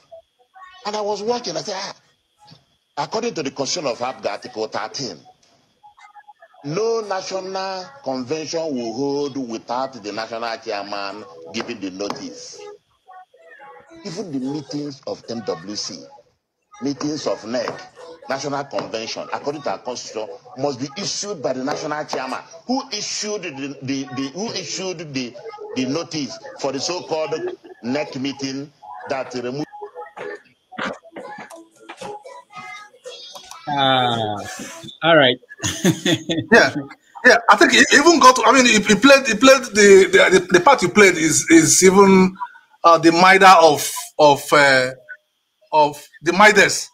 Uh, uh, as far as that, that encounter, encounter, encounter, I think there was a, a point where he took the, the because he was holding the, the Supreme Court the uh, judgment, is- and he took it to him, and it's like, show me what, show, look at this, this is what was said, and then there was back and forth, and it was quite a, a scene to watch. So, so, and so, and then I was wondering, so where, in the, so two things basically there, but that the, the other one is not really my issue, which is the uh, who, putting them together very close to each other was even was was one poor judgment uh, as, as far as I can tell because it could have it could have led to something very very um very very ugly. So, but back to journalism and investigation. So now, so they went back and forth, and at the end of the day, neither neither the uh, the the channels guy nor even the viewers actually understand what the what what the true what the true issue really really, really was. And so and then so so that is it. So and now there's this election election just took place, and then the people have been talking about what transpired at, at different states, different states. And so now I've been I've been looking looking looking for what I've, been looking at uh, watching news to see which which how which news media will even take time to go into the IREV, IREV, and at least conduct, do do a bit of journalism to say this is what okay we have gone to River State. So when when these INA guys come appear before them, they will say it's not about what was said in the media, the press or what somebody else said, what a, a labor man said. As a news media, as an organization, what have you found out? What have what what what I mean? I think you could you could actually have gone in and, and, and, and put a result and and and and, and based on your, your, your own finding as a news media, interrogate people that come before you. So It's always when, when they go, it's always so I don't see that in the media. It's always when they when they come, this one will say his own mind. Another person will say the media, the, the, the news organization does not have any any the, the, the, you know they they they have no interest in conducting their own uh, um, um, investigation. At least uh, to actually edu- educate uh, people who watch them. So so I I, I, I was fascinated to, to have seen this young young guy and the, and the kind of work he does in that space. And I pray that there will be a lot more of uh, more of more of him in the uh, in uh, in the media landscape in Nigeria. Thank you so much. All right, thank you. So, so let me say, uh, Austin, hold on. Let me say, you were asking, is the media not? Um, the media has no. You said, do they not have enough money? They have no money, not enough. They don't have any money, zero. So the fact that you still have media in Nigeria, you should thank non-profit organizations, foundations that support the media in Nigeria. Without them, you won't have newspapers. Zero. Um, so for those who have not had time to study the Nigerian media, most of the media are owned by politicians. So that's not real professional media. When a politician or friends of the politicians own the media, so it's difficult for people operating in that environment to actually do the work the way they should do it. And and if you see what people are paid in the media, you'll be sorry. You you you won't do it anybody you see in the media, they are doing public service. nobody nobody who is who will do it. You know, so it's a long conversation. One day we're going to have that conversation here because people sometimes uh, people sit down home and expect magic from the media, and they don't pay for it. You know, they don't ask what why are you paying your staff? How are you covering the country? You know, you can see like during this election, there was not much coming out from the north. Why? because the media they don't have anybody think about whatever media you can think about in nigeria guardian vanguard punch they don't have everybody in every state capital. So how do they cover that region? It's tough. Uh, but people who consume media especially people who don't pay these days nobody pays i expect magic. How would they do it? Where would the money come from? So there's no money. They're underpaid. There's no money. It's public service. And and whatever is wrong with Nigeria is also wrong with the media. You can't have a media that is isolated from the problems of the country. So anyway, um, let's go to Igbo basics. Dr. Damages, uh, you threw me a curveball, but nonetheless, um, a good name, I still believe, is better than gold and silver. When our guest today, Ogundipe, came online, he spoke eloquently. Um, if S.A. Ogundipe, the person who wrote our history books and our geography books, if he was a bad person, um, I would have been throwing or casting aspersions at the Ogundipe of today. So I am enlightened and appreciative of the work that the gentleman has done. Having said that, yesterday I was having a conversation with uh, a friend or a colleague about investigative journalism. And the person was saying that there has not been much of investigative journalism since Dele Giwa. And I said to that person, no, that the work of David Hundeyin really cut very, very deep. And that is why we have a cross section of discussion in the media today about uh, the man named uh, Alhaji Tinubu. Then when Samuel Ogundipe was talking, he talked about um, the, the, the, the ability of we being able to know the location or the movement of our uh, statesmen. And I chime in to say that there are property of the state. And I was about to say something about what happens when a public figure comes out. And I said in 1998 at the University of London, Arthur Nzeribe, he spoke at the stage. That was at the World Igbo Congress, 1998. After he finished speaking, he disappeared. I was in the midst and I wondered, I looked around, I didn't see him come down. I realized that the man must have left the stage I quickly left the scene, went to the streets of London, and I saw Tonzeribe walking down the street. And I came right by, tiptoed right by his side. And I said, One Nakedu. He almost, that is, Yekujala. What am I trying to say? Is that while we are looking at this mirage, Chief Justice, travel, you know, travel. Let us look behind because there is something else always brewing. And I will bring in the quote of my good friend Ken Okorie, the former Secretary General of World Igbo Congress. He says that every business decision has legal implications. So for every move and everything that Samuel Ogundipe presented here today, I see a situation, one of the reasons why we write the way we write at Igbo Basics or Basics Express.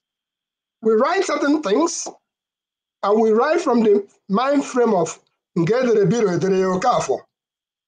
We can write a story, and by that I mean the place where they write Biro. Now your name where they write there. So we can tell a story, and the story we tell, it is only those who have committed the act that has been painted in the story that will come swinging. We didn't name them. We didn't name Okafor there, oh.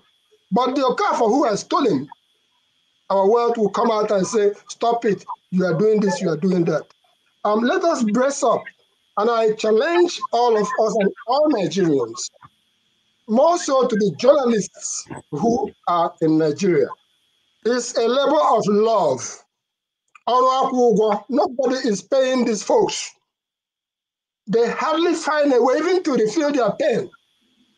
And that is one of the reasons why publications in Nigeria has been owned by politicians like the previous, you can say, like Rudolph alluded here. From Champion newspaper, which is no more, uh, maybe it's still somewhere, I don't know. The Concord newspaper, which was owned by Abiola, and I alluded here that Concord newspaper translated into Sun newspaper. So let us realize that it is our collective responsibility. If you see something, say something. Otherwise, these folks who are hounding at us, who are harassing us, who are already casting aspersions at who is going to be locked up and who is not going to be locked up, who the hell are they? They are fellow Nigerians. I am saying to all of us, and for those who come out to this space, to come and try to club down on anybody who is telling the truth. I saw my good friend, one man went to Mo, he came here and blabbered his own, and the other person who said he's a lawyer came here and blabbered his own. What, what the hell do you guys think you are doing? If your hand is in the cookie jar, we can understand. But if we are to be transparent, we talk to the, Dr. Rudolph here because the man is simply transparent. And that's why we associate ourselves here. So it should be a challenge. All well-meaning Nigerians, because if we don't get it right, eh, I remember yesterday somebody was so ashamed of being a Nigerian because we are about to swear in somebody who has been, I mean, pointed as a drug baron. I walk out now, somebody I say I'm a Nigerian, somebody will look at me. Are you one of them? Come on now, let us get serious. Why has America not openly gone and congratulated uh, Mr. Tinubu or Alhaji Tinubu? It's for the sake of us. My children will look at me and say, Dad, what's going on in your country? No. Let us please join hands together, find a way to support the little ones who are doing journalism in Nigeria so that they will not be bought over. They are hungry. They are hungry. And that's why you find them, not, thank God for social media, because social media has exposed a whole lot of things that the traditional media will not expose to us. If Oladipo Diya, former head of state, uh, uh, as deputy head of state, can die at age of 79, who else will not die in that country? Let those people who are in the Tinubu camp stop. Let them stop threatening to lock up anybody or do anything. No, it's not our turn. We have to band together and call them out at every angle. Enough is enough. Thank you. Thank you, Dr. Damages, for the job you are doing. Thank Keep you. it up, and we are behind you. Thank you. Uh, Austin. No, uh, uh, greetings everyone. Good good morning, good afternoon, good evening, depending on where you are. The, the point is this: uh, I always say this that uh, if if there is a crime being committed, you maybe a, a, a terrorist attack. I, I always say that once it, there's a terrorist attack, you see the president of the United States or maybe this person will always condemn the attack. It doesn't mean that those who died will come back to life. It's just to make the attackers to know that they were not supported. So sometimes you see people, somebody always say, we talk, talk, and talk, and nothing happens. But the fact that you talk, those who are on the wrong side of the of the river always know that you are not in support of such a thing. So talk is not that uh, bad. It makes the other person to know that this thing you are doing is not correct. And sometimes with time, they get to realize that what they are doing is not correct. I always believe in solutions. Sometimes I don't like always we always talk on one thing over and over again. It is when wicked people get into office for them to hide what they are hiding, they now clamp down the media. You and I, as um, Dr. Damages have said it, the media is not funded, or they always direct you on what to say and what not to say. And that is why when you write your script, you want to publish it, they'll say, Show me, let me see what you have said. From what you have said, I'll know what to remove and what to add. So we always need to look at it. That's why we, we are talking of fighting for the right person to be on the seat. Because the right person does the right thing, he empowered the media, and the media tell the people what to do. One of the things you see, I was so disappointed was when the National Orientation Agency, you know, when these Naira notes, where we had problem, not uh, people were not even educated to know that a new Naira note is coming. And I saw the chairman of the National Orientation Agency telling the central bank that there was no publication. Who is supposed to do it? Are you not the leader of the National Orientation Agency to go and educate Nigerians that see this kind of thing that will be happening this time, or we are doing this or doing that? So my point is is this: we will always talk to say that uh, this is right, this is wrong, this is this, and this is that. The more we say it, it's not because everything will change overnight, but with time, the more we castigate the things which are not well done, the more people always want to do it well. Because everybody I've always said they always want to look we are good people, we are nice people. No, they always want to say we are good. And the more you tell them that this thing you are doing is bad, then I think the more they will change from it. So I really want to appreciate uh, that uh, People's Gazette person who really brought this to the limelight. When I saw that news, I had to read through it. These days, we have our Android phones, we have the data, we can always read from anywhere, even though we will, we will not see the hard papers. Is it the punch and the rest? We will not see the hard papers, but at least we can read from their site and see what they do. We will try to read and no matter how little we are, we have, sometimes I know there are times where sometimes we used to do some little contribution to them to encourage them as well. But the government, through purposeful leadership, can really change it if they do the right thing. Like elect the right person who does the right thing. If you have nothing to fear, you will surely, surely allow the media to say their mind. And to end up, I'll, as I, as a, uh, Dr. Damage will always know how to say, please, those in the comment section, like the video and subscribe so that we can also encourage Dr. Damages. That's just the whole thing. Like, and also, also, like, buy more super chat. Also, staff in Nigeria that, that are working with Dr. Damages, if you don't know, they need to be paid salary. Buy more super chat. Let us pay their salary this month without anything coming from Dr. Damages. So I need more super chat. all right, all right. Thank you. Thank you. Uh, Austin, the other reason I just I was told because I don't understand some of these things is that if we have enough people like the video, uh, YouTube will show it to other people. The most important thing is when we bring a guest that that you know shed light into certain things. We want more people to see it. It's not just the people who are watching it at this point, but also more people to see. And all it requires from you is to click like on on YouTube. You know, um, I think anybody can do that, but that's just um, a recommendation we can uh, force people to do it. um, let me go to Prince. Prince, go ahead. Oh, thank you, uh, Dr. Damages, and uh, good day, everyone. It's uh, just a minute to 12 here in California. Um, I just want to say thank you for bringing uh, Samuel on Ladipo, you know, on board today you know, I'm surprised at how most Nigerians reason. And the you know the the painful thing about it is that some of these people have been in other climes. Some of them, you know, are professionals. Like if I, the first person, which was uh, Ayo, he said he's uh, he's an attorney, and you kind of wonder the kind of things that comes out from their mouths. You know, are you like, if I'm in trouble, would this person really represent me in court? You know, the thing is, I love information. In my house, you could see about two or three television glued to the news. The only place, the only news I don't listen to, and I'm sorry to say that, is Fox News. I don't listen to Fox News. They are biased. You know, and it's nothing. It's because of the person who owns it, which is uh, Murdoch, you know, uh, who is uh, here and there looking, chasing money all around, you know, from wherever he can get it. That notwithstanding, can we remember when Donald Trump went to uh, uh, McDonald's to buy burger and fries? Who broke the news? That is journalists, right?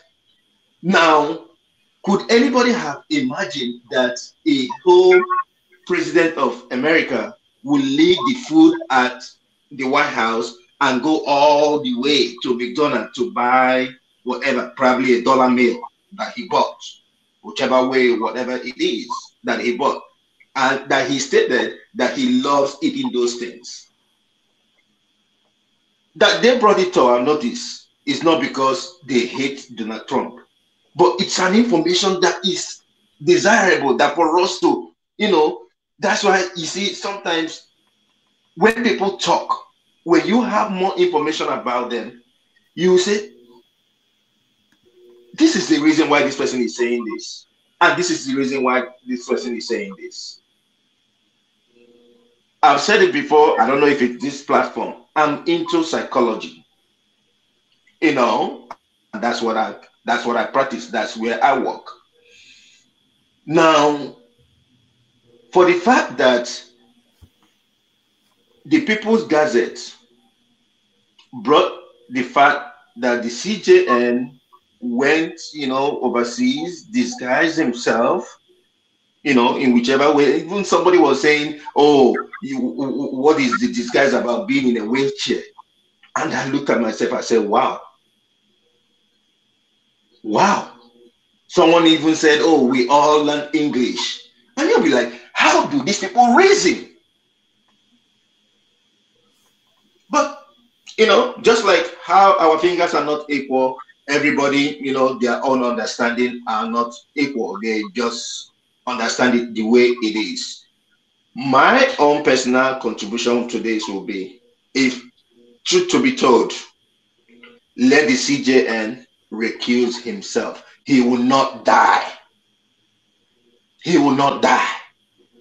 If I were to be him, recuse myself and let other people handle it because already he's already you know kind of like complicit in the matter being the fact that one he's friends with Tinubu and anybody telling me oh do you know that probably the meeting was just about their friendship? That person must be a you know uh, shut up. Don't don't use that word. That person must be in a, from another world. You know? Yeah. Thank, Thank you. you.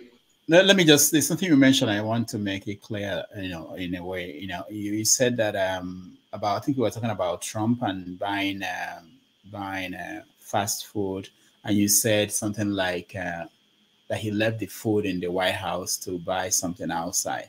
Is it what you said? Yeah, the, the, there's a point to be made there because most people in Nigeria probably they don't know this that the president pays for his own food right at the White House. It's not like in Nigeria where they make a budget and they tell us feeding for the president and the vice. You know, anything they eat in the White House, the president will pay from his own pocket. So that's the extent that that um, serious countries have gone to. Um, we are still a lot behind, and you would think that we, we want to catch up, you know, because we want to be a top nation in, in the world. But any attempt to make us um, raise the standard, some people want to bring us back by saying that, oh, we're just beginning. Um, anyway, uh, There's one thing I wish to say, please. I don't know. Can I say it? Go, go ahead. Now, I was there was one new thing I learned about the judiciary here. Maybe you can correct me. One of my students didn't come to class. So the next day she came and told me that she went to court. So I had to look at her. Say, what you go do for court? I don't know about the judiciary. Go and meet the HOD. If he tells me to waive the, the, the, the quizzes I gave that they didn't find. When I went, when he went to the HOD, I went and told my supervisor that uh, one of my students went to court, said to asked me to do what I said, I don't know. She said it might be judicial duties. I asked, what is judicial duties? That was when I learned that those in the United States are being mandated, those who are citizens and residents, to come to court to listen to the judgment. That after the two councils talk, then those who came to court will be asked what they think about the judgment. Then the judge will now finally give the final verdict. So it seems as if they want the the, the judgment to have a human face. So when I heard about that, I said, wow, this is beautiful. So therefore means this lady, I thought she committed a crime and went to court. That was why I didn't want to just listen to the whole thing. But when I saw this method, I said, this is a nice method. The question now, you know, I always say, how do we implement this in Nigeria? The, the, the point came to me. If you bring it in Nigeria, they will still abuse them. You go always find your own friends who will be the who will be the ones to be called. Now I ask the question: How are these people selected? They say they are selected randomly. You don't even Randomly, yes. It's such a way that you, but in Nigeria, we will, we will, if I say, because I ask myself, can we implement it in Nigeria? They will always try to corrupt the algorithm to always select specific people who will set criminals free.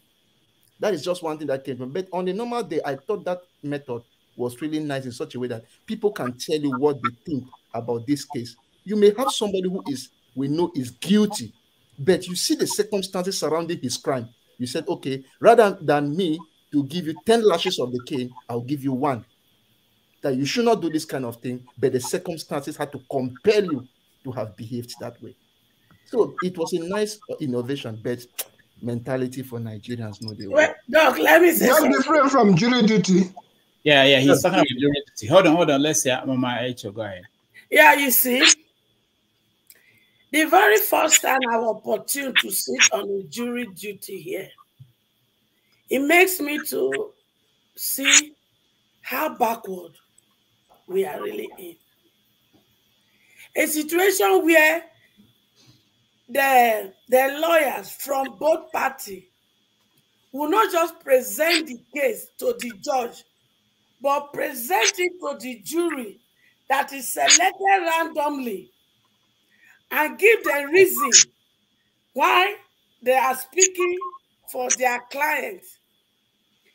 And the jury, eh, the jury decision is what form the basis of which the judge will make his uh, pronouncement. Now I say we must carry this thing to Nigeria. Not be only half democracy we go collect from here. Then we'll go collect more from uh, UK. Then when they go first talk, America, this is a, but the real cocoa that makes America to be great, we are not ready to practice it at all. Now the one when it favor our corrupt practice. Now we go carry put for head. Like person wey carry chief title title for head. You see, me and my children, una dey play una jo- joker card. We get the correct ogbonge to play this time. We are taking over. Make una go relax. Because if at all we even say make we learn from history from now, una no put anything for ground reasonable for me and my children to carry on. So everything I don practice for Nigeria, we go wrap and put for inside dustbin. We go come grind and share and throw away. Then we go start a better Nigeria for ourselves and for our children, children. You see, this security is ending in this one. We now get my children to contend with us, and we are ready for the fight.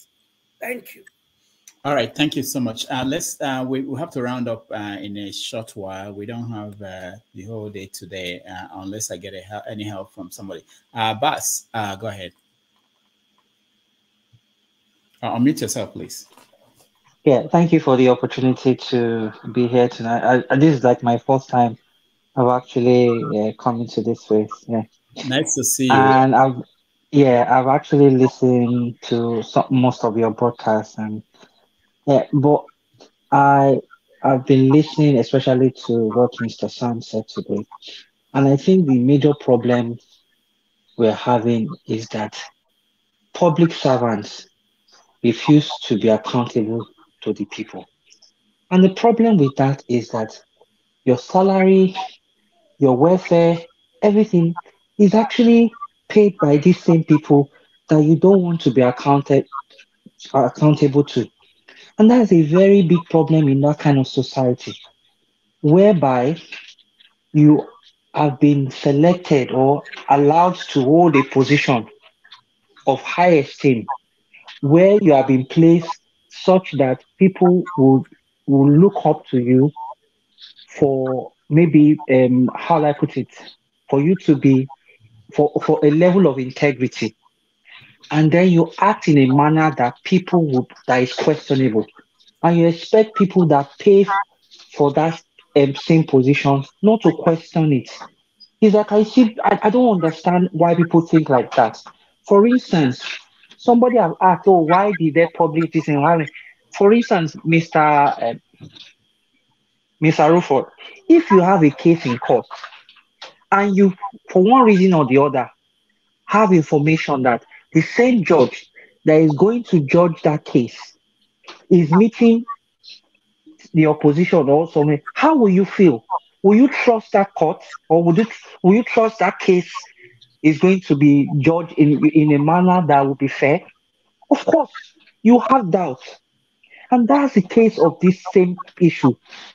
You have you- just the the the the, the way it looks the way a manner um, you traveling or even just knowing that you want to have a meeting enough has caused doubt already and you expect people to just look the other way and not want to ask questions that's that's not fair and we have to as a society to decide whether we want to hold these people accountable or we just want to have this banana republic where people can do as they wish and we just let it be.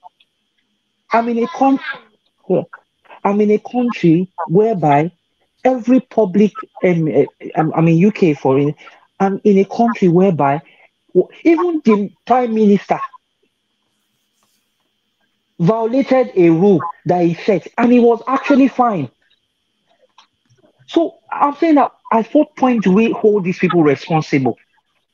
At what point do we decide, okay, my child will grow up in a country whereby he feels safe or he feels that he's, he's, he can say things and he will be defended? How can I go to a court and knowing that the other oppos- opposition is in the mid All right, I think Bas just um his his uh, computer is frozen. Let's go to Mark. Mark. Then I'll come to Olabode. No, Yeah, hello. yeah, go ahead. Yeah, I think uh, this session is like just a roundup, isn't it? Roundup. Yeah, roundup. Yeah, Yeah, we're rounding up. Yeah. So I wanted to add that uh, I don't have any concrete conclusion as to or whether maybe the conclusion is still in the pipeline. They haven't found it yet. As, as whether the meeting transpired or not, and whether it was bribery. I don't have any conclusion yet. Okay. All right, Mark. Thank you. That's that's that's good. Um, Bas, you want to finish up your, your thought before we go? Yes, like I said, uh, that I, I'm just I'm I'm just um Mr. Rudolph, just tell me how at what point do we as a country decide we want the rule of law to be rule of law? And that's that's it because we can't keep living like this. We can't Thank keep doing this to ourselves. This, Thank this, you. Is this is my personal opinion. Okay, we are we are we are building a critical mass. This is what we do here. A lot of people are watching this. A lot of people who probably will not have thought about things this way, the way you are saying it. Maybe they will be they will come to your side and and buy that viewpoint. And when we have that critical mass, maybe there will be change at home. You know, I don't know, but that's that's what we hope for. And, and the fact that more people are leaving the country, they are experiencing another structure, different structure, and they are beginning to say, why is it functioning here, but it's not functioning where we come from? And they may come to the same conclusion, and then action will follow. Olabode, you're next. Yeah, good evening, my brothers and sisters. I believe we, we are hearing each other. Yeah. Yeah, um, Olabode is my name. I live in in the Europe. Actually, I'm presently in France, and uh, I just came back from Wait, you Nigeria. are in France? Yeah, presently in France. Can you go to the airport and? I'm just kidding. I- I'm two hours away from the airport. I'm just kidding. okay. Uh, uh, brief one, a quick one. Um, I just came back from Nigeria about less than three weeks now. I make sure I voted before leaving. Uh, my own conclusion, or let me brief what the other uh, the media guy was has been saying the other time. Uh, for CNJ to disguise, that shows the man has something in his in his cupboard. He has skeleton in his cupboard. Anyway, uh, we are we we have a country. I've been in this country for almost 30 years now. Even I'm older than the president of France, Emmanuel Macron. He's just 40 years old. He came into power from 30, at 39 years. The president, I mean, the prime minister in Finland, this lady is 35. So, what is happening that we can't entrust our economy, our country to a young man? Several, I spent almost four months before coming back. I left since last year. This wala of uh, petrol and using naira to buy naira, I experienced this. I experienced this this nonsense that even on my way coming back to pay my excess luggage, I wanted to pay the lady euro. The lady said no, she preferred naira. I say, hey, no be small matter. Sir, I traveled just eh, sir, I'm sorry to bother you with too much No, story. go ahead. Go ahead. Go ahead. I traveled from Ibadan to Shaki. It's less than three hours journey.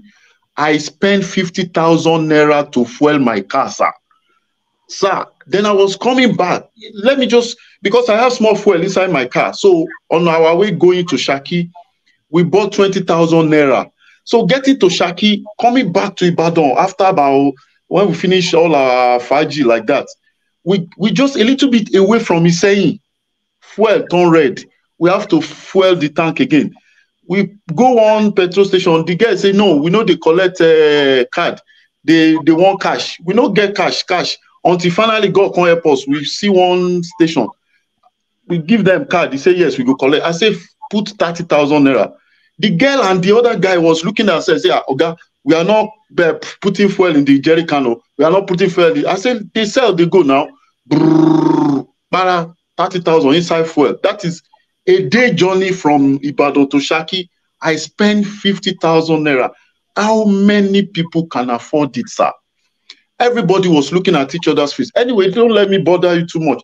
I spend all this while I do too much. I'm a Yoruba man with my name, you can see.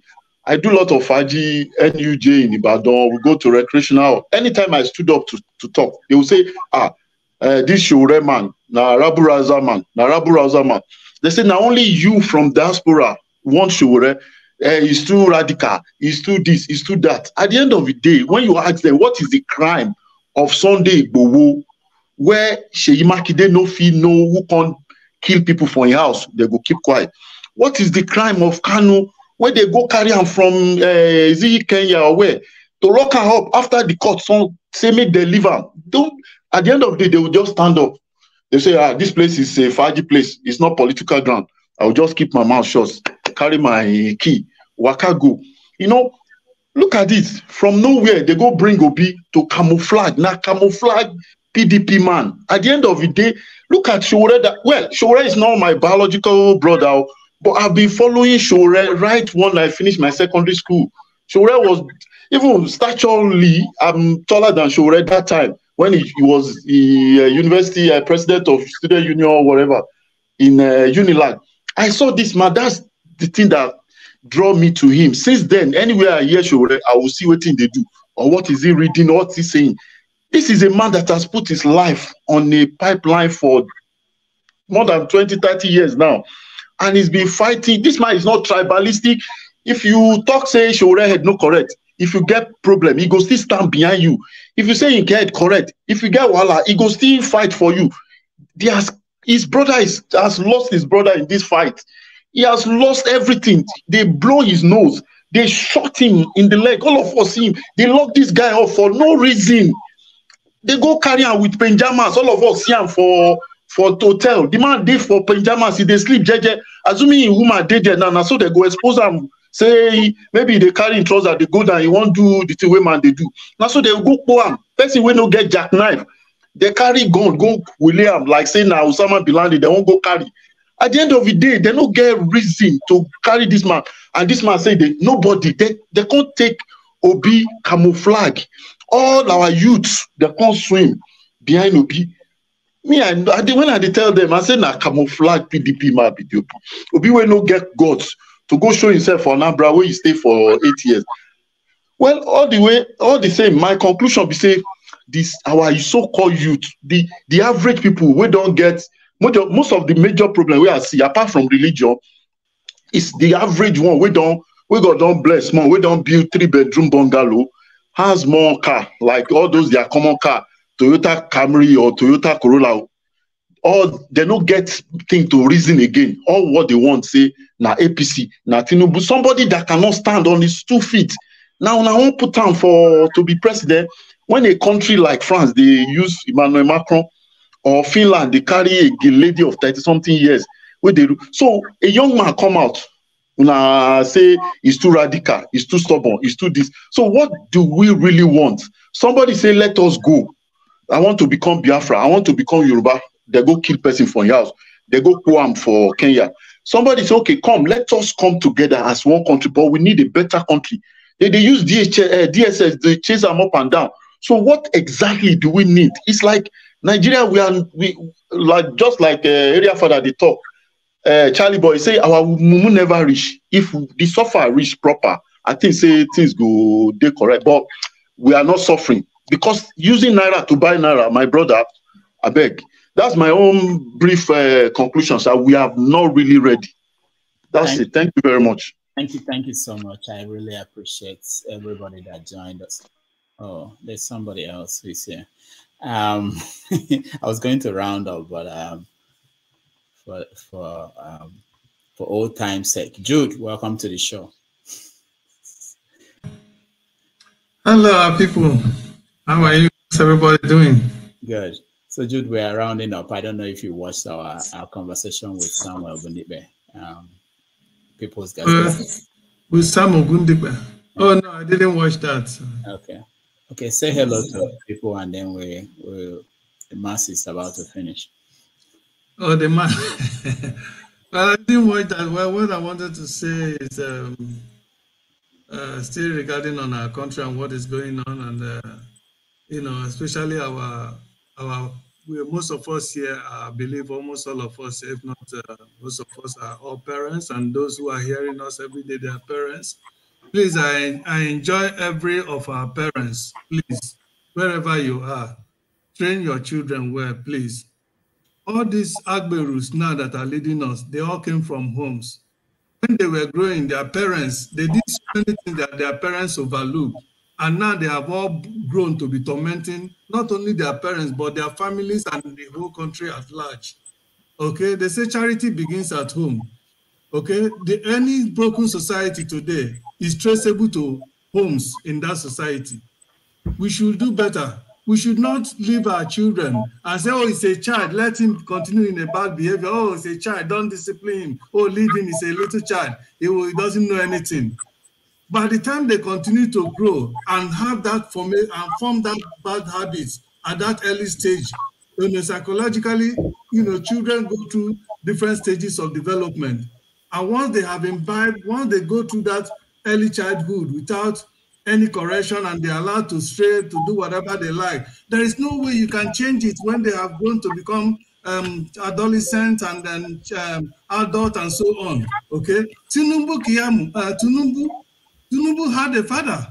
Keyamo had a father.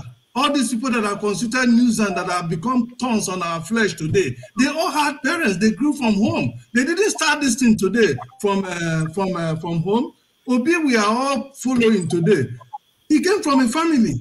I believe this training, the way he is today, was as a result of family background, the way he was brought up. Most of us today, Rufus, that is even here, that is always giving us the opportunity to talk. I believe he is here the way he is today is because of the family, the kind of upbringing the family, the parents gave to him. And you and I that are here today, the same thing applies. So all this Agberu, they, like they say, even fools grow old. Okay? When when people come and call these people fools, idiots, people will begin to be angry, but they, they have forgotten that fools grow old. These are fools that are that started from their homes, that their parents refused to give up uh, good up um, upbringing, and now they have become a thorn on our flesh. So please, I enjoin every parents start continue to train your child right from the time you give birth to him. Continue to direct him to to the things of God, to have good vi- virtues and good values. That All is the way we are going to build a better and a stronger society. All right, Th- thank you, thank you, Jude. Let me let me play this uh, because Jude Jude prompted me to remember this video. Um, all right, I hope he plays. rigging INEC rigging INEC ruling party. Ị na-eme ihe onwe gị anyị na-akụzi ụmụ anyị oshi na nursery school. Our children are taught to cheat from the nursery school. Ịbịa na primary school teachers na-edene ha exam ka school nwee 100% na primary schools some primary schools including nke asị na ọbụka nwe and children are taught as kids that it you sh- can't be you shouldn't be honest. All you need is to get what you want. Ejezie na secondary school or njọ parents pull their children from where they should make efforts to pass exams and take them to schools where they will get excellent results for subjects they know nothing about. Nwaanyị nwaanyị abụọ commissioner for education. N'ọhụọ ya tenta. Our schools na-enwe 200 na ss2 mana o rughị na ss3 ha ga-ahọrọ 30 maka na parents ekpoliri ndị miracle centers o ruo na jamb sorting and no sorting. Ndị na-eje nelele ndị ọzọ jamb ejiri sorting jiri buying results jiri body and money. Megide graduate mgbe a nọ na school erige student union election. Professors will rig faculty election and departmental elections. Abịa na ngwuru you rig chieftaincy election traditional ruler election town union election. You rig all of them abịa na parish council na parish a you rig cwo election Sion election, CMO election, and some of us priests and sometimes bishops will want to impose their preferred, preferred candidates on the people and everything. Rigging, rigging, rigging, rigging. Abiazi oge election. In the university, people who never matriculated graduate from universities. And professors who collect money from students or other uh, bodily inducements for them to pass exams or for them to supervise their projects, transparent in election. And then suddenly, Boshi election, all of us who have been cheating from birth will begin to discover they need a retract. All right, um, we have to end it there. I, I just, I just, Jude just uh, made me remember this video. I wanted to play it, and he was essentially So that's a very wonderful one. I, essentially saying that uh, people, uh, we're all responsible for the society that we we live in or we've um, created. There was something that Peter B used to say uh, that the society that we abuse today will take its revenge on our children. Um, sometimes we think we can isolate ourselves from that. We cannot. Um, but we have to stop it here. I have to go. And Obisi, what do you want to say? Uh, sorry, I just the news this morning. Uh, former number two, Oladipo Diya, died this morning. Oh, Yeah, oh, we yeah. heard it, uh, We started the show on on that. I I, Okay, I talked to Samuel about that. Yeah, but um, I, I want to thank everybody that joined us today, especially those watching at home. We appreciate all of you, those in the studio, those that participated, and our guest Samuel. Uh, we appreciate the work you are doing. I hope you join us again next week, and uh, we we are going to get a new guest, a very interesting guest to join us. I have not confirmed it, so I can't announce any anybody yet.